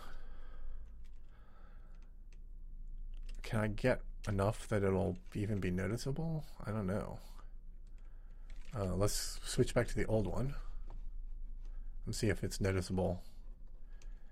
Um, world. No, not worlds. Path. Old Pathfind.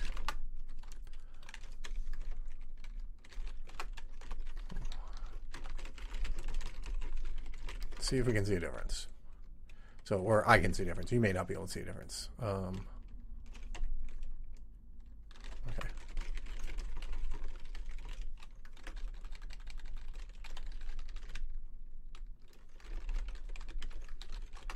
think there might be some bugs in that though. No, because the bugs would have been fixed. Okay, yeah. So we'll just make a whole bunch of guys. That might not be. Uh, I need them to not get stuck. Okay. Just put them all in the same place. That's fine. Oh, I need I need to know how many I make though, so it's consistent.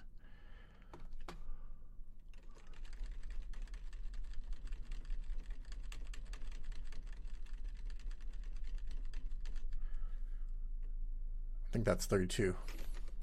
Might not be enough. Let's see.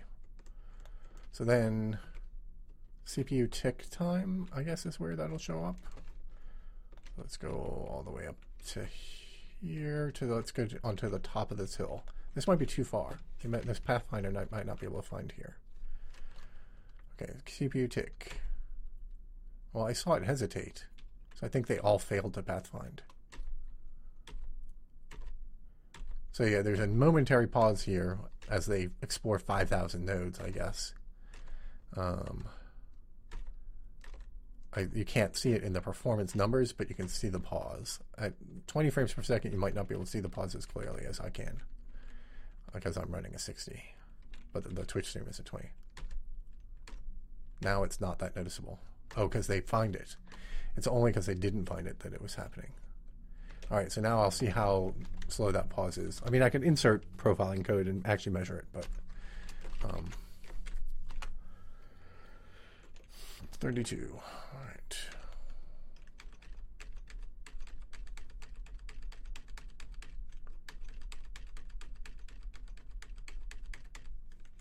Yeah, I, I can do that kind of stuff. Uh, I said I was I talked about doing that earlier. I'm just not doing it currently. It's got to do one thing at a time here. Because it was the top of this hill, I think. Or did it go all the way up to here? I guess to get to the top. I don't see any hesitation in the tick now. Literally none. So it's definitely faster.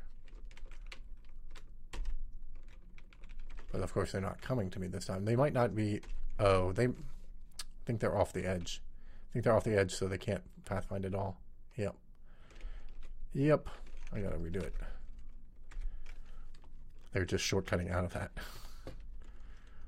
One, two, three, four, one, two, three, four.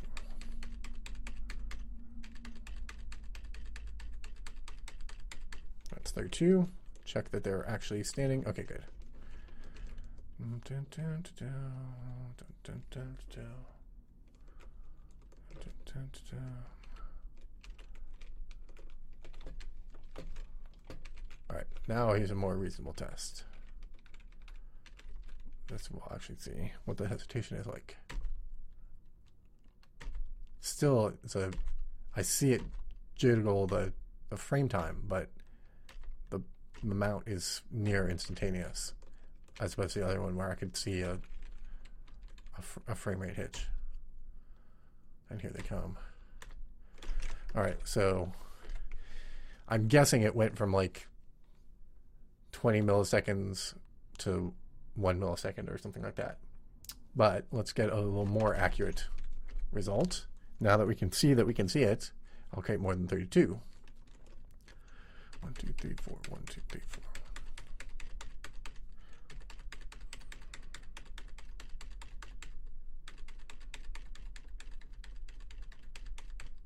Why don't I just write some code to do it instead of doing that?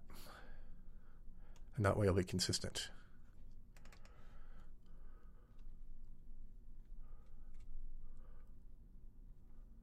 What is that throw thing? Throw thing.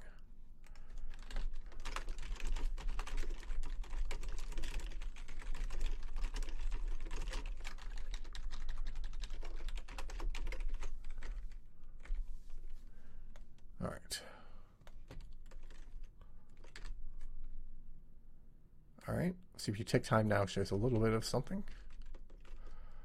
And they were off the edge.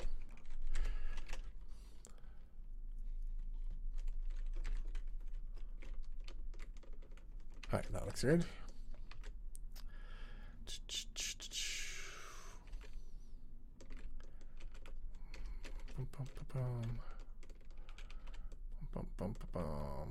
I guess I could actually insert profiling code too.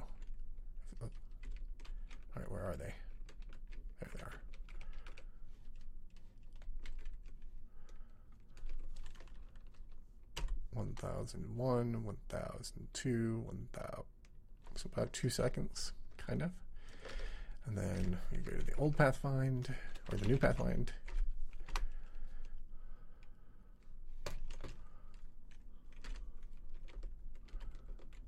And that looks good.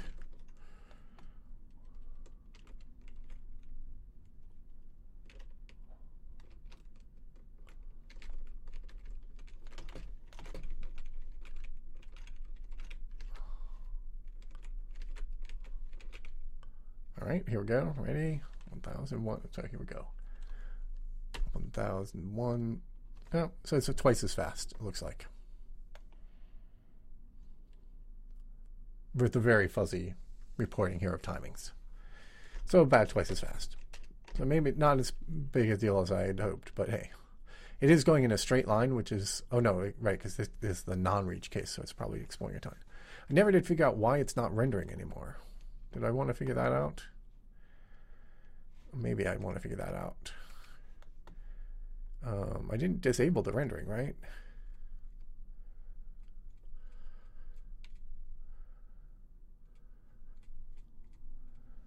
Debug node alloc reaches into that data structure. The data structure is global. So the last one that ran should show. Um,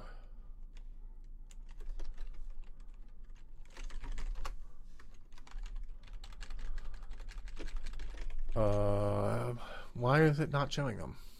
I don't know. I can't think. I don't think. I can't think of anything that would change.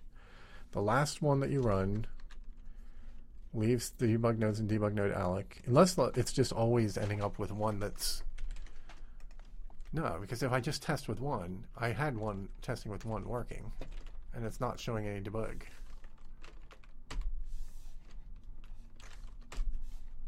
Like, why is it not showing debug right now?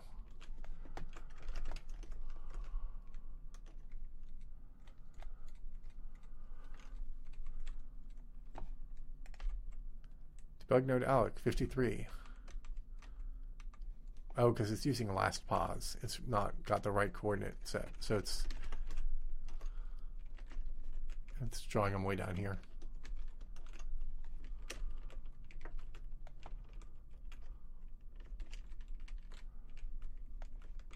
And then the path itself is in world coordinates, but path length, that one's not getting updated. Okay. So, all right, that all makes sense. And I'm not going to fix it. All right, so there were no questions, so we're done. I don't remember what changed. What did I change?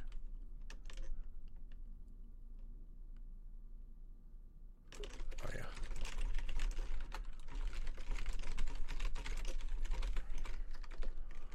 All right. So, see you guys next time.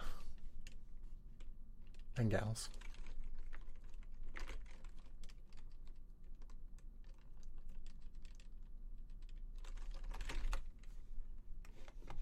Bye bye. Oh, let's um, do this first. So, what did I do? Simple critters, follow, pass. All right, later.